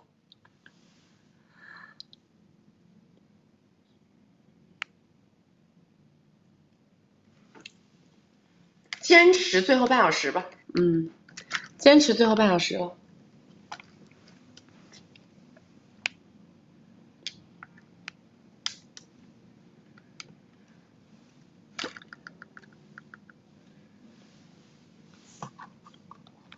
你们是怎么在这么昏暗的灯光下还看了我这么长时间啊？啊！你们在这么昏暗的灯光下看了我这么长时间？喂，Hello，你好，你好，旭旭听得到吗？听得到，你说。你好。啊，我好喜欢你。嗯，就是，嗯，最金贵的学员。别说喜欢，我跟你说，刚开始上来的时候都说喜欢我，最后被我骂都骂傻了，再也不喜欢我了。开始了，就是嗯，我我个人的基本盘，我是二十四岁在读，然后身材较小、活泼开朗类型，然后我是国内的艺术院校，长相六分，然后是超一线城市，比较擅长沟通交流，然后哄人开心，会下厨会做家务。然后第一个男嘉宾是大我十八，然后为内上市公司 CEO，创一代，白手起家，身体有缺陷，然后身家是十几个小目标。然后身体有缺陷是什么东西啊？我不能说的太具体，就是。肢体上面吧，嗯，不能说太具体。然后呢，我跟他认识是我我是在他公司实习，然后呃被另一个大佬怂恿去要了微信，然后就呃就一直在线上聊天，然后他就很喜欢我，然后逐渐暧昧，然后说想我，然后喜欢我什么的，然后之间约了一次吃饭，然后第二次见面的话，呃给我付出了呃，我是有开玩笑说有没有见面，然后他也准备了，是一个梵克雅宝的手链，是一万多，但不是那种呃最经典的那个三万多的。然后呢，他给我订的酒店旁边都是商超嘛，然后都是顶奢，然后我就很无聊，他就说没事没事，他就让我下去逛个买，然后遇到喜欢就叫他报叫叫他报销嘛，因为。我总共待了三天两晚，他跟我他很忙，他跟我见面时间不超过三个小时，就是三天两晚。然后他时不时就来抽空来房间看我，然后就呃抱抱亲亲的那种。然后呢，就然后这次第二次见面也没有发生关系，就是没有十点半。然后。见面的时候，他提出要我毕业去公司上班，然后我说我不太想。我之前提了一嘴说想去留学，然后他就说你不是想出去吗？他说他可以送我出去。他说他是什么学校的校董，还可以搞到推荐信。我就说没钱啊，然后他就说六十万吧。然后我说呃那个地区挺贵的，然后他就说那就一百万吧。然后当时我以为要出资，然后我很兴奋，然后说他很大方。然后事后我一想，他没有主动的提出要给我出学费和生活费，然后就提了个推荐信。然后我就呃想等好感情再好点的时候再问一下。然后后面的时候我就是要过生日嘛，就十二月初的时候，然后我就问他能不能陪我，他说他那天在出差，可以远程遥控。结果到了我生日那天，他就装傻充愣，就是没有远程遥控，也没有主动的生日祝福，也没有送礼物。然后。我也没有主动主动开口向他要，他就只说了他很抱歉，然后就这么糊弄过去了。然后我的几个问题，第一个就是呃他是生意难嘛，然后第二个就是资助留学这件事情能成吗？然后第三个就是呃就是我们约定了我放寒假后要去日本一起去旅游，然后就呃还有 要去的必要嘛？然后总共就是这三个问题。他到底花了多少啊？总共是花了六个。就第一次是吧？第二次见面，你你从头到尾你也没开口呀？你不开口怎么论证呢？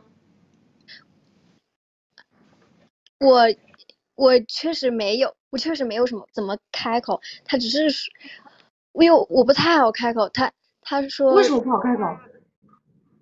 因为我不知道怎么开口，我怎么开口？一百万一百万你给我出吗？这口不就开了？过生日来不了，那生日礼物呢？这口不就开了？怎么开？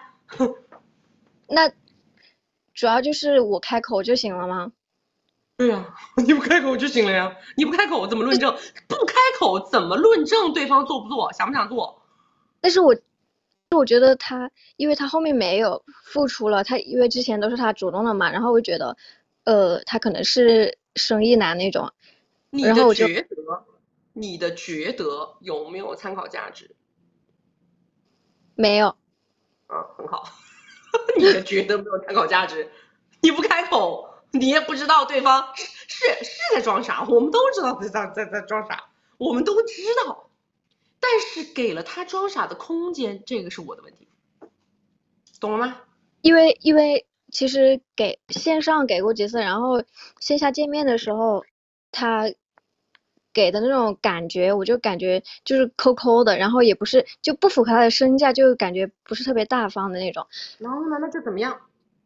那就怎么样？我就感觉不会有那种特别大额的付出，我就感觉。所以呢，那就直接拜拜噻。那问什么呢？好的。哈哈哈！就因为你感觉，你的感觉都准吗？嗯，好的。那我就。呃，想要什么就直接开口就得了，是吧？你不开口没有办法论证这个人他到底愿不愿意付出，因为所有的人在能装傻充愣的时候，他都会装傻充愣，好吧？嗯，那我还要继续，就是因为我今天刚把那个签证又办完了，那我要不要寒假跟他继续去日本旅游什么的？所有的前提在于有没有。相应的付出，去日本我要买什么？嗯，想明白了吗？嗯嗯，你要明白，去一趟不花掉三十万不能回来，心里有个数。好，还嗯，然后呃，我明白了。然后第二个男嘉宾他是呃在软件上认识的，然后是大我十九，未婚。呃，年入一千个左右，做生产和贸易，然后他是国内前三的学校学计算机的。然后呢，据他所说哈，他跟前任准备结婚时，给他买了辆宝马，还有套三房的房子，然后还给他不要成本的供货做燕窝直播，然后把他什么以前从来都不知道的，然后进化到自己一个老板开了一个美容会所，然后就是听他上去这样讲，就是像一个伯乐男。然后他说他跟我在一起也会照顾我，给我事业什么的。所以啊，我跟你讲啊，反复反，你是不是没有学习我们金贵的关系啊？我学了。但是你学了个啥？但是我还没学完。嗯哼，你老是在想，我感觉，我觉得，我感觉，我觉得，你感觉准吗？你觉得的评判依据是什么？你的感觉，你的觉得，全部来自于一个男人的一张破嘴，这就是你的感觉，你的觉得。我们所有东西上结论，请你根据对方的行为下结论。首先是我的行为做到极致，然后看对方的行为是什么。当我的行为不足够正确的时候，对方所有的行为都是错误的。我的行为足够正确，那么对方的行为到底得到的是什么答案，就一目了然。我该开的口开到位，不给你装傻的空间。你做不做，想做不想做，我是不是就一目了然？嗯，我开到位，他没做，他不想做吧？他是不是小气呀？我们的动作在于什么？在于我所有的结论没有问号。所有的结论后面没有语气助词。嗯，如果这个男的是伯乐男，一定是因为他给了我一百万开店。嗯，不在于他说他为他的老婆付出了，能不能为他前女友付出了什么，为这个付出了什么，为那个付出了什么？你拿这种东西拿出来有什么判断依据？就因为他说他说这他说那他说了他说天花乱坠。明白了。等于说我要做的就是我要敢于开口，然后论证他的结果。第二个就是我要看他，我开完口之后看他的行为是怎么样的，就这两点。对呀，对呀，用行为做判断，懂吗？用我极致的正确的行为推导出他的行为，然后用他的行为去判断他这个人。好的。要不然天天被人排挤，好吧？好的。然后就是呃呃，除了这个的话，我。嗯，就是我，我现在身边的同学都在留学、考研、工作，然后我，但是我的话就比较想，嗯，就是在我比较好的一个，因为我这个年龄是比比较黄金年龄，我就想在我这个年龄就找一个好的对象，结婚啊，走婚恋这种，就可能跟其他同学都想的不太一样。嗯嗯，想问能不能行？那就疯狂对对碰啊，让你妈带着你出去碰。哦，我妈也是疯狂的催，就是你碰啊，但是你要明白，你要明白自己要守住，知道吗？不要被别人光环所迷惑，随随便便的发生点什么，而且你要跟你妈统一战线。嗯，你不要让你妈个恋爱脑，然后天天听别人话筒，那不行，好吧？哦，那就是我我马上要放寒假了嘛，这个。就是我就是怕跟他去日本了，我就变成了一个被待宰的一个羔羊。咋说呢？那就不去呗，不明确就不去。你就说，那去日本之前你要先给我送一个礼物。你说上一次过生日你就没送我礼物，嗯，你还不，要不然我就不想去了。就这样啊，那不就清晰了吗？不送就撤退，好吧？明白了，明白了，呃。等于说，然后就是我也在疯狂的对对碰，然后就是每一个男生，就有时候我们面基都说很喜欢我，就都说想带我出去旅游什么的。然后我就想问一下，就是没有确定关系前是不能两个人一起去旅游是吗？去没看去哪里？哎，去澳门也不是不能去，好吧？啊，去去去那个城乡结合部就不要去了。一般啊，不是去去去什么？去美国啊，英国、欧洲，来回全商务舱，都是最豪华的酒店可以去。然后去澳门可以去，懂了吗？来回商务舱加最豪华的酒店，加这个国家必须得是一个有高消费的地方，咱们就可以去，好不好？就除了东南亚，然后 就是吧？是的，是的，是的啊。好，就这样。那我那我是要跟他开始，呃，两个房间还是标间啊？如果是哎，那就没有住两个房间的了，两个房间那就扯淡了，好不好？你是说总统套房吗？就这样挂了，我跟你聊不下去了。好的。还总统套房，你接鬼给你开总统套房，想多了，还总统套房，跟你搞个跟你搞个豪华酒店就可以了，还还还总统套房，想的真是他他给你开总统套房的钱，他可以给你买个包了。你这小姑娘，她都觉得那我疯了吧，对吧？还总统套房，不要一天到晚的做那个梦啊！男的约你们出去旅游，不要搞那些周边游。你们蛮喜欢搞周边游，那周边游有什么好游的呢？对不对？如果说你是想你想找的就是一个条件好的，你是不是要论证他条件好不好？你找条件好，你还要论证他肯不肯为你花，对不对？你不要觉得那个钱一定要给你买什么东西才叫花，最重要的是你要看他这个花钱的这个动作，对吧？他是不是在为这个事儿在投入，这个很重要，对不对？所以说像这种要把钱花在这些看不见的地方呢，其实更好。我跟你们讲，其实更好，花在飞机上，花在旅行的过程当中，是花花在那个酒店上面，其实很好的，因为有这种花销在这儿，它就是个门槛，他要有了这个门槛之后，他买什么其他的东西，他就更不会手软，懂吗？我告诉你们啊，你们想一个道理啊，如果说你今天报的是一个那个很穷的一个团，对吧？你就花了一点点钱。哎，花了一个很少很少的钱，然后呢，哎呀，坐坐飞机坐的也很辛苦，也很累。然后呢，到了那个地方之后，你是不是也觉得说，哎呀，搞那么累，我我再花钱，我疯的板？你是不是这种感觉？但是如果你今天做了一个商务组，对吧？然后去那边，本来你这个行程就已经很贵了，你会不会在那边想说，我搞这么贵来一趟，我要不再多多买点东西，我这一趟不白来了？会不会这种感觉？对吧？你钱都花了，你想那我这在这不能就这么这这这这这走走马观花搞一圈回去，那我不是白来了？我难得来一趟，是不是？我的前面的机票都花了这么些钱，那我买东西我不得多买点儿我一次不得多买点儿懂我意思吗？所以说要这些这些点，它是个哎，它是个门槛费，是不是？有了这个门槛，它后面的钱其实更容易花，嗯。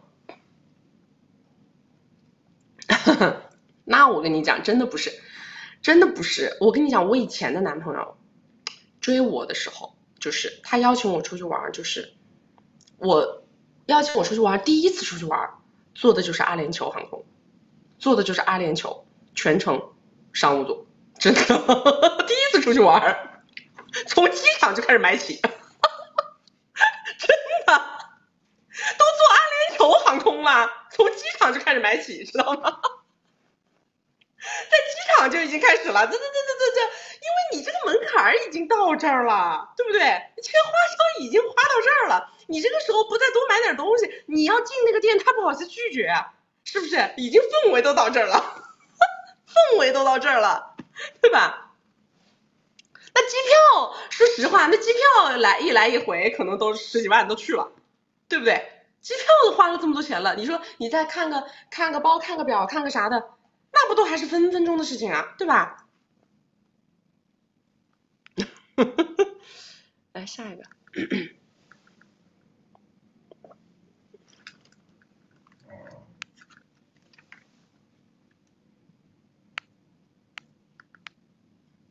阿布、小杨都没哎，小杨连了？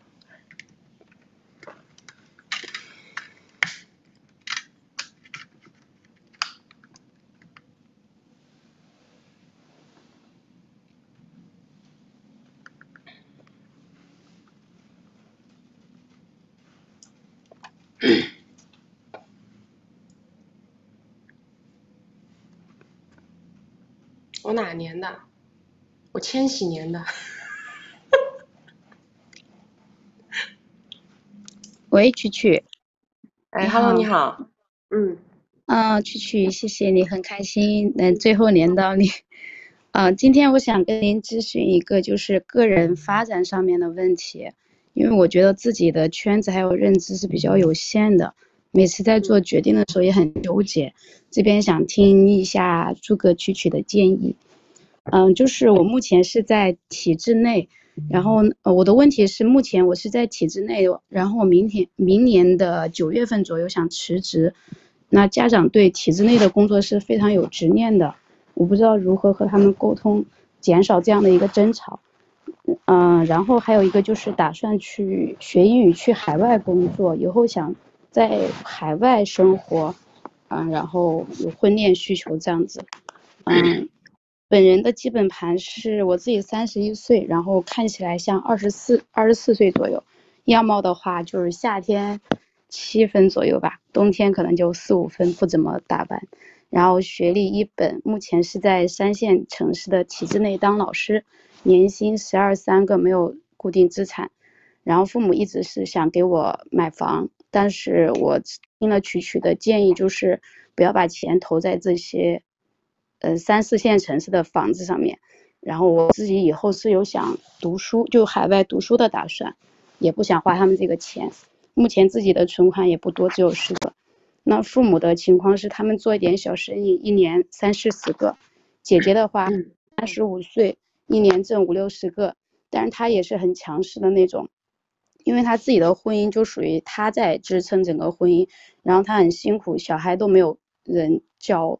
然后我是当老师嘛，有空会帮她给小孩做一些规划，然后周末做一些辅导这样子。嗯，我目前的状况就是自己都过得不是很开心，然后很拧巴，就属于那种贫民窟的美女，然后就像您说的那种，像一种自卑的孔雀，呃，就群里的姐妹都会觉得我还蛮优秀，也要多走出去看一看，就觉得我这个圈子太困住我了。然后我想辞职的原因是有，嗯，三三个原因，第一个就是自己本身的体质不太好，很怕冷。然后我在这种中部城市嘛，然后冬天就是又冷又长，就非常痛苦。我现在每天都非常痛苦。第二个就是我自己从，呃，我长远的规划来说，我觉得我和家人的价值观还有目标不是一致的，就是他们就想我待在他们身边过小日子，然后他们也很安心。但是我自己是，呃，因为喜欢旅游，也认识了很多，就是在全世界到处。到处旅游，然后眼界很开阔的人，我的眼界被他们打开了，我也想多出去看一下，包括留学这样子。第三个是体制内呢，有一些要求，就是我的寒暑假其实本来我觉得寒暑假是可以出去，但是要求又把那些证件都上交了，包括香港、澳门都不太能去，就蛮影响我交友还有出行的。包括我其实之前有一个嗯美国男朋友嘛，就是我们本地的。他在美国已经有身份了，本来是计划在一起奔婚恋的，但是也是因为我长期不能出去，他的假期也比较少，所以我觉得有点性价比不太高，就就搞得太累了，不想搞了。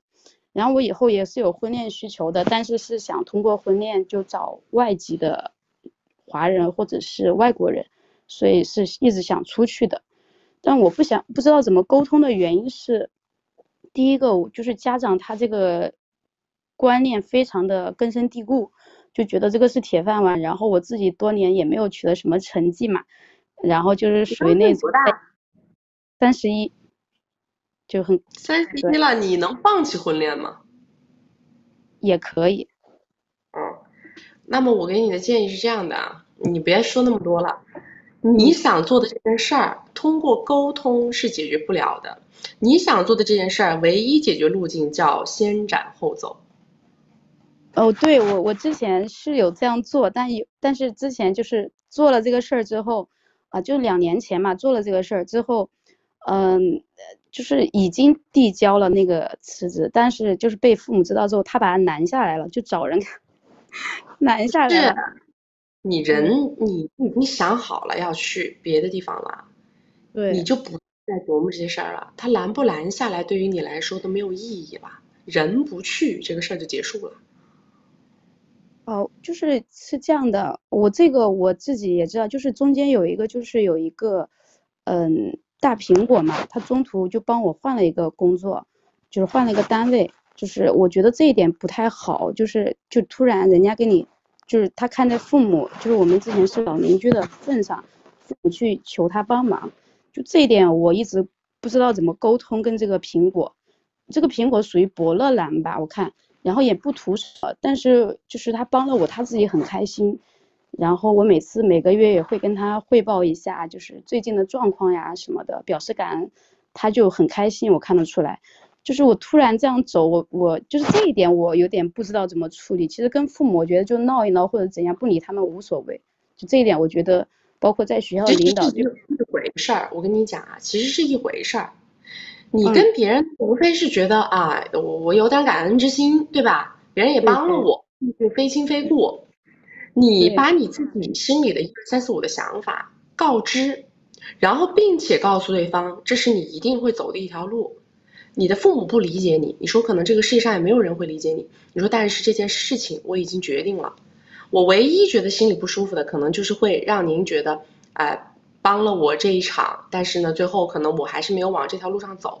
我是希望您能够不要因为这件事情而对我啊产生什么不好的想法。如果以后我在外面能够有一片的天地，或者说一片的发展，我还是会回来。嗯，好好的感谢你们，就是讲这样的话，把他的话说漂亮点，冠冕堂皇一点，结束。不要再想着啊，他再来挽挽救怎么办？他们再去来劝我怎么办？我已经把我的态度告知了，那么这个事就结束了。就是我只告诉他们的决定，我不会来征求他们，也也这次要稳住，就不能被他们再动摇了。我这次还是铁，之前被他们搞的，就是道德绑架，弄得很难受。就这个话一说完，后面就不需要再去任何的沟通了，明白了吗？再沟通下去就是无限的循环。哦，明白，就是他们也不能理解，我也不需要跟他们沟通。就是那我领导他之前，因为他之前不知道从哪知道我谈了一个美国男朋友，他就前三个月前嘛就跟我说，那你以后如果想出去，你要提前跟我说，我好安排别的的工作。那我就明年，我想九月份离职的话，我就三月份左右跟他，是先跟家里人说好，然后再去跟领导，就是学校领导说，最后再跟这个大苹果说吗？还是怎样，就比较好一点？我觉得你就是学校领导那边，呃，是首先是跟大苹果说，跟他大苹果说完了以后，然后你根据他的安排，然后再去看怎么去，就是他把他后面的事情安排好，然后你就走学校这边的流程。父母这边呢，你就跟你这个苹果说，就说你就不要跟我的父母沟通了，因为你跟他沟通完了之后，只会让他们无无穷无尽的跟我去吵。你说，但是这个决定我已经下了，他们再跟我吵下去也不会改变我的决定，只会让到时候他们又来求您，弄得您也很难堪。嗯，明白了。嗯，好的，那就是。就是到时候我就直接把想法跟家长，呃，就就直接先跟大苹果说，说完了之后就表达感谢，然后包括您刚刚说那一段话跟他说了之后，呃，然后再直接跟学校的说，就家长最后就家长最后就他们的态度无所谓了，反正这个事情我能把他们接受结果嗯，好吧，对我的流程能解走完，然后这个事情能办到就 OK 了，他们的感受还有想要忽略掉。这样我才没有那么痛。OK，是的，就是还是结果为导向，谢谢曲是的，嗯，哦，还有一个问题就是，如果我以后在，就是就是就是下半年嘛，我想先去学一下语言，嗯，然后就是想去做那些跟，就是能用到外语方面的工作，比如说外贸啊之类的。你觉得就是像我这样的情况？可以啊，可以去做尝试啊。现在不是海外站也很火吗？TikTok 什么的。嗯，对对对，我想去尝试一下，然后多拓一下字。嗯，就还有一个问题就是，我想请问一下，就是我姐姐的那个婚礼，就是感觉很鸡肋，但是就感觉只有二十秒。是她的很鸡肋，就是她挣钱，她老公不挣钱这样子，这种婚姻要怎么？关你什么事儿？哦，嗯，没，就是因为他我姐姐会牵扯到我们家里面的一些人，就她的生活和我们家连得很紧。不问不答不求不助啊。好的，好的，谢谢。嗯，好，谢谢。好，谢谢曲曲。你妈、你爸妈来干涉你的决定，你又想去干涉你姐的决定，啊？己所不欲，勿施于人，好不好？你可以把我的直播间推给你姐，如果她需要，让她自己上来连麦啊，让她自己，她自己真的需要的时候，她花，她会花这个八百上来连麦的，好不好？不需要我们去帮她问问题啊，你们问了也白问，问了你也解决不了，你也劝不住，好吗？嗯。天都黑了，对呀，我今天跟你们从天亮播到了天黑，我现在要去吃饭了，我现在要出去吃豪华的饭了，我要下播了，然后大家赶快啊，还有没有扫扫微信二维码的，赶快扫微信二维码，这样的话呢就不会错过我们直播了。我下一场的直播还是在周六早上十点啊，周六早上十点。我现在人是在迪拜，然后呢，我会在迪拜一直待到二十七号，我直接会到杭州，到我们的杭州的线下哼哈的专场活动，然后我们还剩少量的名额，跨年还剩少量的名额啊，然后这个呢是一个哼哈跨年专场，是包含了我们的哼哈的十点半项目，包含了课程，还包含了我们的跨年晚会的。好不好？是这么的一个套餐啊，非常非常的有力度，所以大家呢感兴趣的宝宝，最后几个名额可以去找你们的金贵的社群的管理员，或者是去找小助理、找客服，都可以问得到啊。好啦，我今天就到这里啦，下播啦，拜拜，拜拜，拜拜。